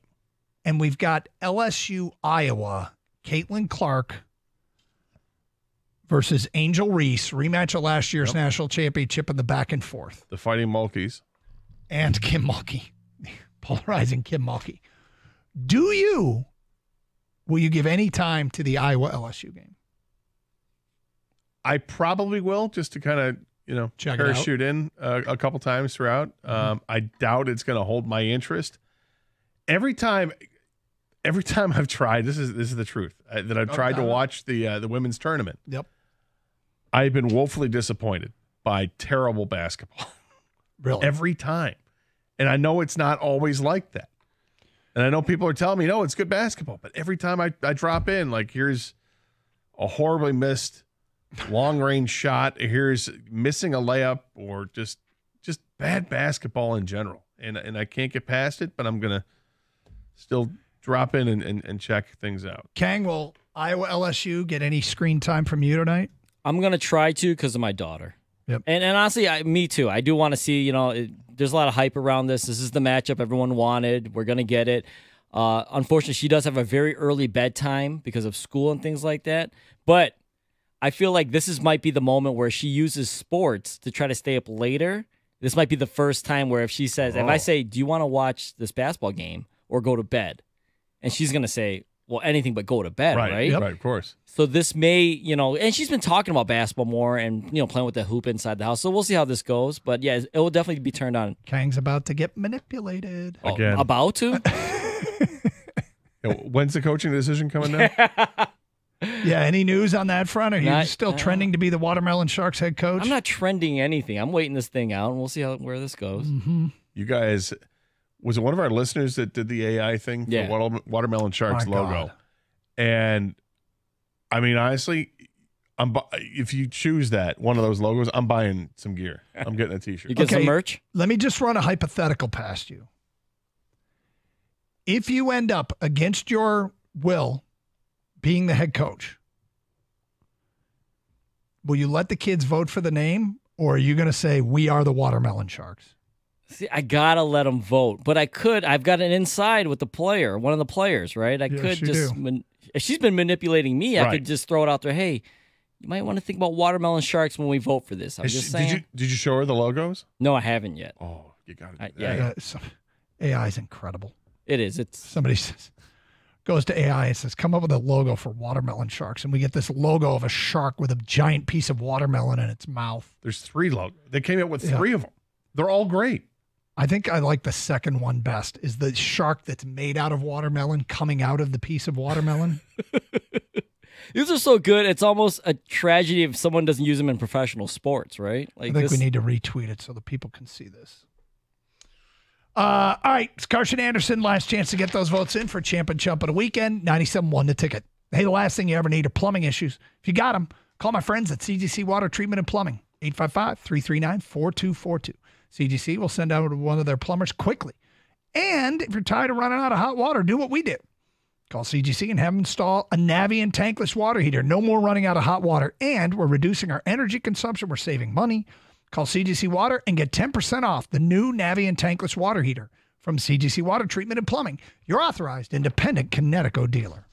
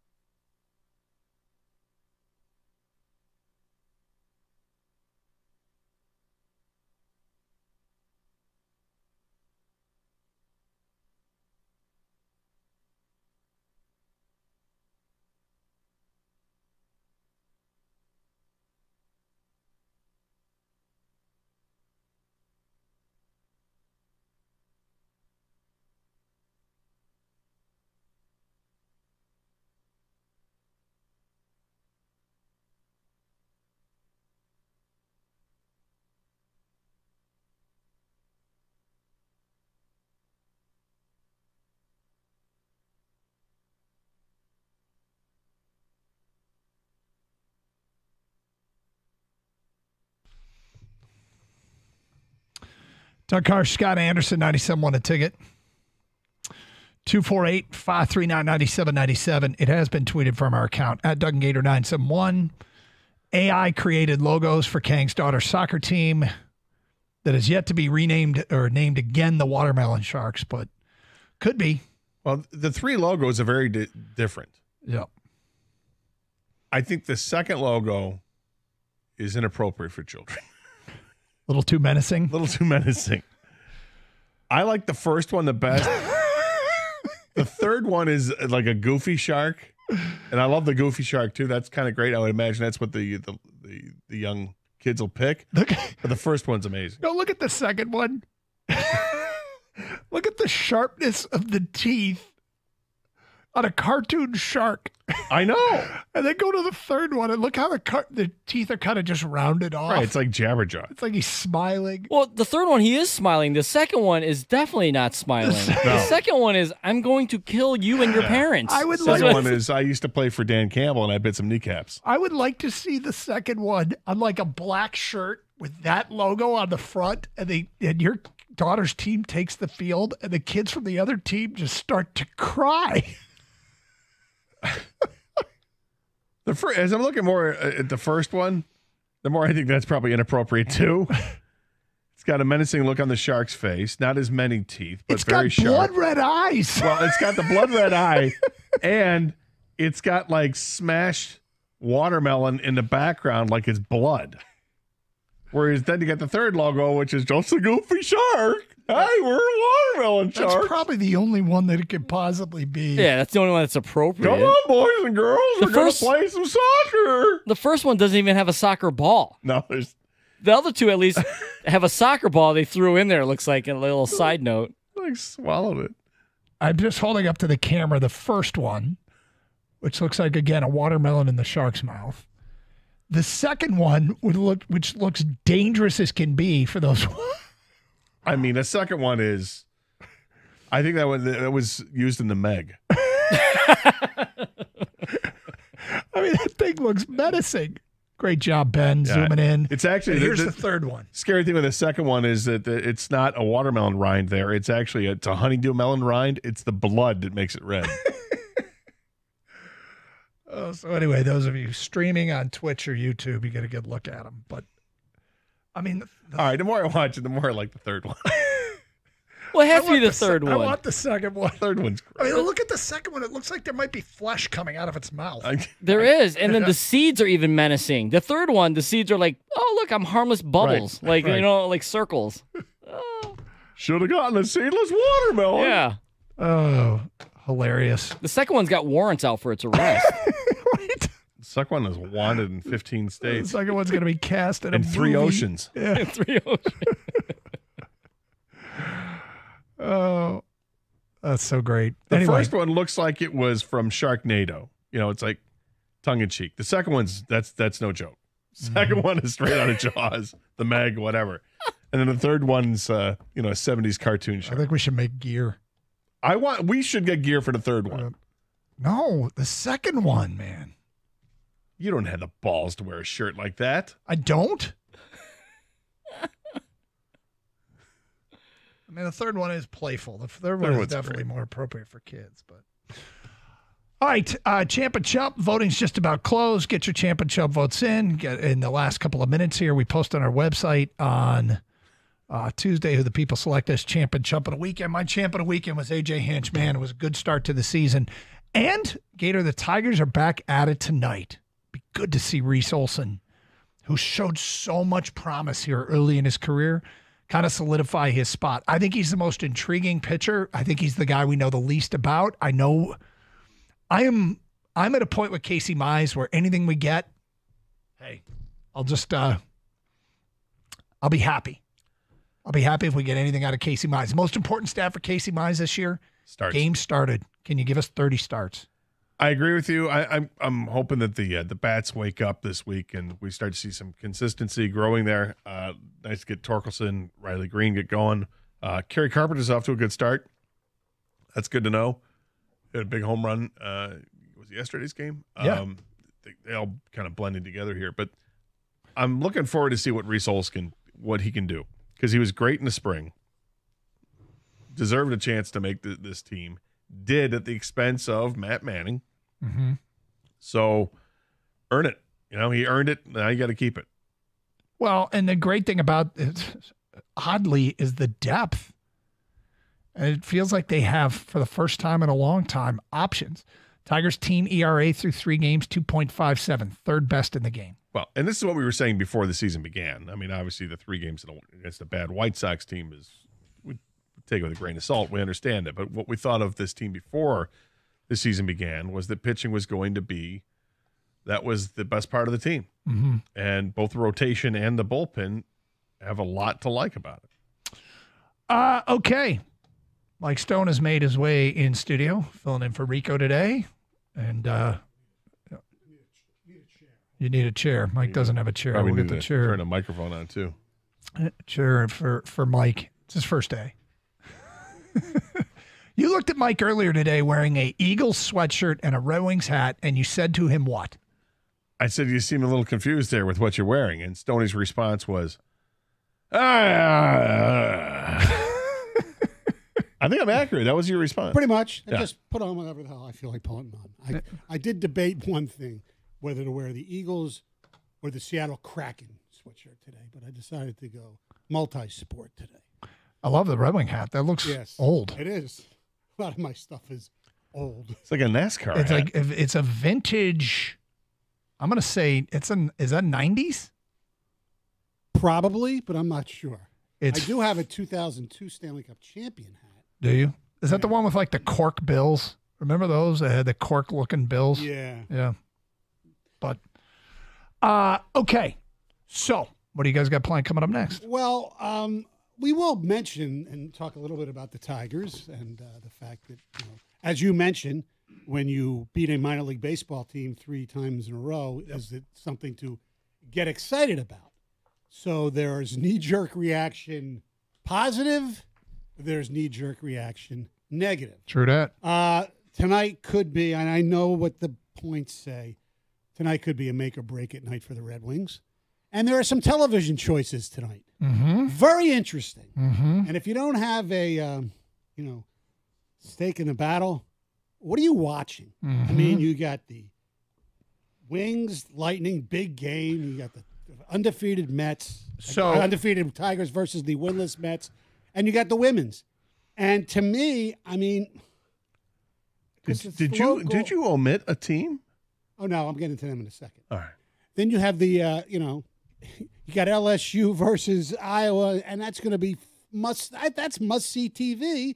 And then you got, you know, even if you want to even go further down the uh, rabbit hole of women's hoops, Gino versus, you know, USC, Watkins versus Paige, and Bueckers. Bueckers, yeah, and she's really good.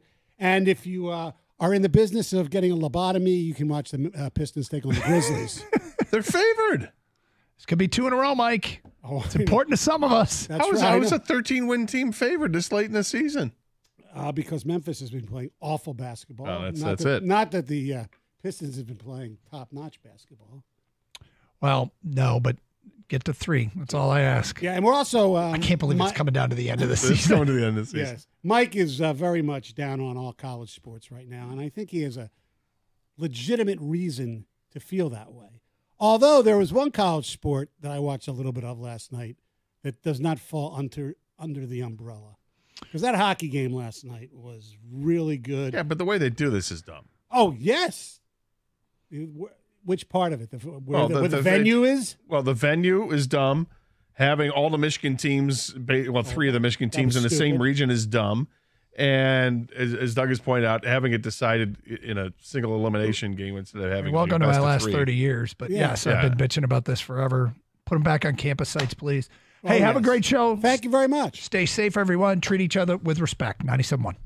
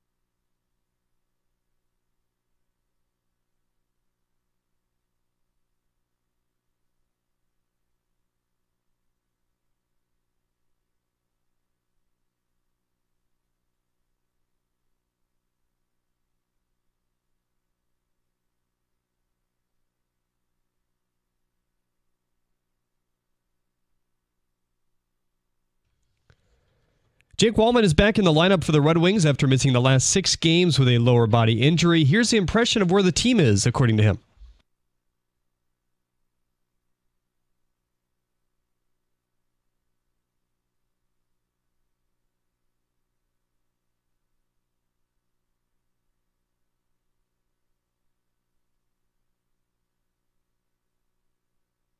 Olli Maatta will sit out the game as the team takes on the Tampa Bay Lightning in Florida. Simon Edvinsson sticks with the lineup as well. The Wings are sitting two points out of the last wild card spot, trailing the Flyers. Here the game on WWJ, beginning at 645. Reese Olson set to make his first start of the season for the Tigers today against the Mets. New York was swept by the Brewers in their opening series while scoring just one run in two out of the three games. Temperature expected to be pretty good at 50 degrees by first pitch at 7:10. Hear it right here on 97.1 after 7. Former Tiger catcher Eric Haase was DFA'd over the weekend. He cleared waivers and is heading to AAA, however. Cade Cunningham questionable with the left knee still bothering him tonight as the Pistons face the Grizzlies. Marcus Sasser also being hampered by an illness. He's questionable as well. Memphis checking in at, at checking in at 24 and 50. Mark Champion's call can be heard on Alt 98.7 beginning at 635. Finally, former Pro Bowler Vontae Davis has passed away at the age of 35. Davis last played in the NFL in 2018 as a member of the Bills. At the Corewell Health Update Desk, I'm Jeremy Otto. For more, go to 971 The Ticket or Audacy.com.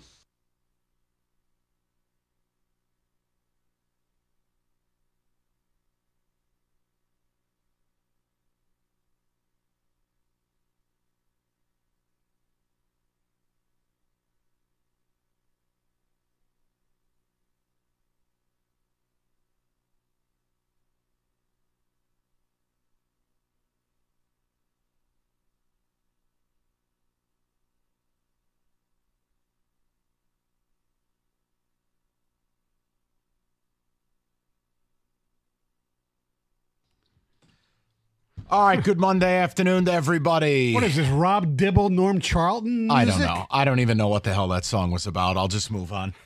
uh, let's get into it. We How gotta, are you, Michael? I'm just stellar. Stellar. I'm just always, every day I walk in this building, overwhelmed with the level of professionalism that we have around us.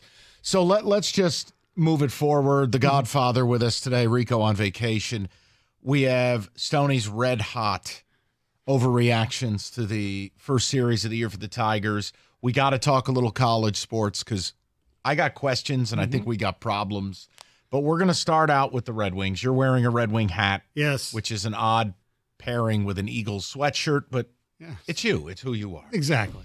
I um I've reached a point with the Red Wings and tonight's game against Tampa Bay, and I want to know if I'm fair or unfair. Okay? Mm-hmm. It's as simple as that. Win or F yourself. That's just where it's at. I you know what I don't want to do? Find more excuses for this team. I don't want to hear about, well, there's seven other chances or games in hand or, well, they played okay Saturday. They didn't win. They have lost four games in a row. Again, lose tonight, it's five. I don't want to hear that the Flyers are tripping over their garden hose every night or that Washington plays four more playoff teams. Win or F off to the sun. Is that an unfair standard where I go, fellas, earn your way in? That that would be a reasonable expectation, but if for some reason the stars align and we have a few more games down the stretch that they, you know, could still get in if they win that particular night, I'm not going to turn my back on them, but it would be nice to them to win a game in a place where they usually don't play very well. But, but yeah, I, that would be I nice. Want, what I want is this: don't be the t- well, don't be the best of the bad. Earn your way. Yeah, that would be nice. Can for the first time in five weeks, can you put a solid week of hockey together? Two weeks of hockey together. I, look, look. The most important thing is winning. There's no doubt about it. But as Kenny Cott, our you know hockey uh, guru, will attest, except for the Carolina game, the, the three or four games they've played pretty well, but they and didn't to win. Use your words, Mike. Win. I know. I don't want to hear it. Uh, but look, I'm looking at the from watching the games. It's not that they came out and you know played like crap from the get go. Like Lalone actually, the team actually had a pulse, which was a, a step forward than what they had been showing. Uh, but yeah, they, they, it would be great for them to win, but they're not going to like forfeit their chances if they lose. Kenny and I, we, we said what? They had three games at Florida, at Tampa, and home to the Rangers on Friday night. Reasonable expectations, we'd be somewhat satisfied is three points. They got one. Win one more, Wow. and they're fine. Well, but my point is, if they don't win tonight, I mean, enough. Come on, man. It's tough. It's a tough watch. I get all that. And you know, when some of your star players, uh, it, are not doing much, like missing breakaways, and okay, I don't, you know, hitting the post does not does you don't score goals by hitting the post in overtime. And that power play, when they had a four on three in overtime, was a freaking disgrace. Where Florida's got three guys lined up at the blue line, you'd think the Wings could like just chip it and go. You have extra an extra guy. It's overtime, and they could muster maybe one shot. That was awful. I want to hear from the people on this. Is it is it unfair, or have you reached the same point where it's like, you know what, fellas, go out, beat Tampa tonight, or just kindly see yourselves out? I mean, I, I the I mean, I, I, mean, just- it would be good for your mental health, uh, all our mental health. I, I get all that. Jesus, but I can't give. I can't just give okay. up on them. And, and Mike, you're not wrong if you don't give up. You're not wrong for saying mathematically. You know, I just it, listen. I just feel. Tell me if this sounds familiar, Mike. I just feel like we lack standards. I feel I like we lack standards in this town. Like the idea that the head coach of the team 10 days ago goes, Well, you know, uh, no one believed in us at the start of the year. And if you told me, as you have said, goalposts move. Correct. The seven game, you know, this massive losing streak that followed the good vibes of post Valentine's Day. Stoney, they've never gotten it back on the rails. No, they so haven't. all I'm asking for is start playing well, Yes. night over night. And if that means you didn't get in, it's a different conversation. But at a certain point, you don't get a trying No, award. No. Win. Exactly. I feel like the way they're playing right now, you don't deserve to be in. So if you trip over your garden hose and find your way in, that's fine. Right. It won't feel the same to me. And I don't want to hear, like I said, about guys hitting the post and the, the ridiculous goal that went offside. Or I mean, I, puck luck, tough. You have to overcome that stuff and take it to the opponent. Tonight's tough. Tampa's still really, really good. Uh, are they the cup team that they were? No, but they can. They're a tough. Hey, there's your boy They're right toughing there. out. I know you're all excited. They were showing some JJ highlights. my got a big take about JJ for later, too. It's hot takes only by Stoney today. 248 539 9797. Go ahead, Hockey Elite. Yeah. Pull the ripcord. Let's get involved. Wings, Lightning tonight. I don't, I just, I'm tired. Go win. Go play well. Right. Earn your way in. Right. Stop trying to look for ways to like fall into the playoffs. Because you look at their last 10 games, they're 3 5 and 2. I mean, that, that that's disgraceful. it is. Tampa, what are they in their last 10? 8 1 and 1. Washington, 6 3 and 1. The only other team that's as bad as the uh, Red Wings in their last 10, uh, there- actually, there's two the others. Islanders, the two, Islanders seven, are two, seven, and 1. And the Flyers are suddenly now in the wild card hunt. Three, five, They're 3 5 and Yeah. 2. Or three, five. I'm sorry. Yeah, that's right. Yeah. Oh, I saw it this morning. Yeah. So yeah, it's going to be the Red Wings are going to have to beat out Philly, is what it's going to have to come down to. 248 539 9797. Well, it starts tonight. Go ahead. You got Tampa. You're going to rise up and play? Because if the Wings lose tonight, you can just wake me up when the Right. season's over. I've had enough. I can't keep watching it. That's the thing. The Wings can't. They should be, of course, worried about the other teams because of the race. But they got to worry about themselves. Oh yeah, they, have thems- to win games. They themselves. I don't know about the, fa- the fans can play all the you know games with the standings that we want. Okay, the players have to say "Uh, enough is enough. Let's just go out. You know, or as you know, people like uh, what Harbaugh said, and who was the other person who just said it recently? I'm going to die trying. That's Izzo. Izzo, yeah, okay. So that's what they got to do. They got to just play their asses off. But the big thing, David, it's what you said. Like I don't I don't want to watch the standings. I don't need to. If you win games, you get in. It would take something outer space wise that if you went out and put a really strong six, seven games together, that you wouldn't get in. Yeah. You know, you tip your cap at the end of the day if the other team was able to go 6-0 and 1 in that stretch or something. It's not going to happen. These teams aren't that good.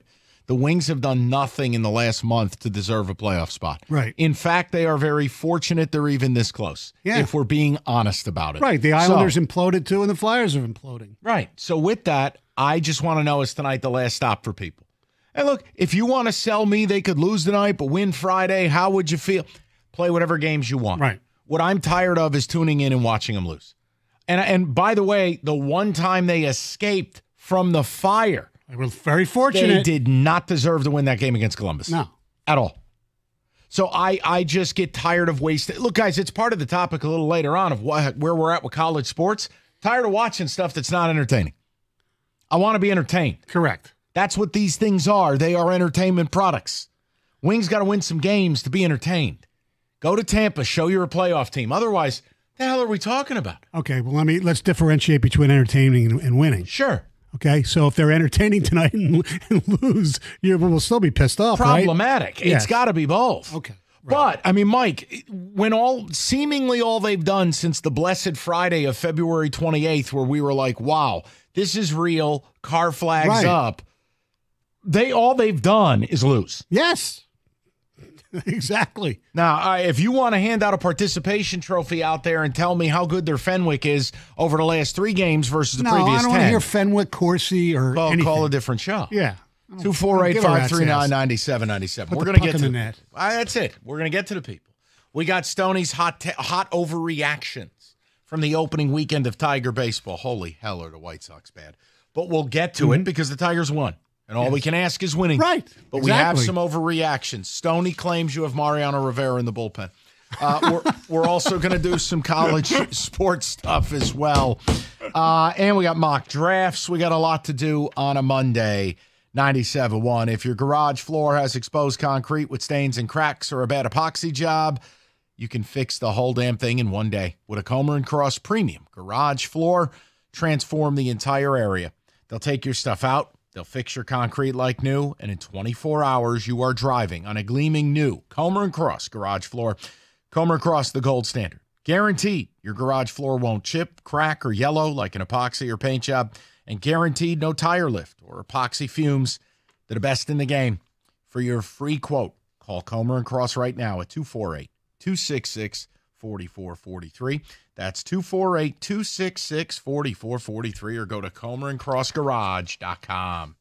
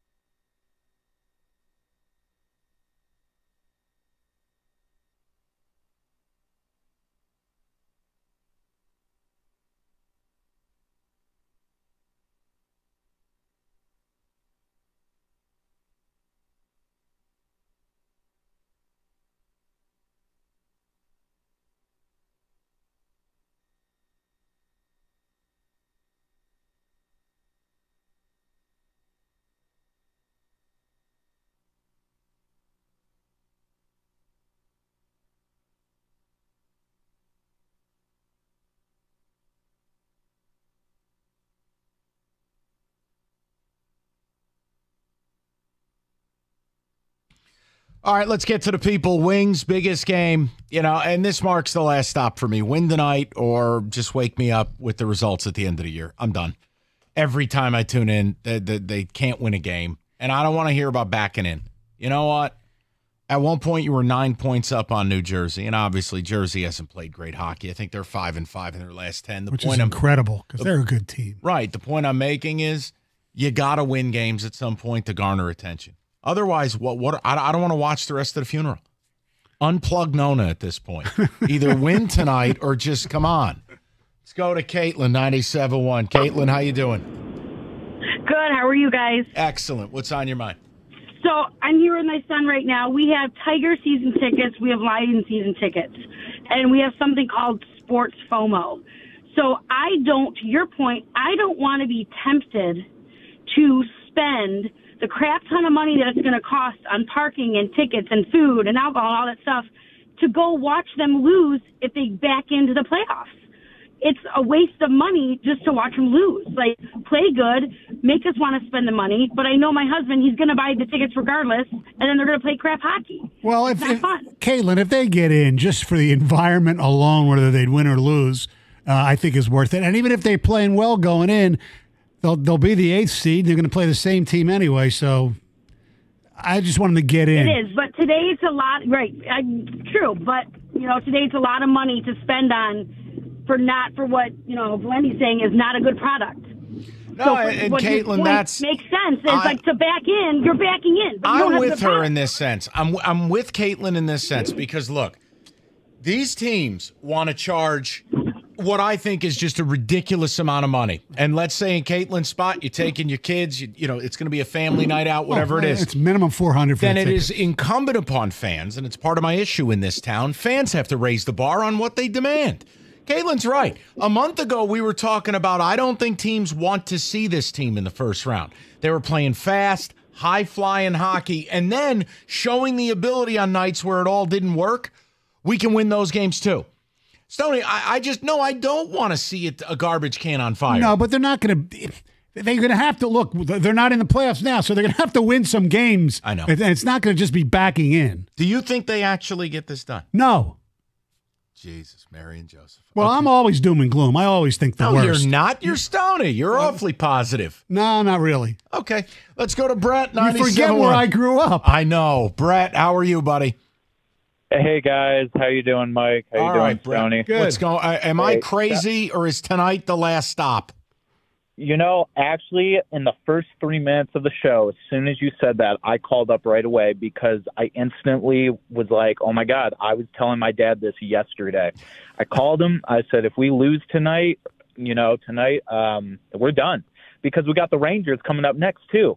So basically, in the last two months, after we had our seven-game losing streak, all it's been has been scoreboard watching with the Caps and the mm-hmm. Islanders and now the Flyers and it's anxiety driven now. Like to watch this team fall so far, Lalonde's got to go. If we lose tonight, I want Lalonde's head. Like just get him out of there. And if he continues to stay there, just like, and I told you this a couple months ago when I was talking about the Lions, uh, and I brought up my grievances, my other main grievance.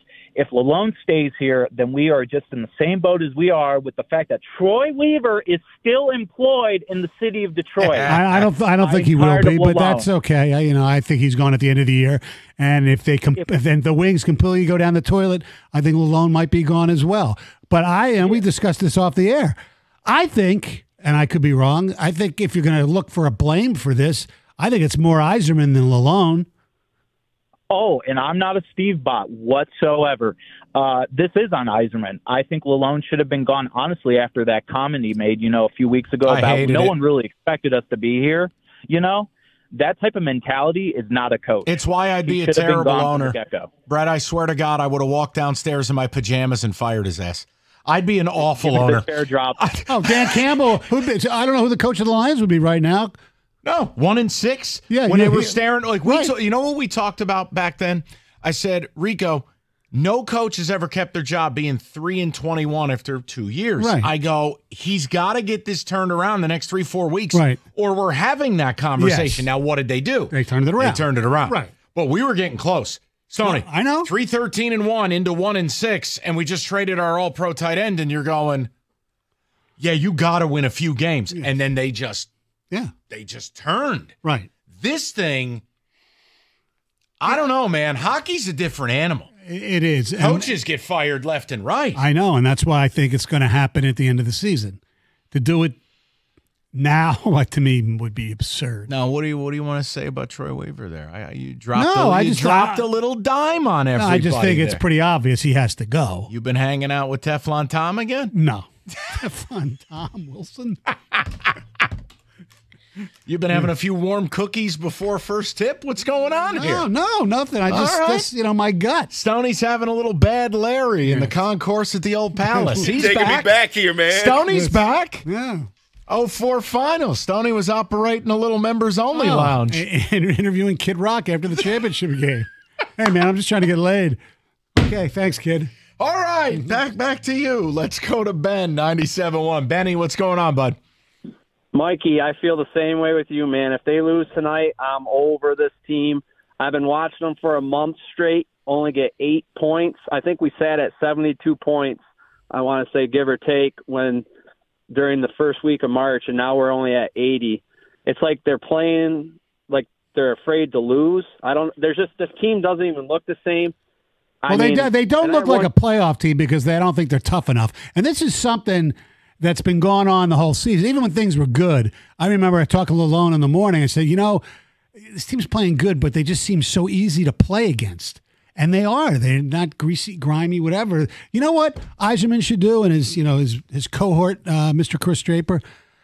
They need to find their own grind line. They really do. And I'm not talking about I'm not talking about gooning or anything like that. Just guys who can be a be forwards who can be tough.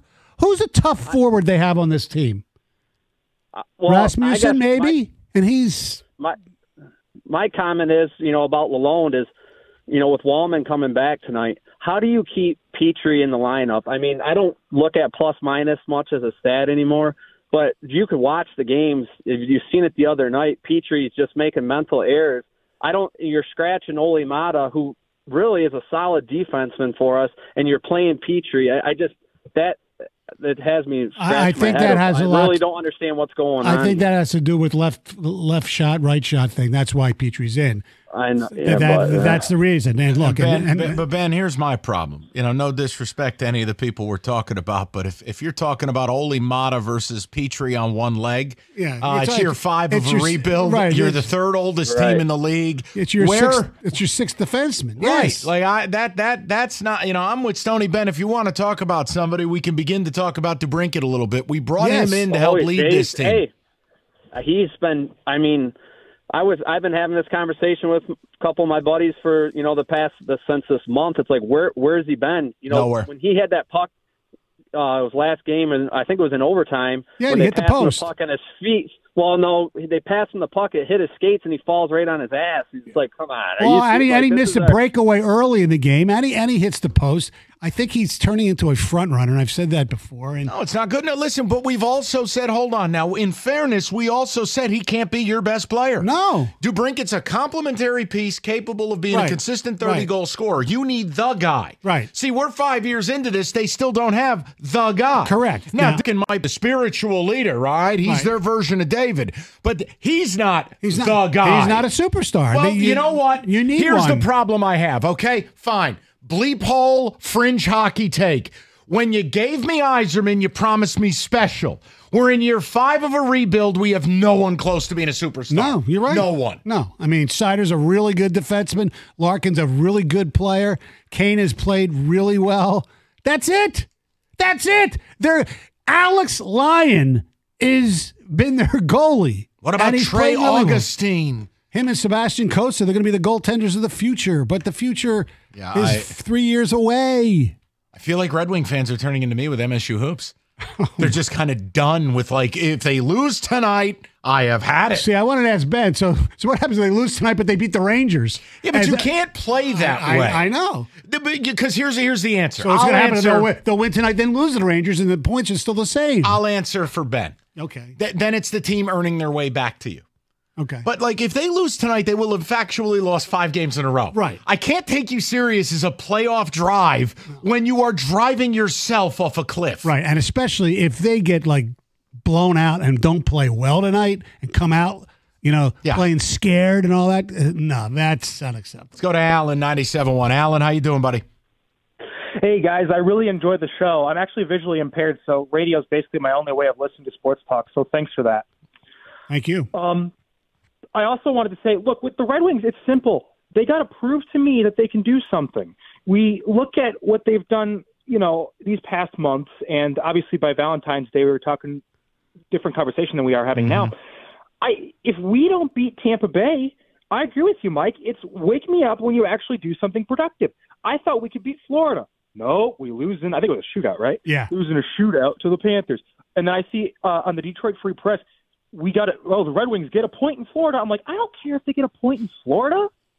We still lost. Nothing was accomplished. So I I think that Yzerman, look, Yzerman, I wonder, I almost wonder if he's the guy to kind of kickstart a rebuild, but I almost wonder if he's the guy that's that he's not the guy to get us over the finish line. He's the guy to get some prospects in, but he's not the guy to No, up. to the next I, I think you know what I he thinks, okay, that he is not the guy just to be satisfied with making the playoffs. He's trying to build a championship team that takes a lot longer in his mind. That's the difference. Yeah, well, he's clearly executing that part of it when only two of his draft picks play. Right. Year five. It gets hard to defend. I know. Because, by the way, like, no offense, but oh, I mean, what, what is Kasper going to come up here and be Auston Matthews? No. You know, is Bergeron going to come up and be Evgeny Malkin? Like, No. Well, uh, no offense to anybody involved in the Yzerplan. Where are the No, superstars? there are none. At least you got, you know. and I blame you. You started the show in a negative tone, mister. Typical You know, Philadelphia you know how, radio. You know how I'll make you feel better? I'll show you the picture of me on Sportsworks last night. Done. You would love my outfit. Did you wear the Easter jacket Yes! again? I know this. Uh, Yes. You look like a Cadbury. You look like a Cadbury egg up there. Yes, yeah, I got you. All right, crazy weather. One day it's beautiful, like today, and then tomorrow it'll hail. Power outages, major stress on your furnace or AC. You need Mastercraft heating, cooling, plumbing, and electrical. They got you covered 24 7. Locally owned over 40 years. They back their work with a five year warranty. Mastercraft is your one stop shop for heating, AC, plumbing, and electrical. Plenty of generators in stock and on sale. And if Mastercraft can't get to you same day, they'll take 25% off that next day visit. Just go to mastercraftheating.com.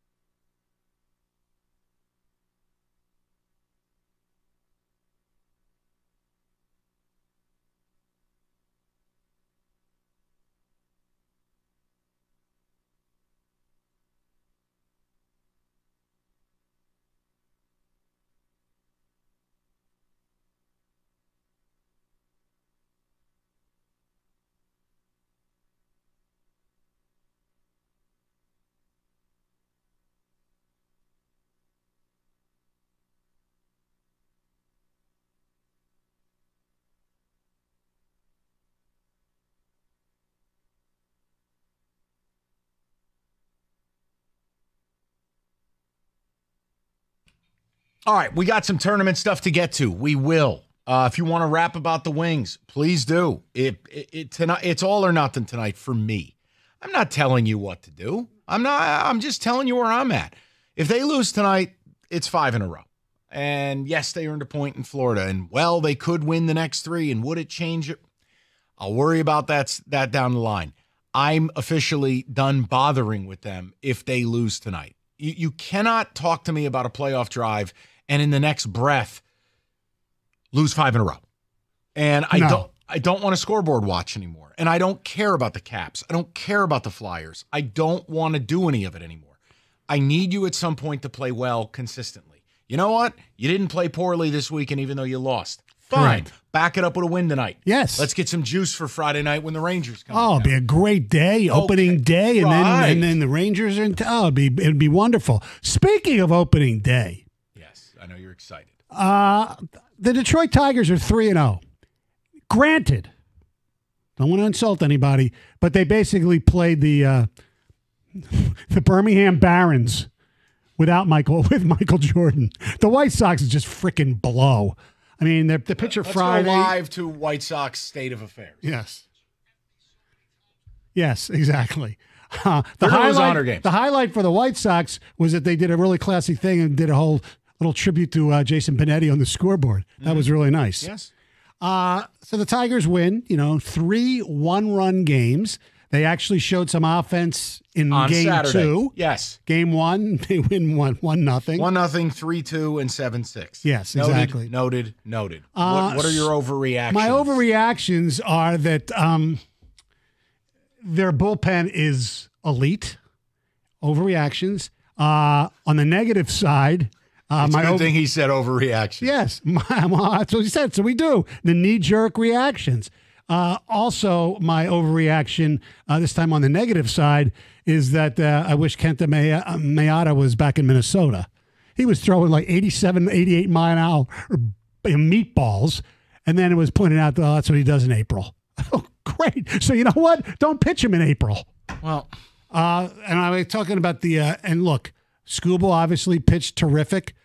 Jack Flaherty looked really good, like you know when Ryan Zimmerman made his first few starts for the Tigers, and then he went down. The you know what? Jordan Zimmermann, Ah, that's right, right. You're right. I'm sorry, my bad. who ended up pitching like Ryan Zimmerman Yeah, towards the end, right, right. He was great for five or six games. Remember that one year where Shane Greene was like unbelievable at the beginning, and then he went downhill. I'll give you. I'll get. You want my overreaction? Yeah. Jason Benetti was your biggest acquisition. Oh, he was terrific. I'm not moved by anything they did. While I didn't make fun of Maeda, No. uh, the Flaherty thing, he just hasn't been good in years. Fine. Do you think you can fix every pitcher like you did Lorenzen? Your business. But the Canha stuff or the Urshela stuff, here's the deal. The biggest acquisition you made is Benetti. Because I can watch a game if I'm not listening on 97.1 The Ticket. Shout out Dan Dickerson. Yes. Uh, I can watch a game and not want to hurl a brick at my television. Well, So major upgrade. It's it's peaceful listening, is what it is. It's professional. That's what that's well, I'm not going to go there, but it's it's baseball. Baseball is not this intensity that that uh, Matt Shepard provided. I think Matt was really good at Michigan and Michigan basketball. Tiger baseball, I think it was, he was a little too intense for it, for my liking, but good guy. Uh, no. Uh, by the way, overreaction. Mark Canha is a pretty good signing. There's, there's your, over- get out. there's You your, can- you there's your overreaction. Get For- out. The exit's games. right there. For three games. That's we all got we're talking exits about. on each on each side of the aisle uh, and on both wings. Get out. Come on, AJ Hinch. Thank you, Kid Rock. I could actually send you the actual Kid Rock. I, I'll do that, Roberto. You, you could just play that drop again. I'd be satisfied. Perfect. Carson. I'll take that. Can I have that on the board, please, at some point? Carson Kelly's looks like a decent player.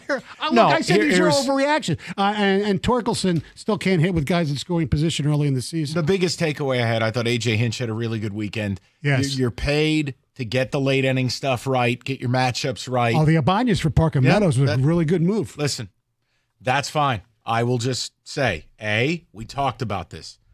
White Sox, Mets, right. A's, Pirates. These are some of the worst teams in baseball. I know the Pirates are off to a little hot start. Good Yes. for them. They're still the Pirates. The point is, win your games. Yes. I don't care how you win them. Right. Win them. Right. But if if you want my takeaway, uh, this offense is going to be a problem.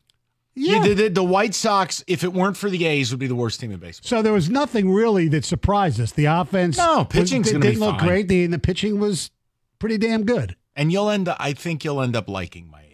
Be patient with it. Yeah, okay. Well, as I said, I Here's I, the word I I'd overreact use for both. Maeda crafty. There are going to be plenty of days. Frank Tanana, The late years. the yes. Japanese version of Frank Tanana. Fine. Yeah. I think there will be plenty of afternoons you're not going to be worried about how hard he's throwing, and Mm-hmm. you're going to go, wow, he gave me six and a third. Hey, he gave me five and two thirds. I, I think he's an innings eater. I, I, I didn't mind signing. It was more offensively speaking. Wow, are there a lot of at bats? Yes. Where I just go, oh boy. Now, what's the the uh, the the grand sum of number? Like they've been able to, in their budget, so to speak, like sign Jordan Montgomery and instead of both Flaherty and and Maeda, yeah, but, then but you, Montgomery's got plenty of red flags. Okay, too. okay, I'm I, I'm listen, just asking. I was okay. There really wasn't a budget. yeah, They didn't spend any money. right. But on the same amount of money is what I'm saying. Oh, sure, if you Yeah. wanted to play that Yes. game, but I'm not. I don't think they should have been in that business. No. You know, to Blake Snell business or to Montgomery business. I was fine signing a couple arms because the reality is your young arms are going to be the front of this rotation. Yes. We're fine there. Yeah, they look pretty good in Toledo over the weekend. It was the bats. yes, It's the bats. I know. And we'll hopefully, you know, like Kerry Carpenter, he he had a pretty good weekend. Sure, as long as there's not a lefty on the mound, he'll play. Yes. Uh, and here's an overreaction, maybe the negative way. It's just three games, but it was the White Sox. Colt Keith looked a little overmatched at the plate. Oh no, the overreactions for Mike stuff. Yes, they're just overreactions. He's calling Colt Keith a bust. No, it's this isn't like I the know, Ohtani thing after the first at bat. I said his the honeymoon is over, and Evan just keeps bringing that back Just game give- after game after game. You have to let it breathe. Generally, the way this works with prospects, I'm not gonna unless it is insanely bad. You give them hundred at bats Yes. to even form Right. any kind of opinion. Let me Right. see over the course of 20 Right. games. Well, that's what I said. These are knee jerk overreactions to three games against the Birmingham Barons. The White Sox are going to be incredibly oh, bad. And again, you play them 13 times. I can't ask you to go 13 and 0, but as close to 11 and 2 or 10 and 3 as it gets, win your games. And you don't want to see anybody get hurt, but the Tigers got a break because Royce, Lewis busted up his quad over the weekend, and he is arguably Minnesota's best player. Would you say? Yes. Yes. No, there'd be no argument. But just like Buxton, cannot Mm-hmm. Yeah. stay healthy. I know. You hate to see it. 248 539 9797. David, don't shake your head. Easter's over. Uh, ticket text, please. Stoney's right. Foley is freaking lights out. 100, 101 with insane movement. Great closer. Not an overreaction, they say. Oh, actually, I, actually, I was talking about Shelby Miller too, as far as the guy picked up who looked really good. Yeah. He he comped Shelby Miller to Mariano Rivera. it was quite Oh a pre-show. gosh. No, it's Goose. The Tigers beat Troy Athens. Some fans need to calm down already. There's a middle ground. We're doing overreactions. Here's the thing. You'd be bitching if they didn't sweep that series. Right. Win them ugly, that's fine, but I don't have to buy in until I see this offense on a night in, night out basis compete. Some of those at bats against that garbage, Garrett Crochet. My balls. He throws hard. Wow. Hey, Javi had two hits. Okay. I'll give you this one. Someone else was sick texting in saying, I do agree with Stoney. Colt Keith is a bust. Well, you can't call him a bust. He looked overmatched in three games. You need all. to He stop. made a You really cannot good- say overmatched. He played three games. Right, exactly. You know, Colt Keith's gonna he- he's gonna have an extra base hit tonight. Good. I hope so. He made 'Cause the Mets made a- suck. made a good play at the. Uh, By the way, you the won't field. recognize Sean Manaea. Oh. He shaved and got a haircut. First time in like four years. Remember how he looked like the Geico caveman the last few years? Manaea, clean shaven, clean cut. God, I wanted the Tigers to sign him. I mean, or trade for him. Why? When he was, he's the one who was in Oakland, right? Or am I mixing Yeah, him? yeah, same guy. Yeah, I thought he was pretty good at. Then San Diego and and now the Mets. Yeah. Mets are bad too. I know.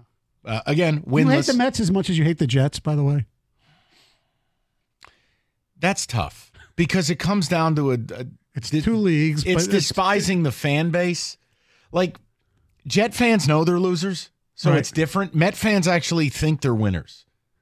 Met fans like somehow think they're in the that they dine at the same Right. restaurant as the New York Yankees, and they don't. Yeah. Well, Jet fans know I'm I'm in fact a born loser. my friend who you met in Vegas was a huge Met fan all his life, and he just got so sick of the Wilpons that he switched because his son loved Derek Jeter and No. he became a Yankee fan. You Yeah. can't see. No, I don't. I don't. I don't respect that. That's outrageous. Two four eight five three nine ninety seven ninety seven. I've always hated the Mets being from Philly. I mean, I hated Tom Seaver, the All American guy, and I hated him. Sacrilegious, I know, but I don't care. Winter can do funny things to your roof the ice, the snow, the freezing, the thawing. Look at our temperature changes right now, for God's sakes. Bottom line, your shingles can be brittle, they can crack, major problems. The best advice I can give you call Victor's Home Solutions today and schedule that appointment for a spring roof inspection. I say today because Victor's appointment calendar will fill up incredibly quickly as the weather warms up. So schedule your appointment for the rush. Get the peace of mind of knowing your roof is ready to handle the spring rain. We're going to get two inches of rain this week. When you call Victor's Home Solutions, you're taking the guesswork out of choosing the right roofing contractor. Uh, it's an important decision. You can you could save money. You go cheaper, but you won't find better. It's Victor's more five star reviews than any other roofing company in Michigan.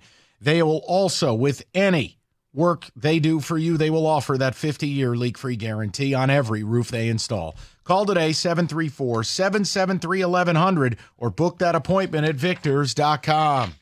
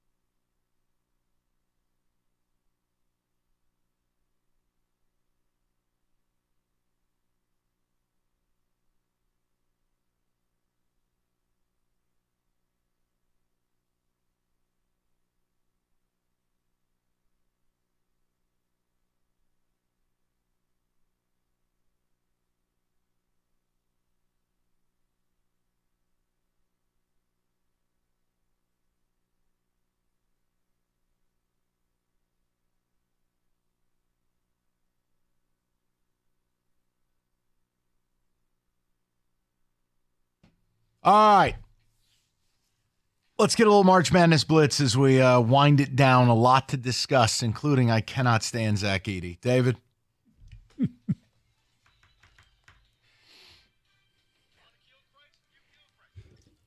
Okay. Rico, not the day after Easter, really.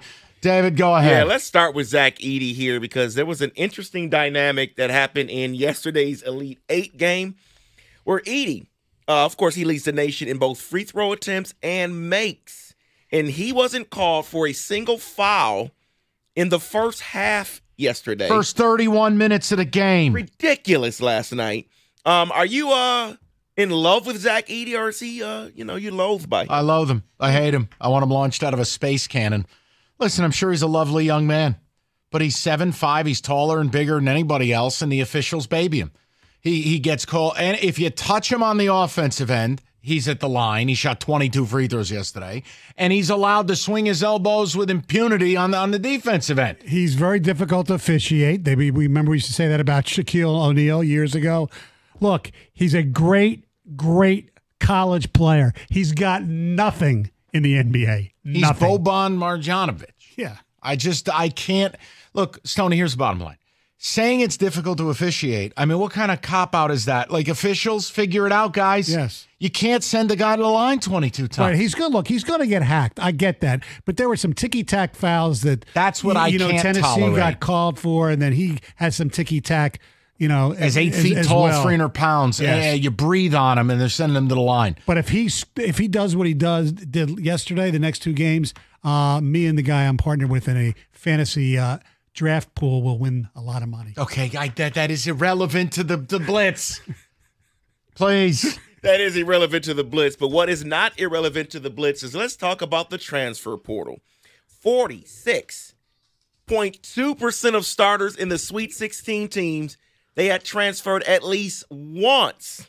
So only Duke had a starting five with no transfers, but NC State, who's made the Final Four, all five of their starters came from the portal. This is getting ridiculous, guys. Oh, even more ridiculous since the portal opened two weeks ago. Eleven hundred Division One players have hit the portal. Say, I, I have no problem. You want to transfer once? Yes. Uh, the coach is a jerk. You miss home. You didn't get the PT you were promised.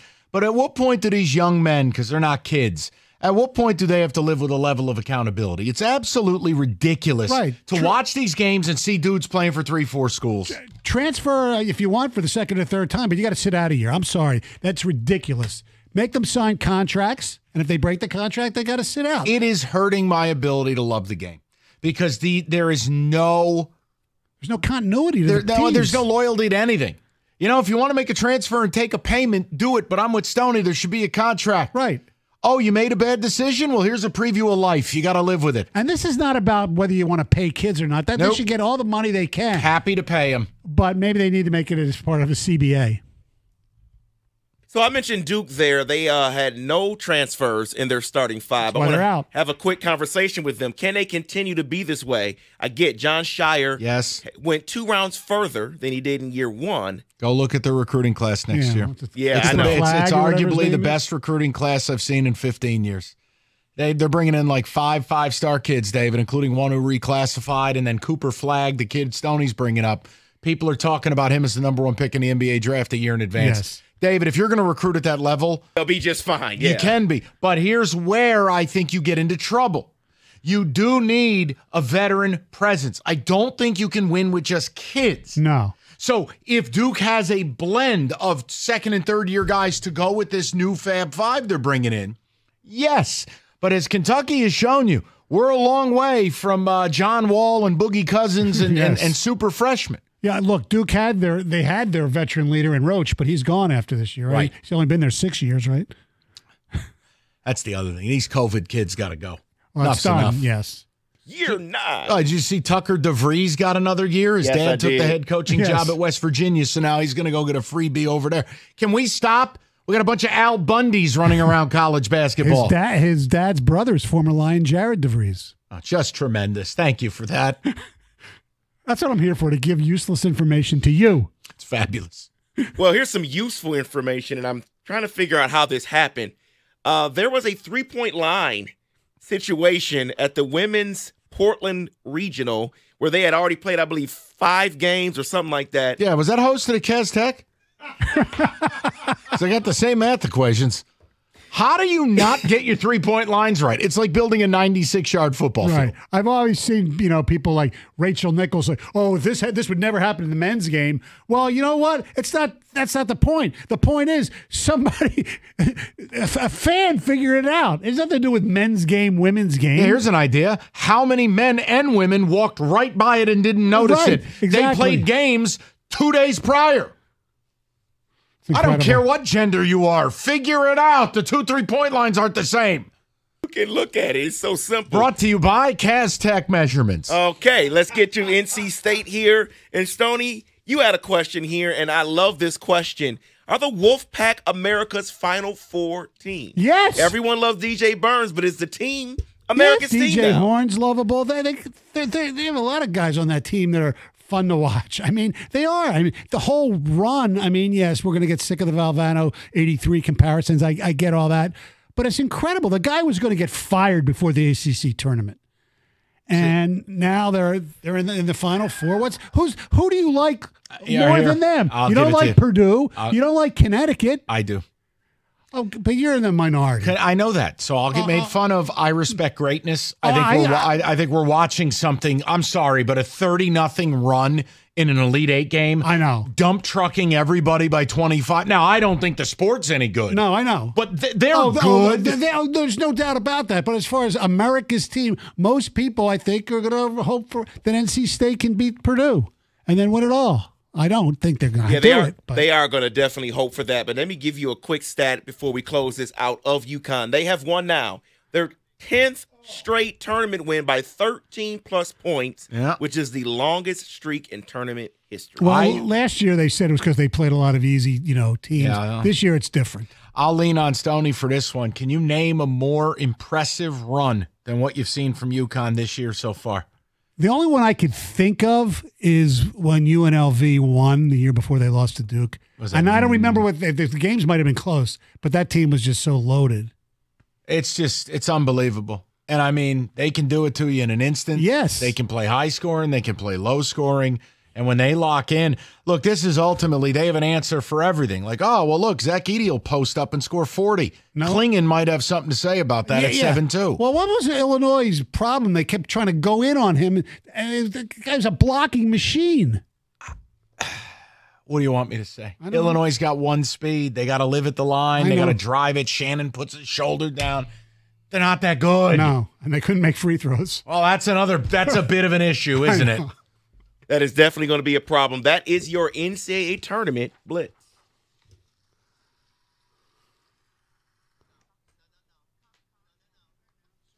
Thanks, Tony. Listen, home runs. Everybody loves them. Dinger Tuesdays with FanDuel. You can love them even more. That's right. So Tuesdays, you're going to be rooting for home runs with America's number one sports book. You bet a player to hit a bomb. FanDuel gives you $5 in bonus bets for every home run hit during that game. You need another reason to get involved? FanDuel's got it. It's fanduel.com slash ticket. That's fanduel.com slash ticket. Make every moment more with FanDuel, the official sports betting partner of Major League Baseball. 21 and up, present, Michigan. Bonus issued now withdrawable bonus bets that expire seven days after receipt. Max bonus, $25 a game. Restrictions apply. See terms, sportsbook.fanduel.com. And if you've got a gambling problem, call 1 800 Gambler.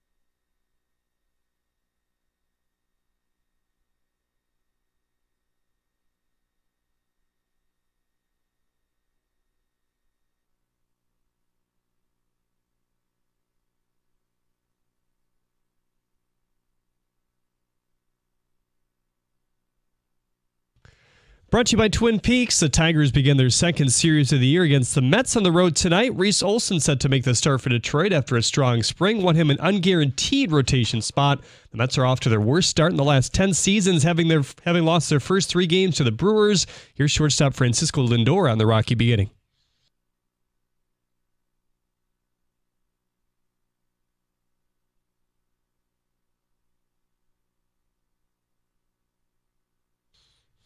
Pregame at 645 here on 97.1 The Ticket. The Red Wings face the Lightning, who are sitting comfortably in the first wild card spot. They've got 89 points. Detroit still two points out of the last spot, now trailing the Flyers. Jake Walman is back in the lineup for the Wings after missing the last six games with a lower body injury. Olli Maatta will sit out this game while Simon Edvinsson remains in. Here's Derek Lalonde on why.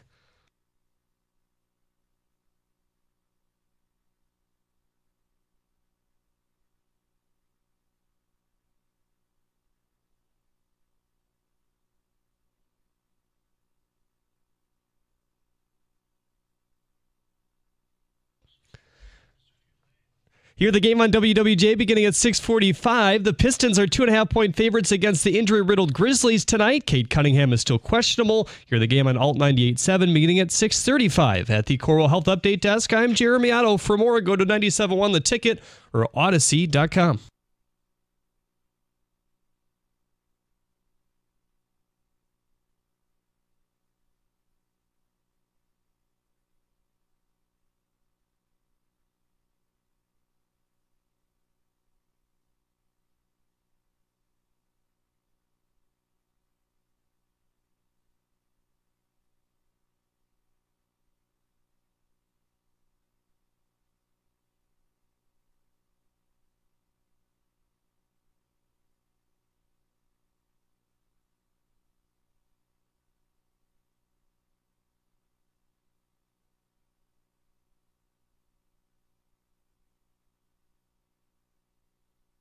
All right, three o'clock. Good to have you aboard. And I want to build off of what we just discussed in the March Madness thing. Bear with me, people. Let me let me, let me bend your ear for a moment.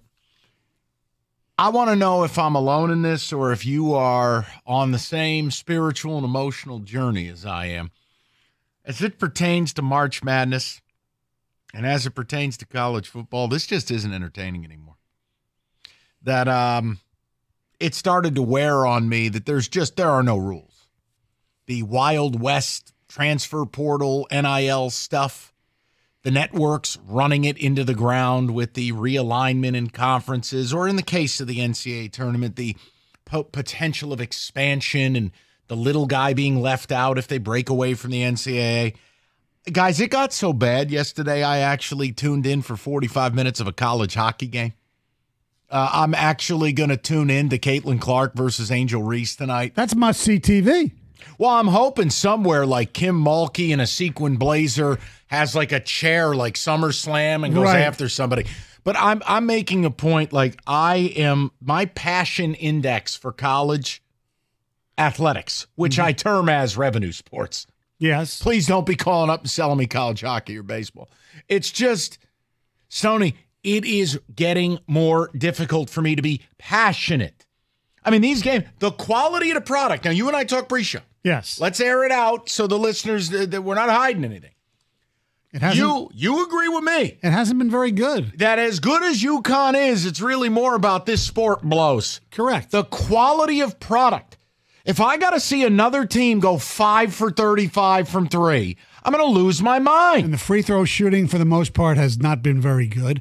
I mean, the, the Purdue game, I mean, like we said, you know, they're good. You know, Edey's good, laborious to watch. Knecht was, to me, if it wasn't for NC State and the he's the story of the, he was the story of the tournament. He was so much fun to watch. Who, DJ Burns? No, Knecht oh, too. Oh, I'm besides sorry. I thought Burns. you said NC State. No, I, I said besides for Burns. Knecht was so much fun right. to watch. But the point is, whether it's look college basketball, their biggest issue, there's no stars. There's nobody anybody cares about. Half of America hates Zach Edey because watching him, I don't want to watch him shoot free throws. College football, you know how I feel. I think they're destroying rivalries. I think they're destroying the regulars. The greatest regular season in all of sports was college football. Mm-hmm. Now, it's nothing. It's government cheese NFL. Lose two, lose three. Hell, lose four if you got the right logo on your helmet. You're going to get in. I want to know where you guys are at as we now head towards the conclusion of what I am coining now for the second year in a row. It is a listless Final Four. That unless you went to one of these schools, I'm sorry, there is no juice. You could vaporize Saturday night to just give us Purdue UConn, and I think all of America would just go, okay. Yeah.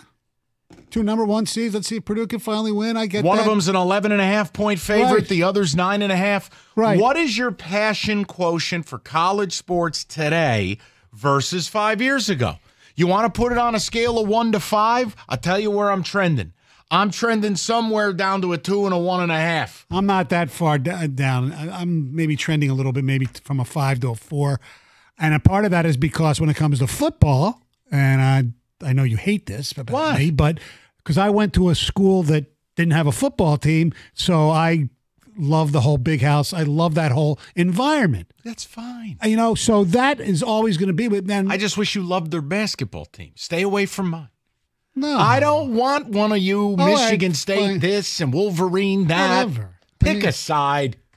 The point is, fine. You still have a high, and I'm not telling people they're wrong if they love it. No, I know. I am I am trying to just speak as a 43 year old man who college football and basketball were one and one A for me. And now they have fallen so far by the wayside based upon what we've done to these games. Look, Stoney, I, I've never had an issue with any player in any sport making money. No. You are worth what someone will pay you. But I will tell you, when you start to dig into what some of these players are getting and they're not even that good, like there are rumors galore that this AJ Storr, the Wisconsin transfer, is going to mm-hmm. make a million dollars. Million dollars. Who the hell are you? You're not Demarcus Cousins. Do, do you th- do you think uh, Kansas has buyer's remorse on a million dollars for Hunter Dickinson? Sure, they do. Yeah. because they realized what a jerk he is. Yes, exactly. But my point to you is the played for three or four schools. It's year six. This kid, these these freshmen come in, they're nowhere near ready because Steph Curry's destroyed the sport of basketball. Because now every kid on every AAU team thinks they've got the green light from 28 feet. College football, you know where I stand on this. The portal stuff is outrageous. They've killed bowl season. Kids are transferring the day of their bowl game. Right. Well, I've well- seen well, it. Well, how about the portal? Uh, Brad Underwood's right. He's trying to prepare for a game against Connecticut while he has another assistant coach who's all he's worried about is the portal because the portal opens during the tournament. How ridiculous is that? That's the thing. There's no rules. Right. There's no guardrails on any of this. So I can't take it seriously. I just can't. I mean, last year I watched Kansas State make a run without a single player who ever signed the dotted line out of high school to be a Kansas State Wildcat. There's a connection with college athletics that I don't care if you went to the school or not. There was a level that these players made a conscious choice to spend four or five years of their life at the same place you care about. Right. That they walked the same hallways you walked, that went to class. I went to a Big Ten school. I didn't go to Yale. But there was an idea of, hey, I'm pretty sure Plaxico Burress just put my roommate in a wheelchair at IM West. It happened. the point is, I mean, it, it was it was I'd love to hear this story. sad scene. The point is, I want to know where That pales to me doing bong hits with Boo Bowers. yeah, oh, we got Boo Bowers. I got a Plaxico Burress windmill sending a poor 5'11 kid to a hospital. The, but I want to know where you're at with it. And if you are every bit as passionate, tell me why. But if you are not, if it is starting to slide, if the things you don't like outweigh what you do, or the or if you're like me, I have to be honest, I have more interest tonight watching Caitlin Clark and Angel Reese and maybe Kim Mulkey getting into a fight than I did Duke NC State yesterday. I'm admitting this to you, my audience. Uh, I, don't- I think you're part of America. I think all of them tonight is must see TV. And by the way, I don't have the exact numbers. What? But I know Angel Reese is a portal person. She started at the University of Maryland. Yeah, she's And a I- Baltimore kid, right? Yeah, LSU. A lot of their players. But if you por- transfer once, I can live with right, it. I know. But this every I know, I year. get it. Come on. You're so right. You want to be an adult? You Yes. want to make adult money? Then live by adult rules. Look at the kid who started in Michigan. What, Frankie Collins? He transferred to Arizona State. Now he's in the portal again. Sure he is. Look at Horne, the point, the, the the scoring guard for NC State. DJ Horne. I think he started out at a JUCO, then over to Illinois State, then to Arizona State, back to NC State. DJ Burns didn't start at NC No. State. He started, I think, Winthrop. I think their whole starting five is transfers. I don't have to embrace that. No, I, I get it. College football, it's the same thing. How, what are we doing here where coaches now, fans, by the way, fans having to pay for all this also is gross to me. Yeah. Oh, yeah. The ra- the fundraising. So coaches now have to prepare for a bowl, retain their current roster, pilfer other people's rosters, and recruit high school in real time. Right. Like I can't take it serious. You're better off just recruit, not even recruiting high school anymore. Well, that's Deion Sanders. He's Yes. basically just said, "I'm done with." it." Yeah, he just hired Warren Sapp to be a, a defensive analyst. I, I would like to know where you're at because March Madness for a long time has been my favorite event. It was It's- the greatest. The Final Four because but it's not anymore. Mike, it's okay to I know- say it. I know. You're not saying it's bad. No, it's but not as you're good. saying it's lesser than. Oh yes. And college football, I stand by it. The expanded playoff was the month of November. That's all gone now. Michigan and Ohio State means nothing because the loser will still get in as long as you don't have four losses going in. Correct. It means nothing. Uh, my my if if if I was a five, I'm down at about a two right now. And I'm honest. I, I can't lie to my audience. I find the whole thing nonsense. But when the game is being play, actually being played, and you will bring up college football, and the Spartans are playing whoever, you're, aren't you not going to be just as into it as you were before? Mike, I No. turn I turned the games off uh, this past year. Well, that's because they blew. Okay, But fine. that's- But if the let's say- quotient, but hold on now, no, you're making a point for me now. Point for Mikey. If your team's got to be awesome for you to care, you don't love the game. I don't. I used to love the game. Right now, do before you before you moved here, were you NFL one or college one? Buddy, I was sick. I was everything one. Yeah, well, I was too. I was everything one. But no, Yes. I, I loved I loved college Yeah, football. so did I. But I, I thought but, college but I like football- that. But but actually, Wojo convinced me. I was NFL one, and then it got to the point where you know, probably around because of living around here with Yeah. the Lions, and here where Michigan State, Michigan meant something every week to a certain extent. I got I got sucked Yeah, into just it. I think a lot of the magic's gone. I think a lot of the stuff that I cared about is gone. I don't have to go along with it. I still love sports and I still I mean the NFL's the NFL, but a college basketball like this college basketball season. I watch more college ball. I double, I triple, I quadruple down on college ball this year. I really wanted to get more involved, and especially on the betting angle for the podcast. Right. But it was the idea of, hey, force feed it. Really try to be back into this the way you were four or five years ago, pre COVID. Stoney, the quality's awful. And then the tournament came around, and I'm watching these games. And I'm not watching out of passion. No, I know. It's almost like I'm spite watching it. Well, well, we said during the season, the college basketball, even more so than the NBA, became unwatchable. It, re- it really did because the quality. Everybody says, "Well, the NBA is not as good because they don't care." Okay, fine, right, as regular season goes, but at least it was a high, for the most part, except in this town, a high level of play. You know, the college basketball this year and and last year too, the quality sucked. Awful. Yes, absolutely. You know how you can actually feel better about yourself? What's that? Go to Planet Fitness. It's the home of the judgment free zone where anyone, and we mean anyone, can feel comfortable and work on their fitness goals. At Planet Fitness, you will experience a squeaky clean gym that has tons of equipment, friendly, knowledgeable staff, and a totally judgment free atmosphere. And if you're short on time, no problem. You get a full body workout in just 30 minutes in the Planet Fitness 30 minute circuit. Now, you get all this for just 10 bucks a month and no commitment. That's right. Planet Fitness is still only 10 bucks a month. And if you want to upgrade to the Black Card, enjoy use of amenities such as unlimited use of the Black Card spa, including hydro massage, massage chairs, and all that great stuff. So save big when you join the judgment free zone from now till April 12th. Dollar down, 10 bucks a month. Join Planet Fitness today for just a dollar down. Cancel anytime. For more information or to join today, visit your local Planet Fitness or go to www.planetfitness.com. It's a judgment free zone.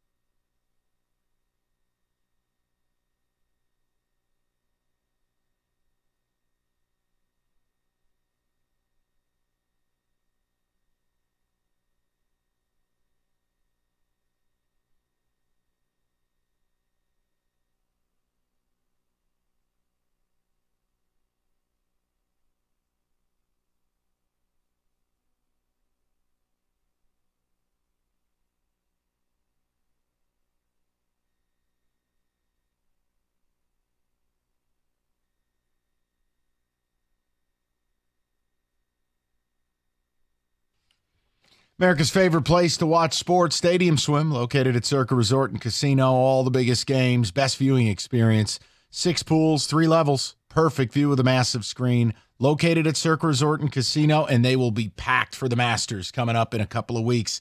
Book your spot today, circalasvegas.com.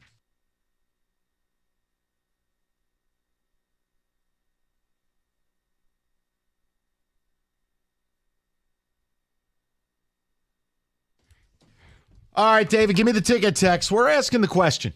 I, I mean, I'm, I think I've got more interest watching, and no, this is not one of these ESPN first take dumbass topics. No, this has nothing to do with the women's tournament being better than the men's tournament.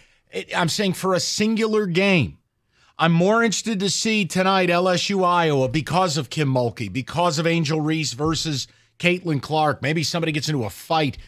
I'm more interested in that tonight than I am any of the men's games. And it goes in line with what we talked about with college football. Right. Well, the portal, here's another perfect example. And this is somebody from near where you grew up. What? Junior powered forward Sean Gordon of Siena has entered the transfer portal after averaging 18 and 7 per game in 14 contests. He started his career in Missouri and then went to Austin Peay for a year. Now he's at nine, and now he's transferring from Siena. So he'll be going to school number four. Four schools, four years. You can't even find your way around campus. Like here, and, and I'll admit it, I don't have a problem with the players getting paid. No. I got a problem with how they're getting paid. I got a problem that the cost has been financed by the fans. And I do have a problem that some of these kids aren't worth a damn and they're making way too much money. Go ahead, I don't care. I'll say it. Oh, you're an old white man. No, don't do that. This is simple. No college athlete that is going to be anything other than an NBA player next year should ever see a million dollars. It's outrageous. And now you have guys that might be decent college players making that money. More power to them. Yeah, it's the adults who have failed the fans. Right. The players, if someone's willing to pay you that, that's fine. I'm Yeah. talking about what Right. it does to my passion for it. Correct. I cannot take it seriously that a guy that might be a second round pick for Illinois makes 600 grand. Well, let me ask you a question because you've criticized uh, Izzo for not going in the portal enough. Maybe part of that is they don't want to pay in the portal. So now that they have the fans raising the money, even though they have Ishbia Yeah. and have Gilbert Yeah. and have uh, I forget the other guy's name, the Saint. Um, does that change your Does that change your opinion? No, my problem with Tom is if you don't like it, then do what Jay Wright did. Leave. Okay. Or stifle and get in the dirt. I don't want to hear coaches complaining while still making $7 million a year. Okay. Saban didn't like it. He left. Then he's asked his opinion on it after he's left. I'll listen to you talk. But if you're going to stay there and collect your check, these are the rules of engagement. I don't know what to tell you.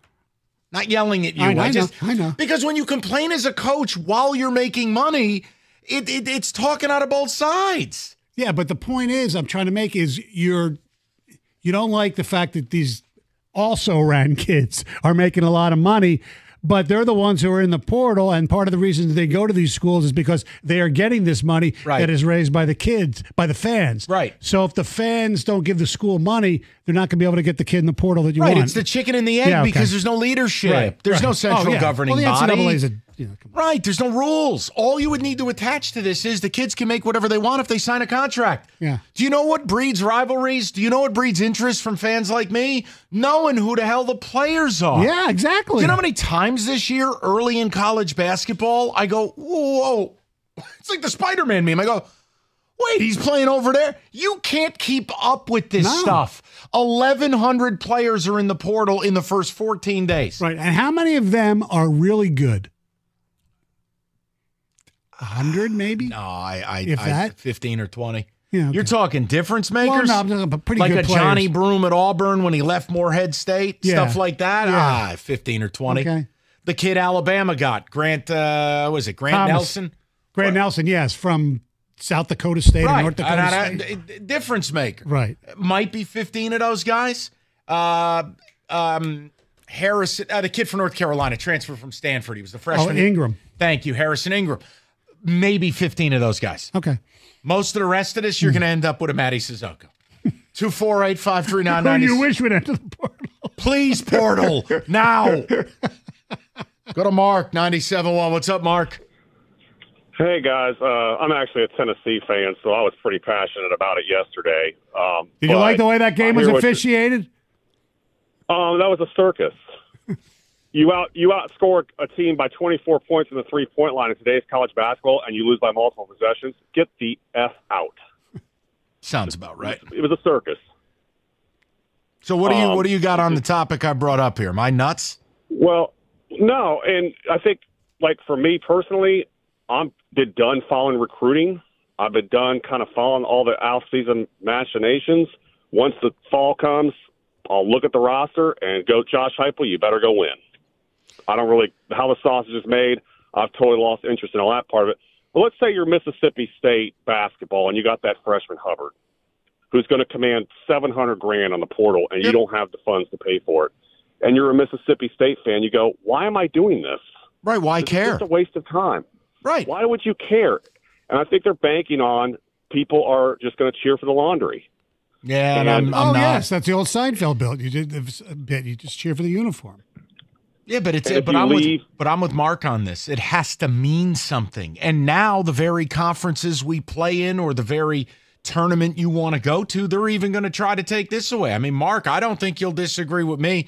I think we're 18 to 24 months away from from the Big 12, the Big 10 and the SEC breaking away from the NCAA and fully destroying everything.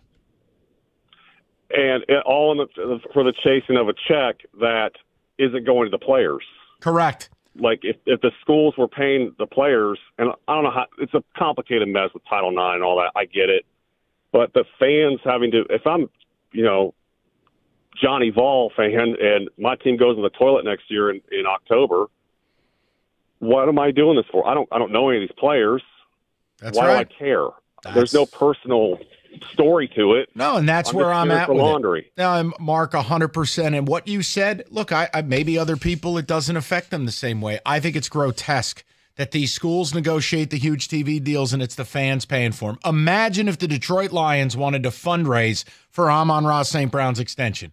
It'd, it'd be done already. No, but you would look at it and go, wait, what? Yeah, I'm paying for my ticket. Right? Shouldn't that be enough? No, now in college, it's even a layer worse. I'm paying for the ticket. I'm donating. God forbid you sent one of your kids there or you yourself took college loans and you want me to pay for some kid I've never heard of who's never put a helmet on?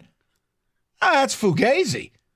and I'm just, do it. uh, hey, God bless. But for people like me, this is all going right downhill. It's just, I, I, it's, it's a joke. You don't even know who the players are. I know. Think about it. Especially somebody like you who follows this crap really closely, closer than most people. Okay. Right.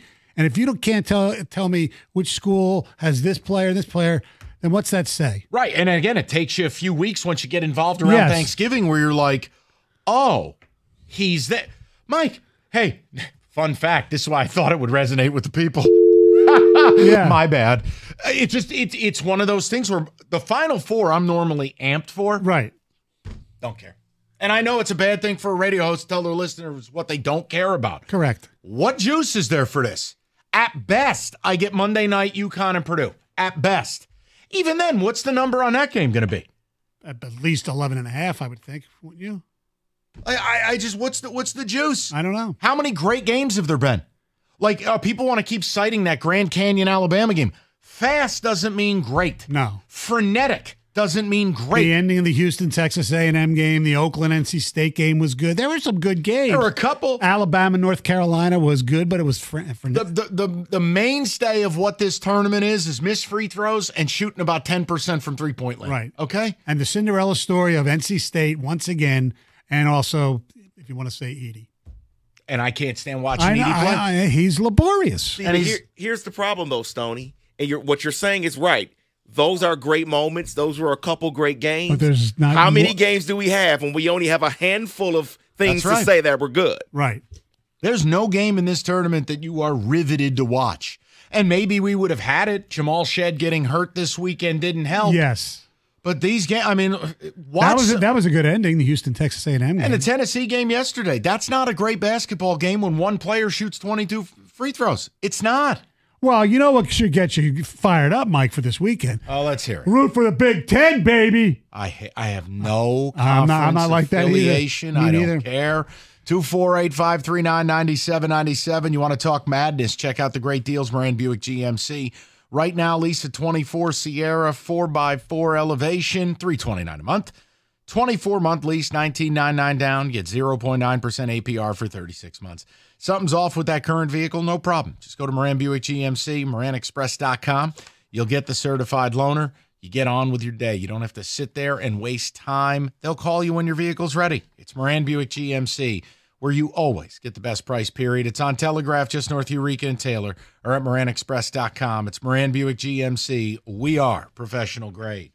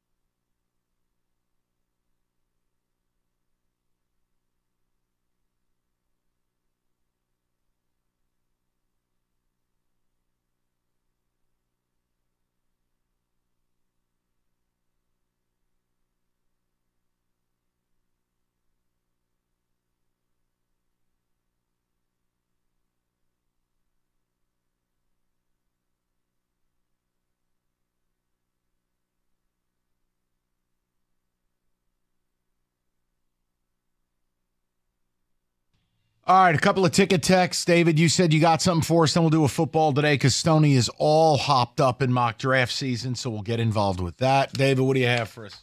Yeah, a couple ticket texts here on the college topic. Within a few years, I see myself being completely done with college football and basketball. You're right, Mike. It's not entertaining anymore, and the portal has killed it for me. I mean, 1,100 players in 14 days have hit the portal. I got Stony over here trying to break in with a live update. He's trying to get Jeremy Otto to tell you about Prairie View six seven forward hitting the portal. Two point nine points per game. He Right, averages. like, what- Illinois' backup center just hit the portal. Where are you going, son? I'm at a two. It's hard to care about college sports when they let a team openly cheat win the natty. It's basically like the. WWE. I, I mean, again, I, I'm still waiting for Central to acknowledge it was Connor Stalions on, on Michigan State sideline. That to me is unbelievable. That's going to come in his book. You know what I'm saying? I mean, mm-hmm. it's like we're we're in silly season. Go we ahead. are. Search player profiles of at least a dozen players I watched play yesterday, and I think all of them were transfers. Yeah. This is getting ridiculous. The whole thing is Except for Duke players. right, and and, and again, I, I UConn's got three guys that Danny Hurley recruited, two transfers. That's their starting five. It's you have to have like a blended portfolio of mm-hmm. players. I'm not saying it's wrong. Like I don't mind if a kid transfers and goes, "Look, I've put in 3 years at this place. I'm all conference. I did everything I could. There's a payday out there."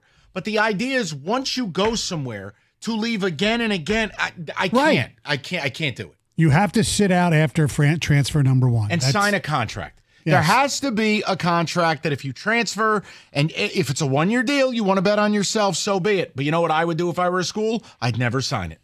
If you're coming here, you got to be here at least two years. Yeah, that'd be nice, but that ain't never going to happen. Uh, Mike, it's fine. I but, know. but so guess what happens? The world moves on without me. Yeah, I know. That's fine. Won't be long until MSU's an NIT team, anyways.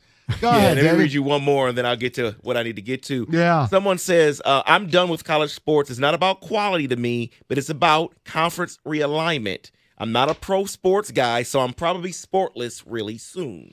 It, it's it's tough. The conference realignment in football matters way more than hoops. It's really really silly that in about 90 days I'll be getting ready to do a bunch of work for the podcast and for this show and getting ready and there will be no Pac-12.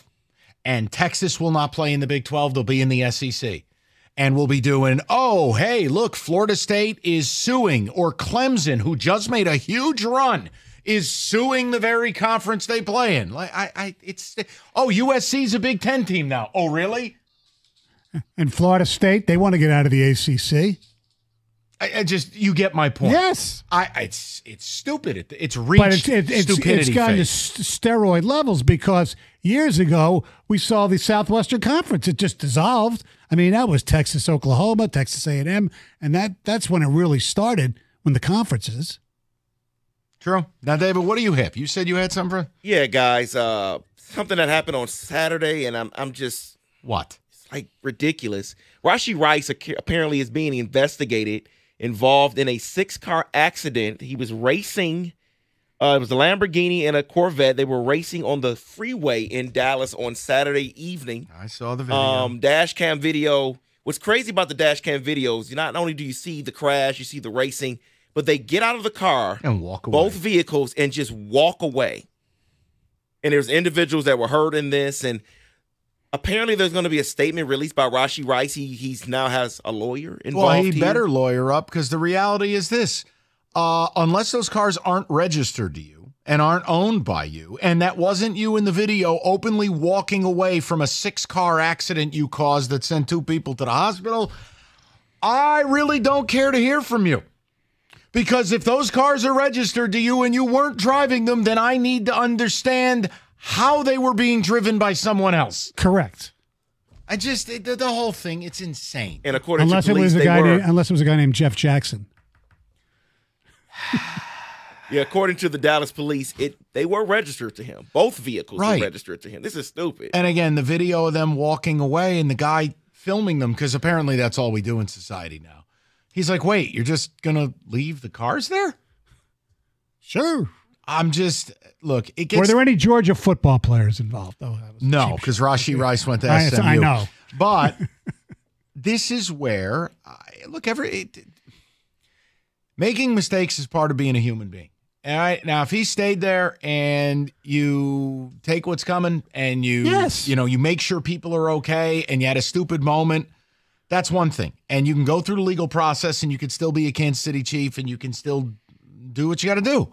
But the idea that he walked away and cared so little about the people he injured and and and and thought and was so stupid. But I'm sorry, the word stupid applies. Yes. If this is Rashee Rice, David, that's where the NFL should just come in and go. You know what? If Jameson Williams can miss half a season for a gambling snafu, uh, Rashee Rice ought to be suspended for eight games. Period. No doubt. There's a stand. Hey, here's the theme of the day, everybody. There are standards. More places ought to have them. Here- Here's the thing. The other thing is, I'm I'm not a big car guy. I mean, I drive a Chevy Blazer. Look, I don't think we need to know It's, the it's vehicle. a, it's a fine car. Carry on. Okay. Why does somebody need? that? Now, what's a I said, like I said, I don't. know. What's a Lamborghini cost? Depends what you buy, but I mean, if he bought a, a like a, a Huracan, I mean, it'd be four fifty, five hundred. I mean, I mean, there's there's all kinds of. Listen, he's a rookie. If you're Tyreek Hill and you just signed a thirty million dollar contract, you want Right. to buy a Lambo. I think your financial advisor would be like, "All right, cool. You're a rookie. I mean, half the money is vapor anyways Right. to taxes. I don't. I, there's not a financial advisor on the planet to be like, yeah, let's go out and rock a half million dollar car. Uh, no, Mike, I, I can answer your question Okay. there. That's It's absurd. it, it's absurd, but you know what? Hey, he can live how he wants to Yeah, live. I'm right. making a point. Doing the dumb thing is only a piece of it. Right. To walk away when you've caused a six car accident and leave the cars on the highway. You got to see this video, guys. Uh, It's incredible. Are they looking for the police looking for him, or is he on the? la- Yes, or is he they on are the- looking, He's on the cam. I mean, Lamb. They are looking. They are definitely looking. Yeah. Speaking of which, Dallas police are looking for him. Cam did show up yesterday. He finally turned himself in. Yes. But I just, I, this is where the league should step in and go, here's the deal. Is that you in the video? Yeah. Did you cause a car accident? Yeah. Is that you walking away? Yeah. You're suspended for eight games. because A, you're an idiot and you don't deserve the right to play football. And B, we've suspended people for way less. True. The, you are hurting the image of the league. You know, there was a woman driving with a four year old child who he sent to the hospital and he didn't care enough to check. He walked away. Come on, man. I know. At a certain point, you know what? Eight games. Take responsibility. Eight games. Call your agent. Sell the car. I, I don't. I'm sorry. I know I sound like such an old man today, David. What has happened to me? No, you're right. You know what it is? It's because I'm here. No. So the old vibes just you know go across the table. No, Mike, it's not. I know. I- But like, I don't feel like having standards. Well, you know what? Maybe it is having standards makes you old now because young people have none. None. This country has none. No. People have jobs and then they leave after a year or two because they think they can always find a better one and all that. You know. But no, the Rashee Rice thing, David, my opinion is simple. If that is indeed him on the video and those are indeed his cars, he shouldn't play football for the first eight weeks of the season next year. Period. Because that video shows you NFL football player does not care about anyone else but himself. NFL football player sent mother of a four year old to hospital and is a bird brain. You should be suspended for such things to me. 248 539 9797. Um, all right, sports calendar loaded the next few weeks with baseball back, Masters around the corner, hockey playoffs, NBA, and yes, the conclusion of what I largely deem to be a dreadful NCAA tournament this year.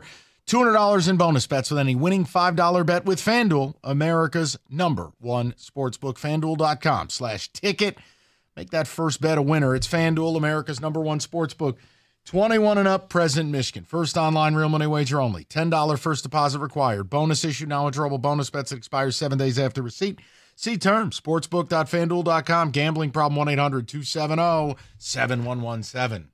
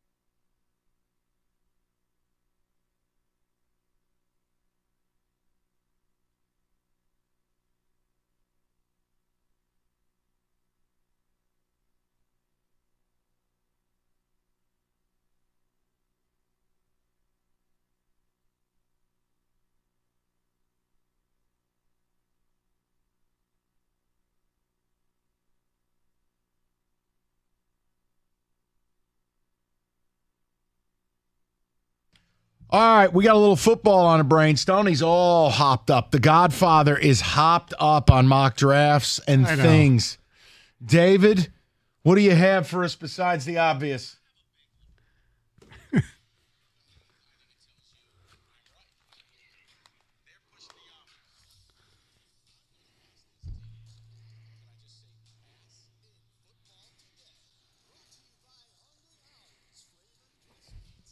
Yes, we do have a mock draft from the Ringer here, and we have two trades in the top 10. Let's hear it. So let's start here with the obvious. Number one, Caleb Williams goes to the Bears. Jayden Daniels goes number two to the Washington Commanders. Time out for one moment. Yes. Stoney, what is your opinion on Jayden Daniels? I think he's going to be really good. You so you are pro Daniels. Yes. In fact, the last Michigan State football game I saw at Spartan Stadium oh was the Arizona State game where he was Oh Fourth and 19. Yes. Mike Tressel. Yes. Hey, we got a spy. It's like Joe Bachie in the middle of the field. Yeah, who could forget? Yeah. But I am Sorry to bring that up. No. I, I don't care. I have no feelings anymore. I just I, I wanted to know. I, li- I had no idea if you I think liked he him or well deserved the Heisman Trophy. He was he was really good conference he played in. I think David, Yes. the, uh, the the the trade, please. we All do have a trade here at three. The Vikings trade up.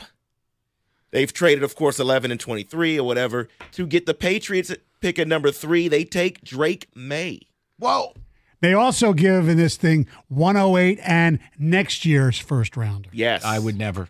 Now it's too There much. is no scenario where I would give that up as the Minnesota Vikings ever. It's two number ones. I mean, you could give up 11 and 23 and move to five and get JJ McCarthy. It's three number ones, Stoney. Yeah, it's ridiculous. Two this year, Well, one next right, well, year. one- yeah, but they get one back. So yeah, It's the, I, I will vote no on that. And look, I like Drake Maye. I think Drake Maye's got a hell of a lot of talent, prototype. You know, he's played behind a bad O line, unlike other people. I just, but I'm not giving that up. And yes, I'm the king of saying if you don't have a quarterback, get one within reason. Right. We can't be Mike Ditka on the cover of E ESPN magazine trading a whole draft to get somebody. the greatest. At number four, the obvious Marvin Harrison Jr. continues to go to the Arizona Cardinals. Isn't that the right fit, though? I think so. Yes. I think people have overthought it here with the Cardinals. The problem is there's a lot of people believe that for some reason he's not the best receiver in the draft. That's called prospect fatigue. Yes. Go ahead, David. We have a trade.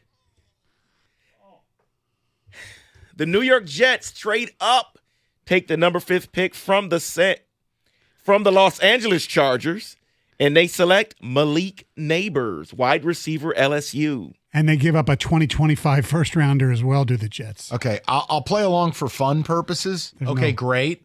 That th- the Jets when they don't win the Super Bowl next year, and when Aaron Rodgers opens up some mushroom farm, that that organization will crater to Middle Earth. It's unbelievable. They are so all in for this year. Yeah, I, I would just say no to that. They can't be in the business of giving up a future one. But fine, go ahead. And then we continue with the normal number six, a wide receiver for the New York Giants. Uh, that is Rome Odunze. Wow, Giants don't take JJ McCarthy. They do not No. take JJ McCarthrob. Uh, I will give you where he goes. He goes number 12 to the Denver Broncos. Yeah, he would never get past Sean Payton. Agreed. I have no, and again, that's probably the most. Everybody looks around and goes, "All right, I could live with that," because the difference between going twentieth and twelfth, not a big deal. Right. You start getting into the top five, it gets a little silly. Yeah, that that would make sense to me. Where are you at with JJ? I the problem with JJ is we don't know. I, I think he's going to be a good quarterback, but not. I don't think he's going to be a great quarterback, and I think he's going to take a while. Well, when you throw it fifteen times a game in college, right, it that's the does. that's the problem. Like, no, look, if he played in LSU's offense, That's his different. numbers would be completely Oh, different. I, I probably. said from the very Yeah, beginning, I didn't remember when he was it's not his splitting fault. time with Cade. Yeah. And I'm going, why didn't you just go to Ole Miss? They would have paid you a million dollars and you would put up 5,000 yards a year and this this would be settled. Right. Go ahead, David. Yeah, so let me give you and go back as of the trade down. So 10. Now the Chargers are sitting at 10. They took offensive tackle from Oregon State, Taliese Fuaga. He's I, mean. I like him. That's such a Harbaugh pick. Too. He's very mean. Yeah. Yes. Not Harbaugh. The, the, well, the- no, the- Harbaugh's mean too, but yes. But the kid from Oregon Yeah. State, he's he just plays very mean. Then the Patriots get with their trade down here at a number 11, Quinyon Mitchell. But what? uh, Why? You- What? Okay, hold on. I'm gonna I'm gonna just I'm gonna punt on this and I'm gonna let the Godfather handle it.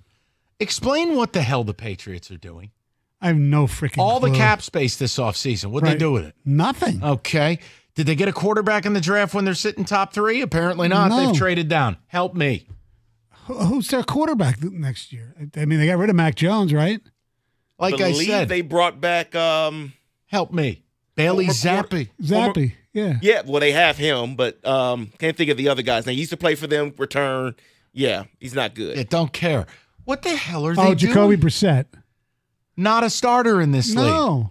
I okay, David, I will say this. It's a fun mock draft. I don't think there is a scenario where the Patriots can trade outside of the top 6 and not end up with a quarterback. Mm-hmm. I just it doesn't from a franchise standpoint, it doesn't make sense. Well, now, who do your Steelers get there, David? Uh, the Steelers, they select at number 20 Amarius Mims, tackle out of Georgia. That makes sense. You need offensive line Yes. help. Yeah. But You've been- Georgia offensive lineman It has as not you been know, great. has not been great. Not great. No. Shout out Isaiah Wilson.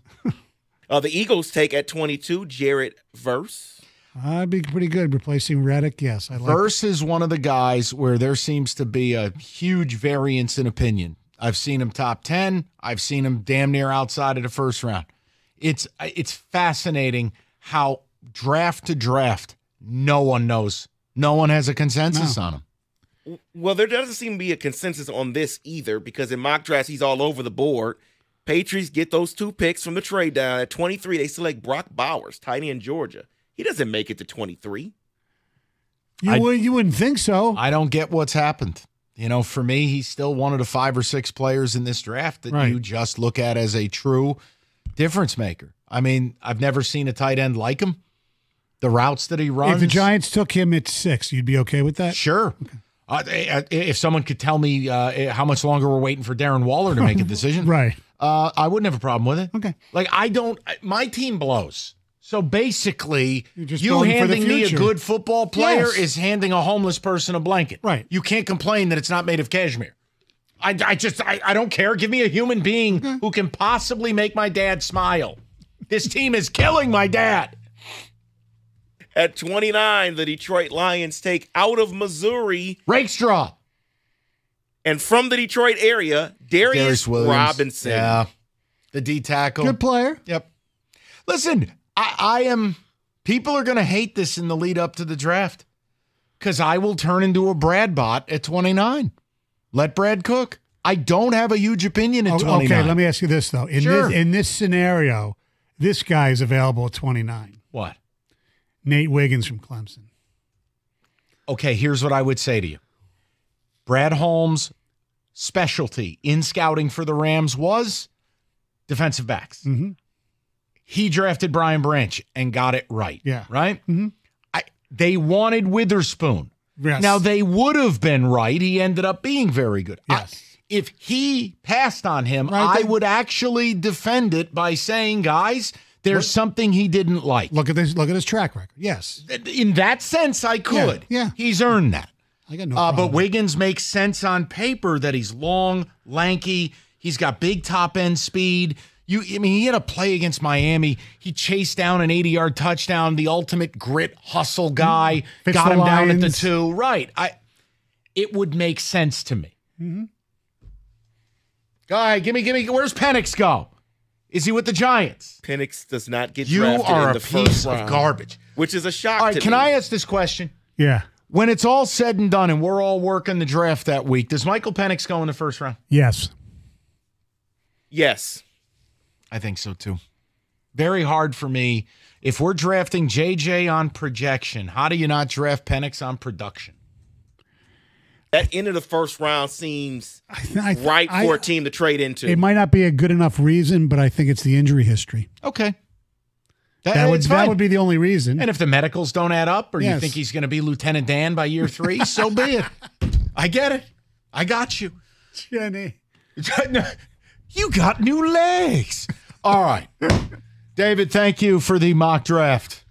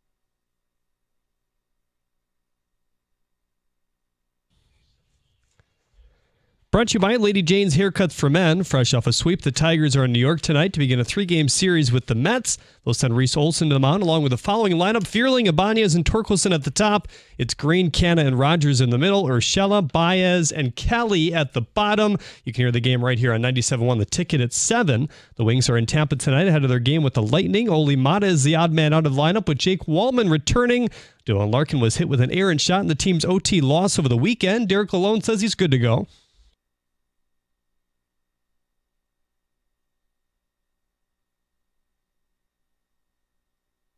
Coverage starts on WWJ at 645. Pistons, two and a half point favorites to beat the injury hampered Grizzlies tonight. Xavier Simpson, who's played mostly with the Motor City Cruise this year, signed a 10 day contract with Memphis over the weekend. It's Jeff Jackson. Get it right. he played his first game Saturday against the Magic, logging nine minutes along with four assists. And finally, March Madness on the women's side continues tonight as a star studded matchup pits Iowa against LSU. Caitlin Clark getting ready for a rematch with Angel Reese. Here's the all time leading scorer on that.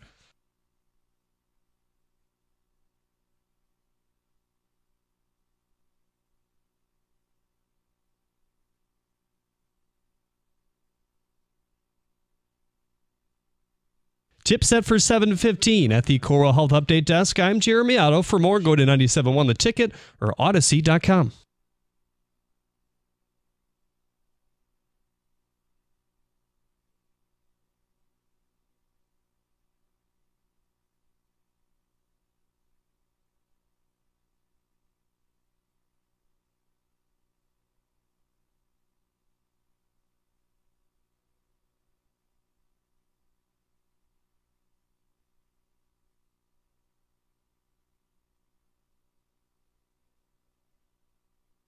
Um, I think they're talking about the big scoreboard. I don't know. I it's just it's what Roberto does. It's his motif, if you will. Um, you know, in the update there, I Mm-hmm.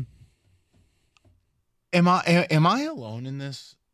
I'm actually watching that game tonight. You're definitely not alone. in Okay, like game. it's- I mean, there are a lot of people because the Wings game is obviously very important. No, and that's fine, but you you can watch multiple things. Do you know how many baseball games I have mixed in with Shawshank Redemption?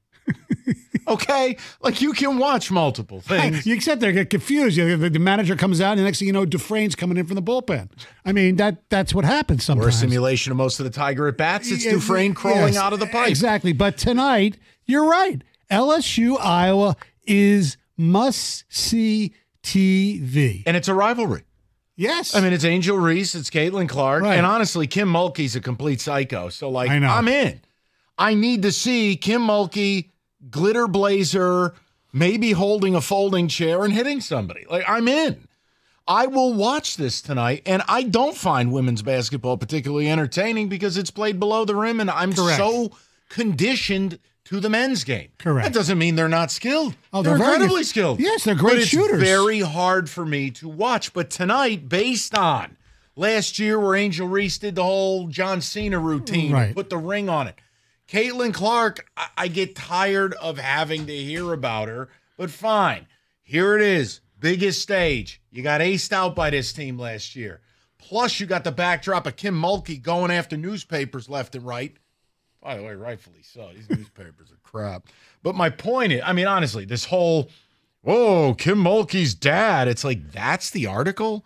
Come well, on, it was just it was a profile piece of her life, and so she didn't like it when because she didn't talk to them. All the quotes were actually from her from her own book, so she well, shouldn't have been That's the problem pissed. with writing a book, isn't it? Yes, exactly. Uh, she shouldn't have been pissed. But tonight, it's compelling. Okay, so if you are a per, like like me, I have not watched. Well, I've I've watched a piece or two. Like I.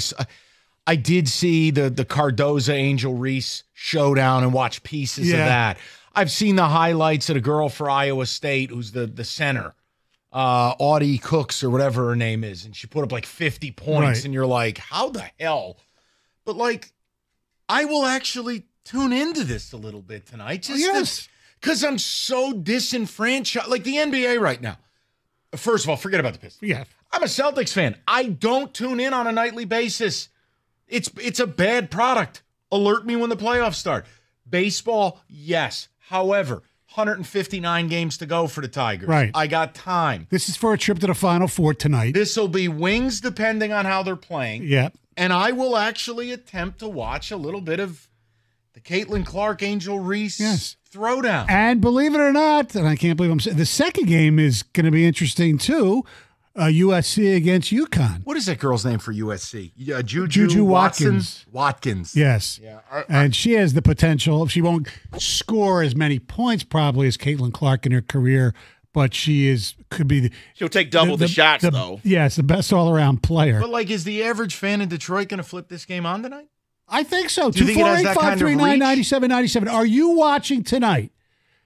Caitlin Clark versus Angel Reese, or okay, 'cause we don't want to like spotlight players. LSU versus Iowa. Why can't you spotlight I- the players? It's the only reason I'm tuning in. I know people don't like that some for some reason. Well, too bad. I know. Okay, so the defending champs against Iowa, Wings Lightning, or Tigers Mets. Why can't it be all of it?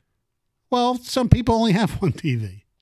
Now it's called a remote control. I, I I know that's what I'm going to do. and if you cut the cord, it's your problem. It's not my fault. You're going to have a pinwheel rolling around when you try to Right. turn the channel. Although some people say the UT, YouTube TV is the best because you can watch like six games at once. Multiple, yes. Yeah, but then you're asking for a seizure. You can't do that. All these people, oh, how many TVs in your man cave? It's like, dude, if you have six TVs, you have zero. You cannot focus on six college football games. It's No, not I- possible. I know. I, I get it. You're just going to have a seizure. The EMS are going to be over. It's going to be a disaster. I, I get it. 248 539 9797. David, are you watching this tonight? Yeah, I was already planning to watch tonight. I love the women's game. It's so much better than the men's right now. So yes, I'm Hold on. Are you tonight. doing one of these ESPN first take routines, or do no, you mean this? I'm serious. I've been watching the women's basketball games for a long time, even more now that What? there's names here with Caitlin Clark and Is it- Juju Watkins. Okay, since So it's is below the rim, rim, is it because of the the fundamentals? They pass the ball. What is it? It's just they have names. There are no names in the men's game right now.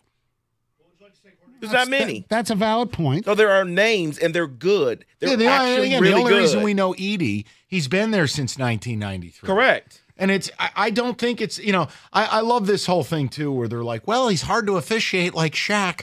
Shaq was the was a one of one. He was the greatest modern center to be born. He was designed in a let, not fat Shaq the late years, not No. the big leprechaun in No, Boston. not your. Yeah, I was going to say you're Celtic. Not the the Shaqaliers. Uh, Shaq proper at LSU, and with the Magic. No, no. Yes. Unbelievable athlete. Dude, Zach Edey, I God love him, and he's not a bad kid. I don't have a bad thing to say about him. Did you like what he said about Rick Barnes? But he ain't great. He said, I, I wanted to go to play. He didn't want me. He didn't even look at me.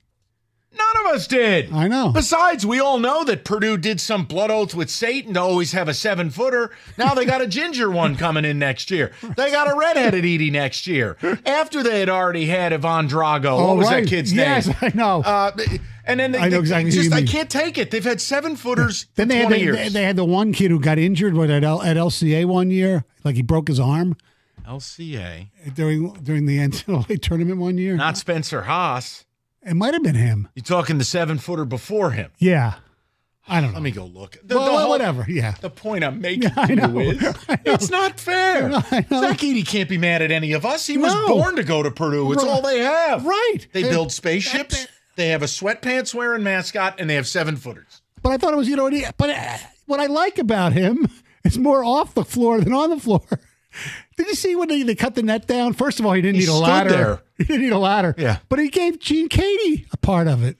Well, I I, thought that like was pretty that. cool. I, listen, I like that. yeah. And I miss the characters of college basketball. Here we go. I sound like know. Clint Eastwood and Gran Torino again. Gene Keady, the greatest. Come Get over. my lawn. I I miss the celebrity coaches. I miss them. The Big East. That's all It's it why. I so desperately wanted Rick Pitino back. Yeah. I wanted a playing game in Dayton. Izzo's leisure wear versus Pitino's white suit. There's no coaches I care about anymore. I know. None. 248 539 9797. Ticket text, David. Uh, no channel or same. Sorry, no chance. I'm watching the women's hoops, Wings and Tigers tonight. Okay. Someone else says I might watch it for a second, but that's about it. Uh, you usually can't hold my attention that long. And I agree with that. That's why I'm mixing it in. But if there was one game, if you ever wanted me to watch one women's basketball game, it would be tonight because of a pre existing rivalry. The fact that Angel Reese had to come out and go, believe it or not, we don't hate each other, Right. which is code for we do. and then you have an insane coach in a glitter pantsuit that's going to be so- doing something insane. I, I'll just, I gotta tune in for a little bit. There are a lot of characters in this woman. Dawn Staley, she's a great coach, but she she goes at it a lot Well, too. and the team's also like 40 and 0. I know. And Cardoso, the, the Brazilian center they got, is absolutely just she she kills people. I know. So no, I I I will watch. Can I tell you I'll be glued to it? No. All right. More importantly, what's the line? I did you do it on Cash no, the Ticket? No, no, no. Oh, come No, no, on. Stoney. I know the line because I, I saw it on ESPN earlier. Okay. So I'm not telling you from I would have no idea what to do or where the money is. Yeah, it's sure. Iowa minus one and a half. Okay. No, we're not doing no, we're not doing this. I'm not doing this with you. I, I, I, Mike, I don't. I don't know how to bet women's hoops. I don't know what's important, what's not. But Please. you know people who do. Who? I don't know. I don't know anyone who bets women's basketball. I think, come on, you're Mr. Cash the Ticket. You have to have. You must have a women's basketball insider somewhere. No, I do not. I would Why, do you want? Do you want? Hey, congrats! You're you're hired. LSU with the money line is what I would take. They're not gonna. They're not losing to Iowa. Not losing. Okay. What do you want me to argue? Uh, you're- we'll get to the callers next. Uh, all right. Yeah, David, what I do you like want me to that, say? That LSU money line and USC. What's the line? You know on that what? game? I'm just going to start reading. Three- Uh, they're in an instant, an auto accident can put you in the worst financial position of your life. If you you got to hire the right lawyer to make sure they make the insurance companies pay what they owe you. It is David Femminineo, him and his team. They've made insurance companies pay for over 30 years. They can help you with your case as well. David, ready to speak to you personally right now if you call 855 65 Crash or go to that website. Get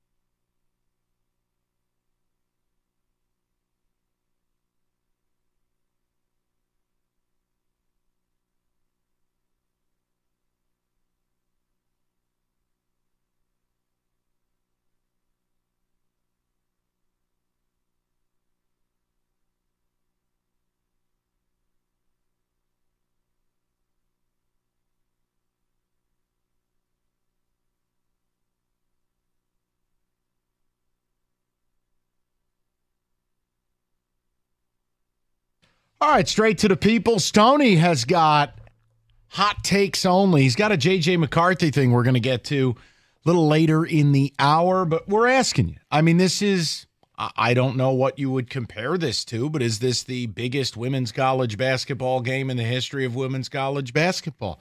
For, Um, for interest purposes, it might be. I think there was a I don't remember what year because I'm certainly no historian when it comes to uh, women's hoops. Here goes Stoney. You know, I watched Cheryl Miller live. No, no, it was after Cheryl Miller. So one of the uh, Connecticut Tennessee games. I remember The old Pat Summitt like days. Candace yes. Parker days. Yeah, Pat like. Summitt big versus Gino when they hated each other. Okay, uh, but you get my Yeah, point. yes, like, exactly. This is as big of a a uh, spotlight moment for the sport as there is. I will watch the Wings tonight. I will have this game as a piece of the of the pie. Now, Tigers. All of this is dependent on like if local team, if the Wings are really in it. Yeah, I'm opting out of this, and I'll be on the Wings third Right, period. But like, I do want to watch some of this. I get tired of hearing about Caitlin Clark. I may as well, watch her play. Well, since you don't you don't go on social media, you could actually DVR the women's game and go into the Doug Karsch bubble and then watch it without knowing after the Wings game. Well, I don't need to do that. I just remote control. Beep up, boop up. Okay, I know. That's what the last button was created for. Well, I know. What am I doing I, here? I know what you said. You wanted to just lock in on the Wings. No, I, I, I'll do what's Okay, necessary. okay, Uh, no, the yeah. Doug Karsch bubbles for losers. That's ridiculous. Uh, sometimes it's good.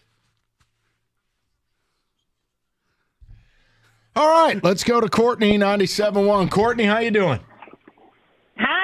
Hi, how are you? Excellent. What's on your mind?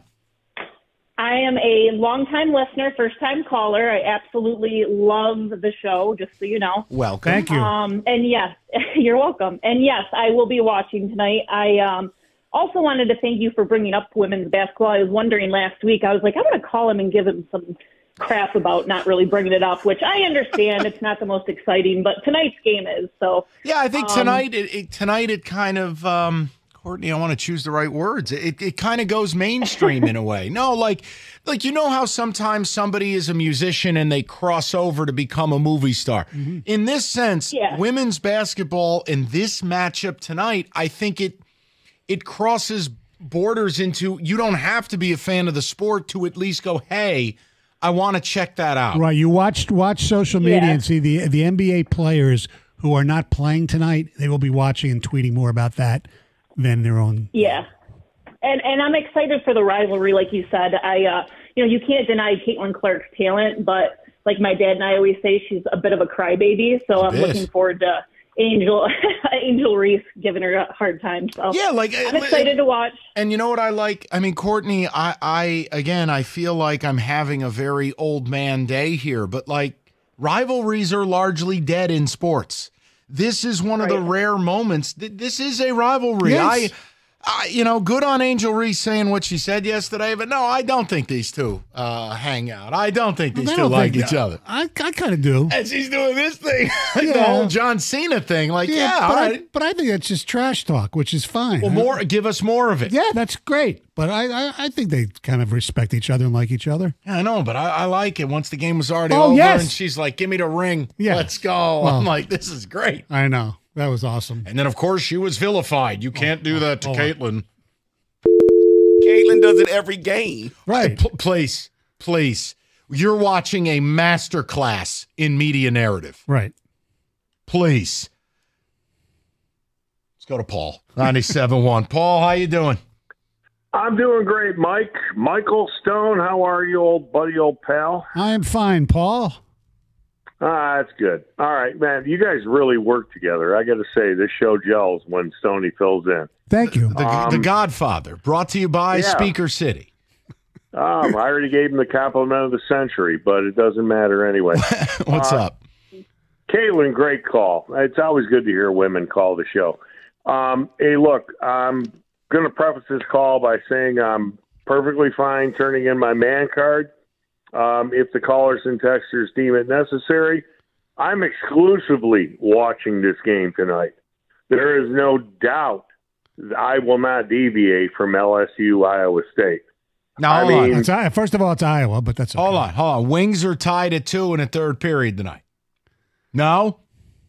No, No, no, no. Okay. I'm, I'm Mike.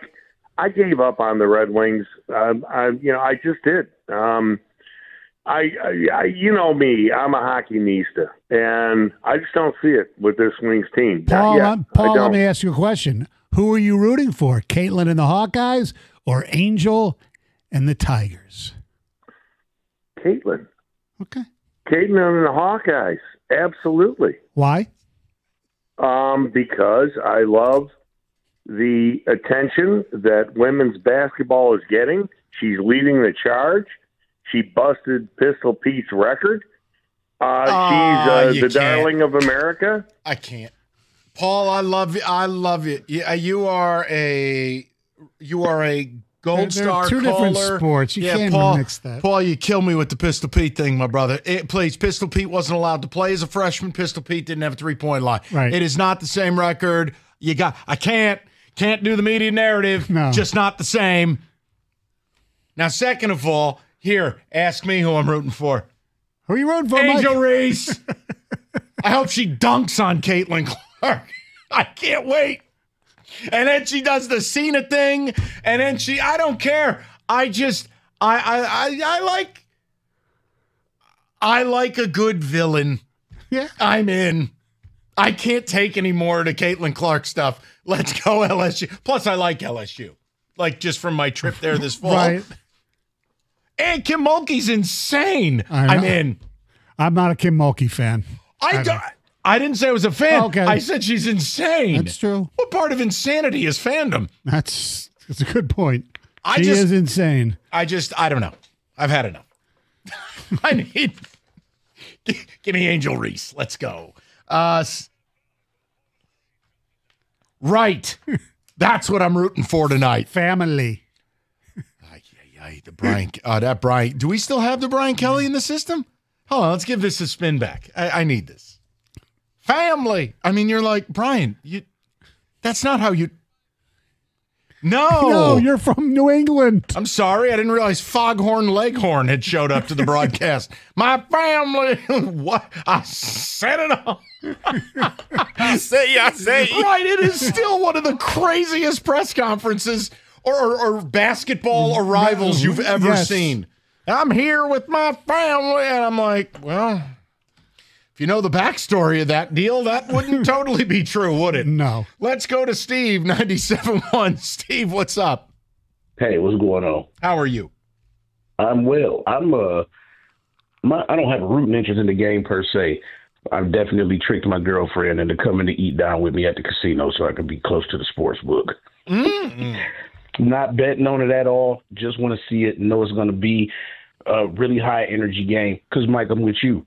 I don't particularly care for the women's game. I'm conditioned to like slam dunks and mm-hmm. certain things that come with the men's game. But this game is going to be so full of energy, and I'm almost sure that the winner, the winner of the women's national championship, is probably coming out of it. I, I mean, I. No one's beaten South Carolina yet, I- but you know what? hey, Steve, I'm with you. It's something. You know what it is, Steve? We are so desperate for things that are appointment viewing. We've gotten to a point in sports where so few of the games actually matter when Not we really think about it. Like if you're a Pistons fan or like if you're a Tiger fan, I have no qualms if you say I'm excited about baseball and I simply want to have it on tonight and relax. I get it. But how important is it or what's the draw to it? This is the only thing tonight along with Wings and Lightning. And that's even if you like hockey at all. Right. I'm No, I love hockey. yeah. So those are the two. And if the Wings show their ass like they generally do against good teams, Saturday notwithstanding, I won't have a reason to go over there because it'll just make me sad. Yeah, absolutely. Because this was supposed to be the year that they made the playoffs, and it's looking real bleak right now, unquestionably. I, I'm I'm I'm I'm I'm ready. Now hold on. Does Angel Reese dunk? He mm-hmm. has before. I need I need that. Wow. Tonight. That would be awesome. I need that tonight. I've never seen Caitlin Clark dunk. Does she dunk? Nah, dunk? you No. won't. I no, want she just shoots it from the logo. I want Angel Reese to dunk on Caitlin Clark tonight. And then Mulkey runs on the floor for like a high five in a in a glitter. Her clothes are made by a local boutique. Do you know this? That's a hmm. local Baton Rouge business. Oh, And she designs like every if you can't tell. I mean, he's yes. Wow. I tell you, those outfits are They're else, they're, cra- they're crazy. Would you wear that on Sportsworks after what you wore last night? Oh yes, yeah. Check check it out. Um, I don't know. I I once dressed as a woman on Channel Seven. No, no, that's not what I was referring to. Would you wear a Kim? Mul- what if we got Stony for draft week? A Kim Mulkey blazer. Would oh, you wear that yeah, on like the a, like a works? male's blazer? Yes. Yes. Yeah, a male blazer. Yes. David, do you remember when we were shopping for your bishop outfit? there might be a happy medium here. I think there is. Yes. Draft week's approaching, Stoney. I know. You better make some uh, arrangements. Get ready to get green and stay green with Natural Way Lawn and Tree Service. Limited time only. You purchase a full lawn program, receive free grub control as long as you mention my name or the station. And it doesn't matter. I know it's going to rain this week. Let him get out there. Let him get the first application of the season down. You will enjoy your lawn the rest of the summer. Don't wait for problems to arise. Certified applicators, custom tailored solutions specifically to your yard and home. Trust a locally owned and operated company for over 30 years to do it right. It's naturalwaylawn.com or call 888 Get Green. That's 888 Get Green. It's Natural Way Lawn and Tree Service.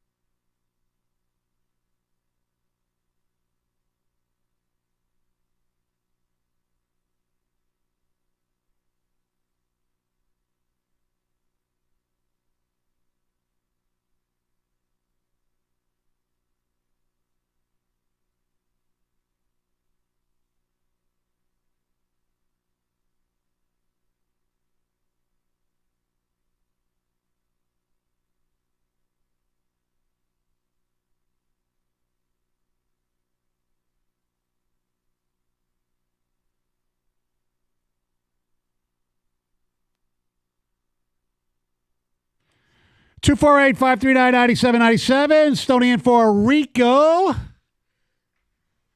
Mike will be back from uh, doing nature's course, so to speak, in a second. Uh, meanwhile, let's go to Mello in Detroit. What's up, Mello? Mello in Detroit. I appreciate y'all taking my call. Thank you. Uh, Stoney, it's a pleasure. I'm going to tell you, Stoney, it's a pleasure. I've been uh, rocking with you for quite some time, so it's a pleasure to talk to you. Thank you. Appreciate Now, that.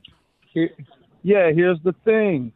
Uh, I'm so surprised that nobody called in with this assessment, but for those of you who don't know, this will be the Larry Bird versus Magic Johnson female version of college basketball. So, yes, I'm tuning in. I got the popcorn, I got the pizza. I even convinced my wife to watch it because she's familiar with Reese from LSU. Mm-hmm. But we're we're we're going to be very entertained, and this will change the WNBA forever. This is the female version of Magic versus Bird. I'm I'm interested to hear what you guys have to say about that. But from here going I, you know, forward, you know what, Mello? I think that's an interesting comparison. Although they have played before, Magic and Bird didn't. Magic and Birds was also for the championship. This is just to get into the Final Four. But as far as the hype and all that stuff, you're correct, Mello. This is Yes, analogous. yes, no. it's, it's analogous to Bird and Magic. There's no doubt about it, because they are the two biggest stars in their collegiate sport right now. Well, just give it one more year to let it marinate, to let both of them hone in on their games and and get you know just get a little more season. And and Well, uh, they're going. Well, Caitlin Clark's make- already said she's going to WNBA, and I'm sure Angel Reese will be too. Exactly. And um, just one more thing, I'm I do want to date myself because I'm you know I've I've been around since the Detroit Shock years, and I've watched girl basketball, a female basketball, evolve over the years, and the number six or number seven female player on the roster now is a complete 180 of what said person used to be back in the day. Yeah, Ruth Riley couldn't play in today's WNBA. Is that what you're saying? That's what I'm saying. These, these females today, I I mean, I love the game. I love to watch the game because it's it's it's far more interesting now to see the athletics the athleticism that has um you know that's just basically to the forefront these days. I mean, it's But the so the so, my that, thanks, Mello. The superstars in any sport. In any era, if they're superstars, they could be superstars in any era because of the training differences and things like that. So, like you know, Lisa Leslie and Nancy Lieberman and people like that, they'd be What is great today. happening here? He was making a comparison. He was saying that the athletes from the WNBA, when the Shock were good, couldn't even you know be like sixth or No. seventh. I disagree with that. I don't. I don't think that's true. If they were if they were good, they're good. Generally speaking, yeah. yeah, Because the training, you know, like it's everything's different. Everything evolves. Wilt Chamberlain would still be great today. You know. Ah, I don't know, man. The advent of camera phones, he would have got himself in some trouble. well, that's that. That's probable. He may have had a couple of sit downs with Commissioner Silver. we'll just leave it at that. Two four eight five three nine ninety seven ninety seven. Um, do you have your uh, Tiger overreaction? Yes. Because you want to do the JJ thing at five. Yes. You've got a major JJ McCarthy opinion. Well, if from somebody who's a hell of a lot, I respect a hell of a lot more than me. All right. No, not him. Okay. Not him. And now you got my attention. Okay. You have Tiger overreaction. Tiger overreaction from three games. They play the Mets today. They won. They're three and zero. Everybody knows three one one games. Two games where their offense was what we expected them to be, which was not very good, but they still won. And on Saturday they scored a lot of runs. So I have to grade whether this is an overreaction or not. Yes, pretty much. Uh, the starting pitching, with the exception of uh, Kenta Maeda, is top notch, borderline elite. Overreaction. Slight overreaction when you invoke the term elite. Yes. But I think their pitching is very good. Mm-hmm. And I, I here's what I'll tell you. Maeda, every April, looks like Tanana the late years. Let's just I think you'll like him. Give him a few to warm up the engines. Right. But my Maeda is gonna, I think, be a solid arm for you. Right. Jack Flaherty uh, looked like Ryan Zimmerman and uh, he did it again. Uh, Jordan Jordan Zimmermann. Zimmermann. You know what? It's like it's like when I said I called Denzel Valentine Darnell Valentine all the time. Oh my. Yeah. Anyway, Well, maybe we got Darnell the day they lost to Middle Tennessee State because it sure wasn't. Darnell Valentine was a good college player. Anyway, I digress. about Carlton Valentine? All right, And go, that's his go. father, who chose between American and, and Michigan State, and chose Spartan. God help me, please. Just go ahead. What about Jack Flaherty? Jack Flaherty looked great. So he and you know he, he reminded me of Jordan Zimmermann and Green at the beginning of their Tigers starting careers. Hopefully that would continue, who knows? He, I think that's great. an overreaction based on he hasn't been good since 2019. Okay. All right. And the health is always a problem. the bullpen between Foley and Shelby Miller and Holton and Chafin. He give up give, give did give up that one home run. Now, with the exception of Alex Lange, who looked more like Artie Lange, uh, the bullpen was incredible. Not an overreaction. Yeah, I really think good. their pitching and bullpen are what are going to keep them in it because the offense is vomit inducing. Okay, so let's get to the offense. Okay. All right. Uh, overreaction. Uh, Tork me. Tork needs to get his act together, or he's going to have a start like he had last year. Overreaction. Stand down. Okay. It's three games. Well, that's what we're saying. It's because it is this three is games. an. I still believe Tork will hit 30 home runs. All right. Colt Keith looked overmatched by Major Stop. League pitching. A complete overreaction and slanderous. Mark Canha looks like a good signing. Complete overreaction. Okay. Once we got to the offense, he lost his mind. Well, I wasn't all positive. Jesus. Three games. You're ready to talk about Mark Canha being just fine. It's fine and not great. Fine. Uh, Parker Parker Meadows could be the fastest, be the, the fastest white tiger since Gibby. How about he could be the fastest guy in baseball? Yeah, that's like true. no, he's fast. Like he's. Here's what I like about the Tigers. There's a profile to the players they're attempting to acquire, Mhm. where I think the athleticism is there. Colton Keith, Riley Greene. You know they tried it with the Adil Akil Baddoo thing. Parker Meadows. There, there's a quotient here. Like you have to be an athlete to go from playing second to learning third with Jace Jung. Like I think uh, in uh, in that sense, I like what some of their plan is. They want to be an athletic team. They want guys that are versatile. And yes, you can laugh and say, "Well, baseball, you just stand there." No, to learn No, different positions, right. you need different range factors. You got to be an athlete. And the, as you call it, the Frankenstein third base has done okay in three games. Complete overreaction. three games. I mean, Urshela's got two hits. Banya's got two hits, including the game winner yesterday. Well, that's it. That settles it. Third base is locked up. no, it's overreaction. Listen, exactly. Here's here's the thing. It doesn't matter in the short term how you win games, right? Just win. yes. The the White Sox, if it's not for the Oakland A's, I think the White Sox are the worst team in baseball. And come to Comerica Park and see the Athletics. Fine, because the job in this first eleven games Win- is to get out to a nice start. Yes. Be Seven- nine and two. Be eight and three. Yeah. You're playing White Sox who are garbage, the Mets who are garbage, uh, the the the I just lost my train of thought. The Athletics. The Athletics And then the who are Pirates. garbage. Now the Pirates are off to a 4 0 start. The Pirates always get off to a good start. and I'm not seems. ready to go crazy. No, there. I know. But my point is, let's get out. You haven't been above 500 after the month of April since 2016. Yes. Let's All right. just start there. Two more overreactions. Oh God. Okay, maybe. Stay away from the offense. We'll be okay. Uh, Jason Benetti was unbelievable, and I want to listen or watch every game uh, when I don't have Dan Dickerson on. I think he is the biggest offseason acquisition they made, which is both a blessing and a curse. Yes, they spend more on the scoreboard than they did on their offense. Uh, also, um, the home run celebration could be the worst thing I've ever seen. Explain to the people who didn't dedicate their weekend watch. Okay, last year their home run celebration that every team does in the dugout was basically was a Red Wing thing. They went and they had a hockey stick there. Guy who hit the home run put the helmet on. They took a shot on goal and whatever. This like that wasn't good enough for this year. They tried change something new. Try something new. It was Spencer Torkelson's idea. I found out to do a home run celebration when you put a spear and put two or three pizzas on it. not real pizzas, but you know, fake pizzas on it. Mm. And his explanation was, "Well, our owner owns Little Caesars, and it's really good pizza." So, in their two years of celebrations, one was dedicated to the Red Wings, the next was dedicated to Little Caesars. What's next? Motor City Casino next year, and in two years, the abandoned buildings of three one three District hold Detroit.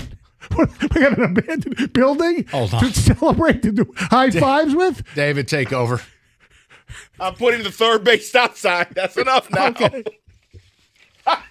Talk about selling out to your ownership. It's the district celebration where everyone goes silent because there's no one there.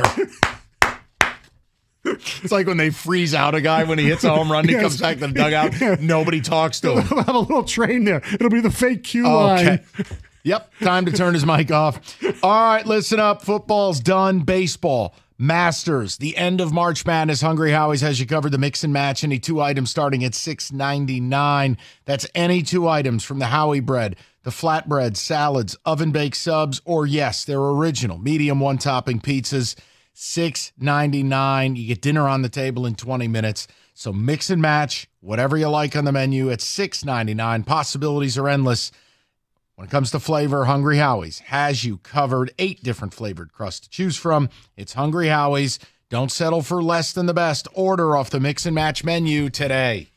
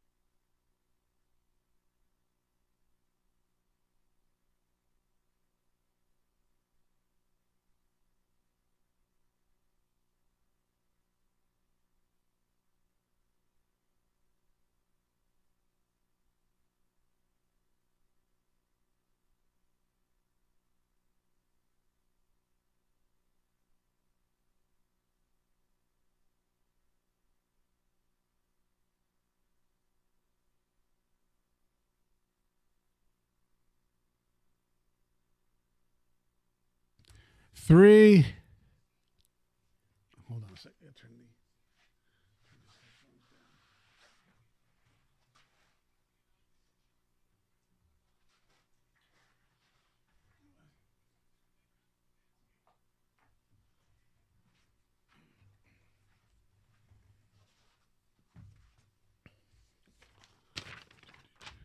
the- All right. Three, two, one. Hey, Planet Fitness is the home of the judgment free zone where anyone, and we mean anyone, can feel comfortable and work on their fitness goals. Planet Fitness is where you can build a lasting active lifestyle. I love Planet Fitness. Not only does it make me feel great physically, mentally it does too. I'm a cardio guy, love the elliptical, the recumbent bike, the treadmill. And if you're short on time, you get a full body workout in just 30 minutes in the Planet Fitness 30 minute circuit. They got a great deal going on right now through April 12th. $1 down, just 10 bucks a month. That's right. Planet Fitness still just $10 a month. Now, you want all the perks? Upgrade to the Black Card.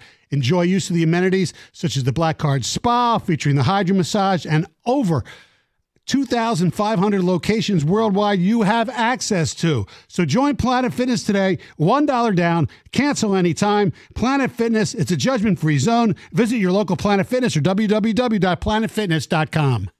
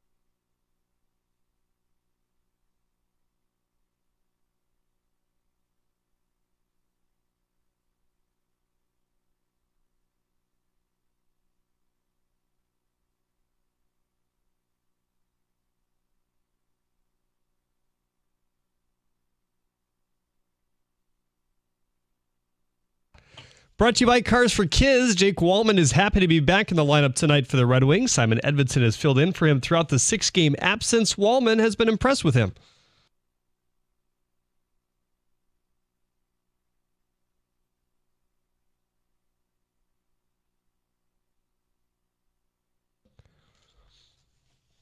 Here the Wings and Lightning tonight on WWJ at 7. Derek Lalonde also giving an update on goalie Ville Husso has been dealing with a lower body ailment since December. He went back to Detroit today for imaging, and Lalonde said, quote, he's progressing, but there's a wide time frame on it, and it's still unavailable for us, end quote. Former Met Mark Canha is back in New York tonight in a Tiger uniform. Detroit looking for their first 4-0 start since the 2015 season. Canha hitting fifth and has started the season strong, collecting four hits and 11 ABs. Reese Olson opposes Sean Manaea on the bump. We have you covered right here on 97.1 The Ticket with the call at 710. Cade Cunningham and Marcus Sasser are questionable for the Pistons against the Grizzlies. Vegas lights the Motor City in this one, however, by two and a half. Former Pro Bowler Vontae Davis has passed away at the age of 35. Davis last played in the NFL in 2018 as a member of the Bills. Police were called to residence in South Florida and found him deceased. No foul plays expected according to the preliminary investigation. At the Corewell Health Update Desk, I'm Jeremy Otto. For more, go to 971 The Ticket or Audacy.com.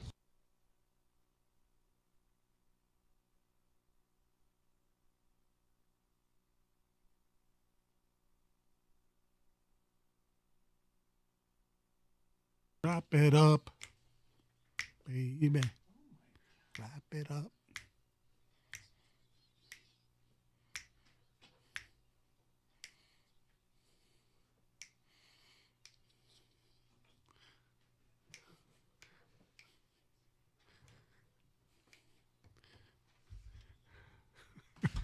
All right, five o'clock. Great to have you aboard. Yes, Michael. Mike, I have a question for you. Yes. Either A or B. Okay. Of these two, what do you like best? Here's choice number one,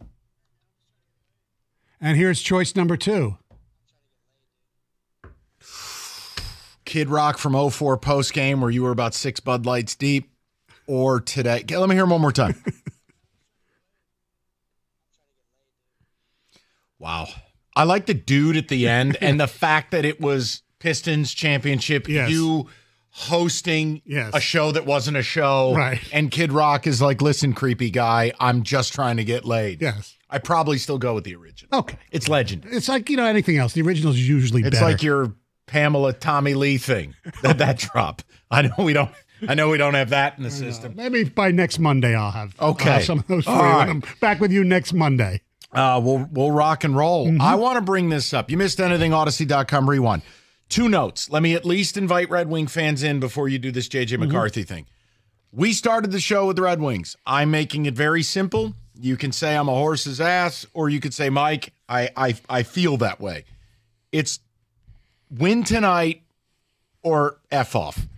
Like enough's enough. If they lose tonight to Tampa, they will have lost five in a row. Yes, they played well Saturday. You didn't win. You don't get a participation award. It- you, I don't want to watch the scoreboard anymore. I want to win games and handle business. You know, i- i- win tonight or just see yourself out. Is that unfair? Maybe. It's where I'm at. I Because get it. watching them just bums me out because they're not the fun team I watched for certainly around Valentine's Day, but for a lot of this year. They started hot, cooled off, got hot, fell off cliff. They're yet to regain any footing. I know they're they're they're a streak machine, and the streak is not going well right now. That's for damn sure. And if they get it, yes, and if they get a point, you know that's your participation trophy, which is obviously one's better than none, but not as good as two. Right. Uh, so I'm not going to completely write them off, but I understand you and your ilk if you feel that My way. ilk. Win tonight. Are you a part of my ilk? 248. No, win tonight word, or be it? done. It is. It is. Win tonight or I'm done with you. Yes. Until I'm not. But I'd love to hear from the Hockey Elite on it. 248 539 9797. Now, you have a new take From two people. JJ McCarthy. Go Yes. ahead. Um, this this morning, a guy by the name of Mike Klis, who writes covers the Denver Broncos, pointed out uh, quarterback rankings of this year's draft eligible quarterbacks from Jim Miller, the former Spartan quarterback, Waterford native, uh, NFL quarterback as well, And Greg Cosell, Howard's nephew of NFL Films, who's a great guy. He was very nice to my daughter at NFL All Films. right, nobody cares. But anyway, Let's keep it moving. He uh, he he's a savant when it comes to tape work and study and things like that. He's highly respected. Here's first of all, they ranked the top six quarterbacks. Jayden Daniels, they had number one. Drake Maye two, Caleb Williams three, Michael Penix four, Bo Nix five, JJ sixth. On JJ McCarthy, this is what they had to say. Quote, this is Greg Cosell. I don't think McCarthy's tape is very good. I've talked to a lot of people about McCarthy. I don't know where all the momentum is coming from because I've not talked to anyone. I'm talking about people in the league who see McCarthy that way. Jim Miller, quote, Remember when Colin Kaepernick was with Harbaugh out in San Francisco?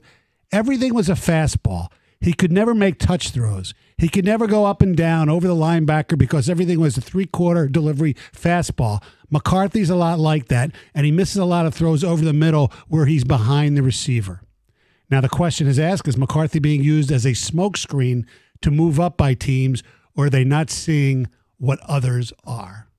I thought it's pretty interesting, especially on the touch pass. Although in the playoff, he had a few really nice touch passes to Ro- Roman Wilson, Yeah, including like one that. that the only reason it wasn't picked is it got tipped. Yeah. And it got caught because of it. I okay. Here's here's this is where it's at for me. Mhm. Okay. I have no problem if a team looks at the tools, the traits. How is JJ McCarthy any different than Max Clark? Think about this. What Yeah. the Tigers drafted on was not production, it was projection. Correct. They decided to take Max Clark because he had all the tools Right. and they thought they could develop him into X, Y, and Z. Right. Versus Wyatt Langford, I had the production. Mm-hmm. Now, I don't have a problem if a team decides we're going to draft on tools.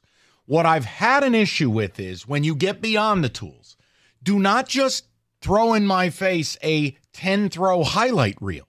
When you don't throw it, well, it's not JJ's fault, dot, dot, dot. No, no, it's not his fault, but it's his reality. Didn't have to throw it much. Played behind an elite O line. Played behind a running game that was going to run it 40 or 50 times. And I can point to multiple points last season when they needed JJ to throw it, and it almost cost them the game. So I, I have a bit of an issue where the actualization of the football, I, I don't have it. Now, you want me to cite the throw to Cornelius Johnson in the Rose Bowl on the run towards the sideline, and you go, that's Josh Allen. Yes. Yeah. There, the moments are there. Mm-hmm. But when we're talking about, okay, now let's place him amongst these other quarterbacks. Do you know what I actually find the most interesting in this? Their take on Caleb Williams mirrors where I'm at. You think Jayden Daniels is better? I don't know that he is. Right. I'm saying I'm willing to have a conversation Right. that certain people are like, wait, what do you mean you don't think Caleb invented football? And I'm like, well, Well, to me, the thing with JJ is if he played in an offense like Jayden Daniels or even like Caleb Williams, would the production be that good? And I think it would. And that's what I think everybody is projecting. That's why you're right. It is on projection because you're sitting there and you're seeing him make a lot of those throws. And he does have a gun, uh, but th- th- there's definitely question marks there. There's no doubt. And the other thing why I think he is risen up draft boards. Look, I'm first to admit it. I thought he should have stayed in school one more year. I never thought he would be considered a top 10, let alone a top five pick by certain people. But is he? I well, that, well that's the. So this is where your is it a- question it is. seems is it a smokescreen? What's factor fiction here, guys? Stoney's giving you Greg Cosell, who apparently was nice to his daughter, and Jim Miller. And they're saying, hey, this isn't what you're being told it is. That the people they've spoken to don't feel this way about JJ. That JJ is not going to be a top five pick, top six pick. Right. Look, I think it's draft season. All I've said from the start is uh, I understand if JJ's a first round pick, and I understand if somebody does something stupid because they're desperate. Look at what the Niners did with Trey Lance. Complete projection. He played one game the year prior and played at one double A the year before that. In a, in a makeup, in the one game was like basically a makeup COVID game, Right. ju- just for him, probably. So it was a showcase. Yes. But it was all projection about look at the the measurables, look at look at this tape, and it's like on a camcorder. It, it can work, but I get very leery of the projection versus the actual. Now again, The other thing with JJ is he is very good running the football. he can be. Yes. The problem, you better learn to do what Lamar does, which is not get hit. Yes. Because JJ will get snapped in half. Yes, that that that is true. 248-539-9797. The ticket text texter would love to hear from you, as somebody in this radio station says, well too many times on a weekend. That's just you're out of line. I, ah, I know. you are. I know. Whoa. I, I, I know. God. I've turned into Taj Gibson. What can I tell you? Will you stop? What is wrong with you? I don't know. Jesus. We almost got through the whole show. Almost. 248 539 9797. David, when you hear this about JJ, do you buy or sell what Greg Cosell or Jim Miller are saying? It's so tough because we're in silly season right now when it comes to the draft. The final 25 days. I, I, I think I lean more towards believing them that executives are wondering where this hype is coming from. Because I'm also wondering where the hype is coming from. I'm a Michigan fan. Right. He did great in college. He did what he was supposed to do. But I just don't see the hype where he's a top 10 selection for me. Well, the the other thing, and you can you can say it's a credit to the offensive line, the game plan, or whatever. We know in the National Football League, the most important thing about quarterbacks is W's, and the fact that he is, at least in college, a damn good leader and won a lot of football games. I think that has something to do with and it too. it, it also coincided with a, a great cheating scandal. So, I mean, there will be this idea of can I bring Connor Stalions to the NFL? oh come! No, it doesn't break down to that. But I to- want spy glasses on the Giant sidelines. It- but but to me, I don't know when the pocket collapses on him. How does he handle it? I didn't see that in college. There are things here that I'm really questioning. Right. I wouldn't draft him in the But- top but- ten. but guys, this is no, what- I wouldn't draft him in the top ten either. Yeah, but hold on. If you need a quarterback and your owner's like, what's your answer for this? I'm going to fire you if I got to look at this broke bleep again. And you go, fine. You want a quarterback, Mr. Fancy Pants? Look at this kid. He's got a great smile. Like you, you ha- teams are going to do bleep to get quarterbacks. I understand that, but a, a team that's going to draft him and start him right away, I think is really stupid. But the pro okay, agree totally with the principle, but you know where the sport know, is going. I know. The sport is I draft you, I play you.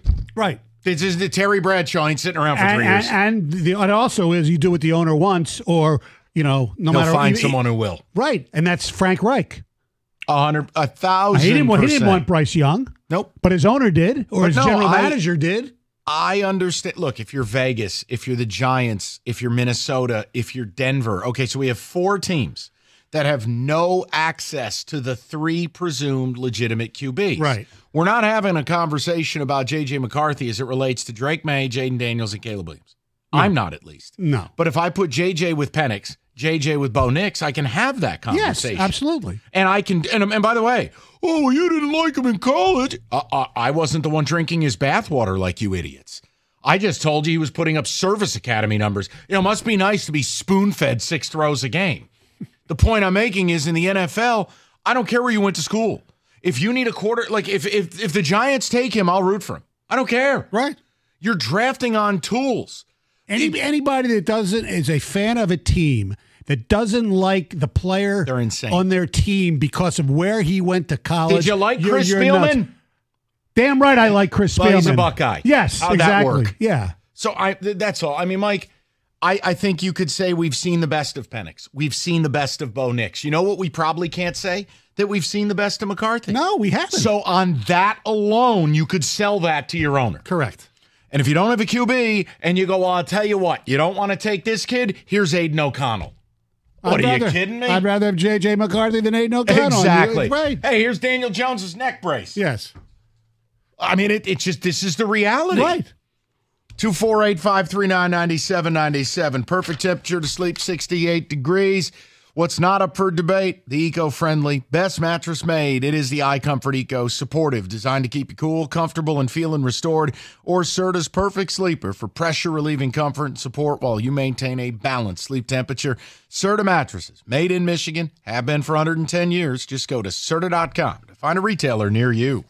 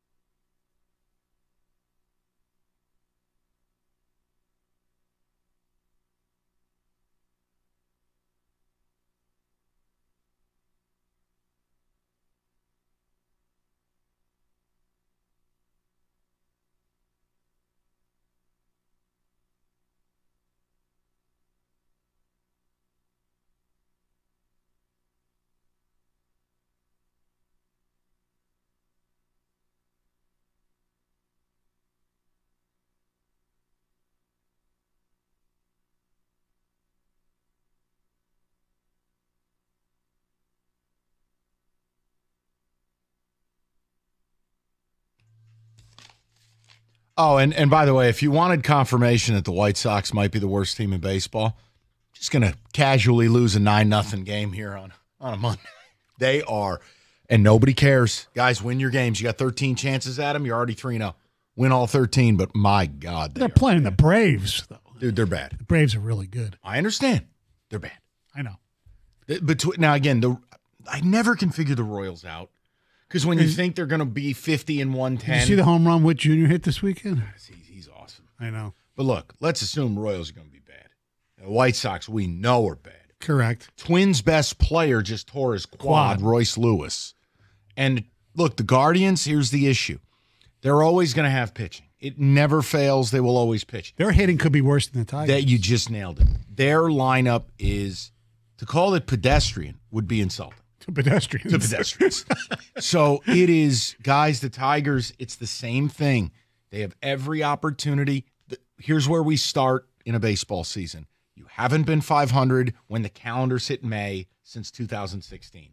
Let's just start there. Your first 11 games, you got three against the Sox. Win, win, win. Excellent. Mets are terrible. Factually, that's a bad baseball team. Mm-hmm. Okay, the A's are coming to town. Bad baseball team. Let's get out to a decent start. Yes. That's all I care about. Let's win. If they win four out of the next four out of the next six, that would put them at what seven and two. Six and zero. Okay. All right. No, David, ticket text, please. I'll give you some text, and then an interesting thing that me and Kenny kind of did in the back here regarding JJ. Uh, get some text here. JJ at 12 or 13 in the draft. That's about where he should go, in my opinion. That is from Jason in Royal Low. Not mad at it. No. All quarterbacks are projections in college football. They're not close to the NFL there. You could be a great in college and be terrible in the NFL. True. Can't compare the two. Yes. Joey you Harrington. Hold on, hold on. The difference is you can take quarterbacks who run pro concepts and have 2,000 throws on tape. Look, say what you all right. For instance, Penix is 23. He's blown his knee out twice.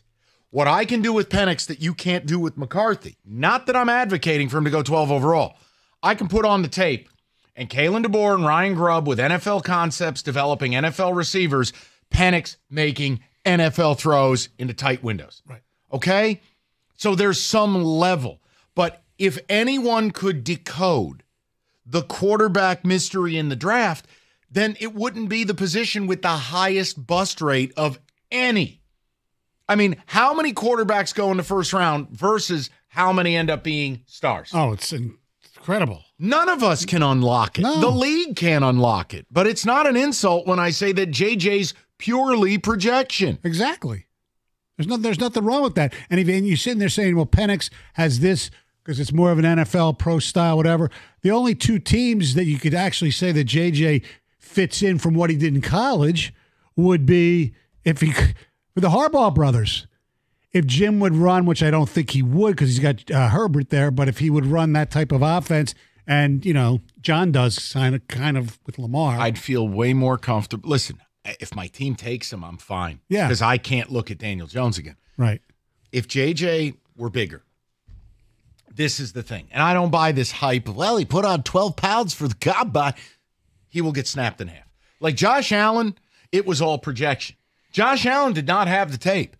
You could sit down, and I remember watching Wyoming, Iowa, and I go, all right, here's the kid I'm supposed to care about. And he can, he can complete pass. I'm going, this? This is what I'm supposed to be amped up for?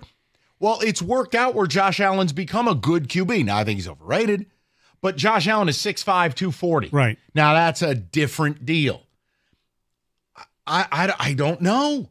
I'm willing to risk it. See, but here, here's the thing, guys, and, and me and Kenny kind of did an interesting experiment. And I know it's not gospel, okay? Mm. But we went through the way too early 2024 NFL draft. So right after last year's draft. Okay. JJ was not in, we went to three of them, not in any Right. of them for the first round. So our question was, okay, so then what's changed with JJ? Connor Stout. It's just winning because nothing's changed in the way he ran the offense. Everything was the exact same. the team success. So that's so that's the But my determining point would factor. be here. if JJ were really sharp, Penix couldn't complete a pass. You know, Alabama, Milroe couldn't complete a pass. They needed JJ in the third quarter of that Bama game. They Right. couldn't, they he couldn't. They went, I swear to God, they went three and out like five straight times. Yep. And then they asked JJ to throw it a little bit, and what happened? It wasn't JJ that did it. It was two broken running plays that scored the touchdowns. JJ's highlight in that game was a five yard pass that went for 50 and a flutter ball that got tipped. Th- that's just factual. I know. Now, what, what they're going to do is, well, look at his win loss record. Uh, My opinion on stuff like that, that's a lot like a pitcher's win loss record. A lot goes into that. I, I have a hard time with it. He's got a big arm. He runs a sub 4540. He's charismatic. He's clearly respected in the locker room. These are all good things. Yeah, this is 11 on 11. This isn't a tennis match. If it's Right. a tennis match, I can say, okay, cool, wonderful. It's other factors involved in winning football games. Like when you have one of your biggest wins of the season, when they don't let you throw a pass the last two and a half quarters of a game, you can say, brilliant move by Sherrone Moore. But the fact is, the first couple series of that game are going to be what his life is in the NFL. There's going to be a pass rush. Yes, there you will don't be. get to stand back there. And they knew right away we can't pass pro for JJ today. Right. So we're just going to run the ball. That's not going to be an option in the pros. No. So I understand both sides of the argument. Correct. And I'm not dogging the guy. No, because it is based on projections. They're projecting that if he played in a better offense, he'd be much better as a candidate. Yes, Ken. So what's his ceiling then? Ryan Tannehill, if you get him a good running back like Derrick Henry, is that the plan with JJ? I'm, I'm done, Kenny. I'm done pretending to understand No. ceilings in the NFL because Kenny, I've seen guys who you thought would be great. Like, look, I thought Trevor Lawrence would be fabulous. Trevor Lawrence now is struggling. Now he had one really good year, bad rookie. Let's just wipe that clean. It was the Urban Meyer year. Great year two, wins playoff game, huge comeback. I thought he was very mediocre this season. Offensive line wasn't very good. But Trevor Lawrence was supposed to be generational. He's not, not Right. yet. Then you get another guy like Josh Allen, who the times I watched him couldn't complete a pass, and everyone thinks he's a top five QB. I don't know, man. Kenny, I wish I had an understanding of it. And I I- don't think GMs do. And a lot of times, these quarterbacks, it takes a while for people to get it. I mean, it took a while for Stafford to be even good, right? Because he had a crap team around him. Yeah. And he was 1 1. Look. Uh, it was a bad draft. I mean, idiots like me wanted to take Aaron Curry. Ooh. I admit it. I was a Sam Bradford guy. And Bradford wouldn't have been terrible if he wouldn't keep getting hurt. Well, that was a that was a year after, right, or the year before? That wasn't the That was same a year year after. Yeah, year after, right? I don't look, man. There's no rhyme or I think it's pretty clear. Right. You can laugh at that and go, "What do you mean? There's no rhyme or reason?" Oh, I don't know. I saw Mitch Trubisky go number two in the draft, and a team moved up to get him. Jamarcus Russell. Well, he got addicted to lean. I mean, there's a bit, there was a bit of a problem there. It's called alcohol and drug abuse. I know, but still. Fair enough. Hey, did you know he could throw it 70 yards from his knee? Well, so can Joe Milton. 248 539 9797. Uh, We will get a blitz in the mix, a lot left to do. Northville Lumber, you know the drill. Oldest company in the state of Michigan, largest Trex decking outlet in the country. Nobody stocks more, nobody sells more. It's Northville Lumber. Contractors, homeowners, they bought enough Trex from Northville to cover 26 football fields. And there is a reason they can move that product. It's because it's all in stock. It's in their warehouse. No lead times, no shipping time, none of the supply chain crying. They got you covered. You need someone to build that deck, they'll introduce you to a pro. Get involved before the price increases. Just call Northville Lumber today or simply go to northvillelumber.com. That's northvillelumber.com.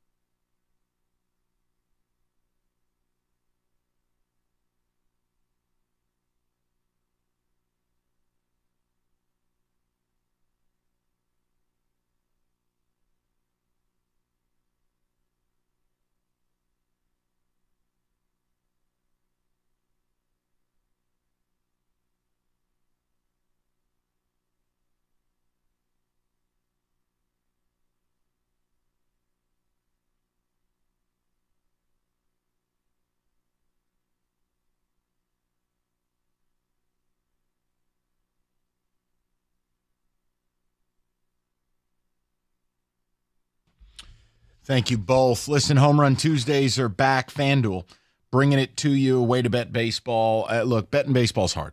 All right, you need a bankroll. You have to consistently take money line dogs, and you got to be in it for the long haul. So if that doesn't sound fun to you, and you occasionally, in a very light manner, want to bet on some home runs, well, FanDuel's got you with Dinger Tuesdays. It's simple. You bet on a player to hit a home run, and FanDuel gives you five bucks in bonus bets for every home run that gets hit in that game, regardless. It's fanduel.com slash ticket. Get in on all of the Tuesday action. It's fanduel.com slash ticket. You can make every moment more with FanDuel. It's America's number one sports book and an official betting partner of Major League Baseball. 21 and up, present Michigan. Bonus issue, non withdrawable bonus bets that expire seven days after receipt. Max bonus $25 a game. Restrictions apply. See terms. Sportsbook.fanduel.com. And if you have a gambling problem, just call 1 800 Gambler.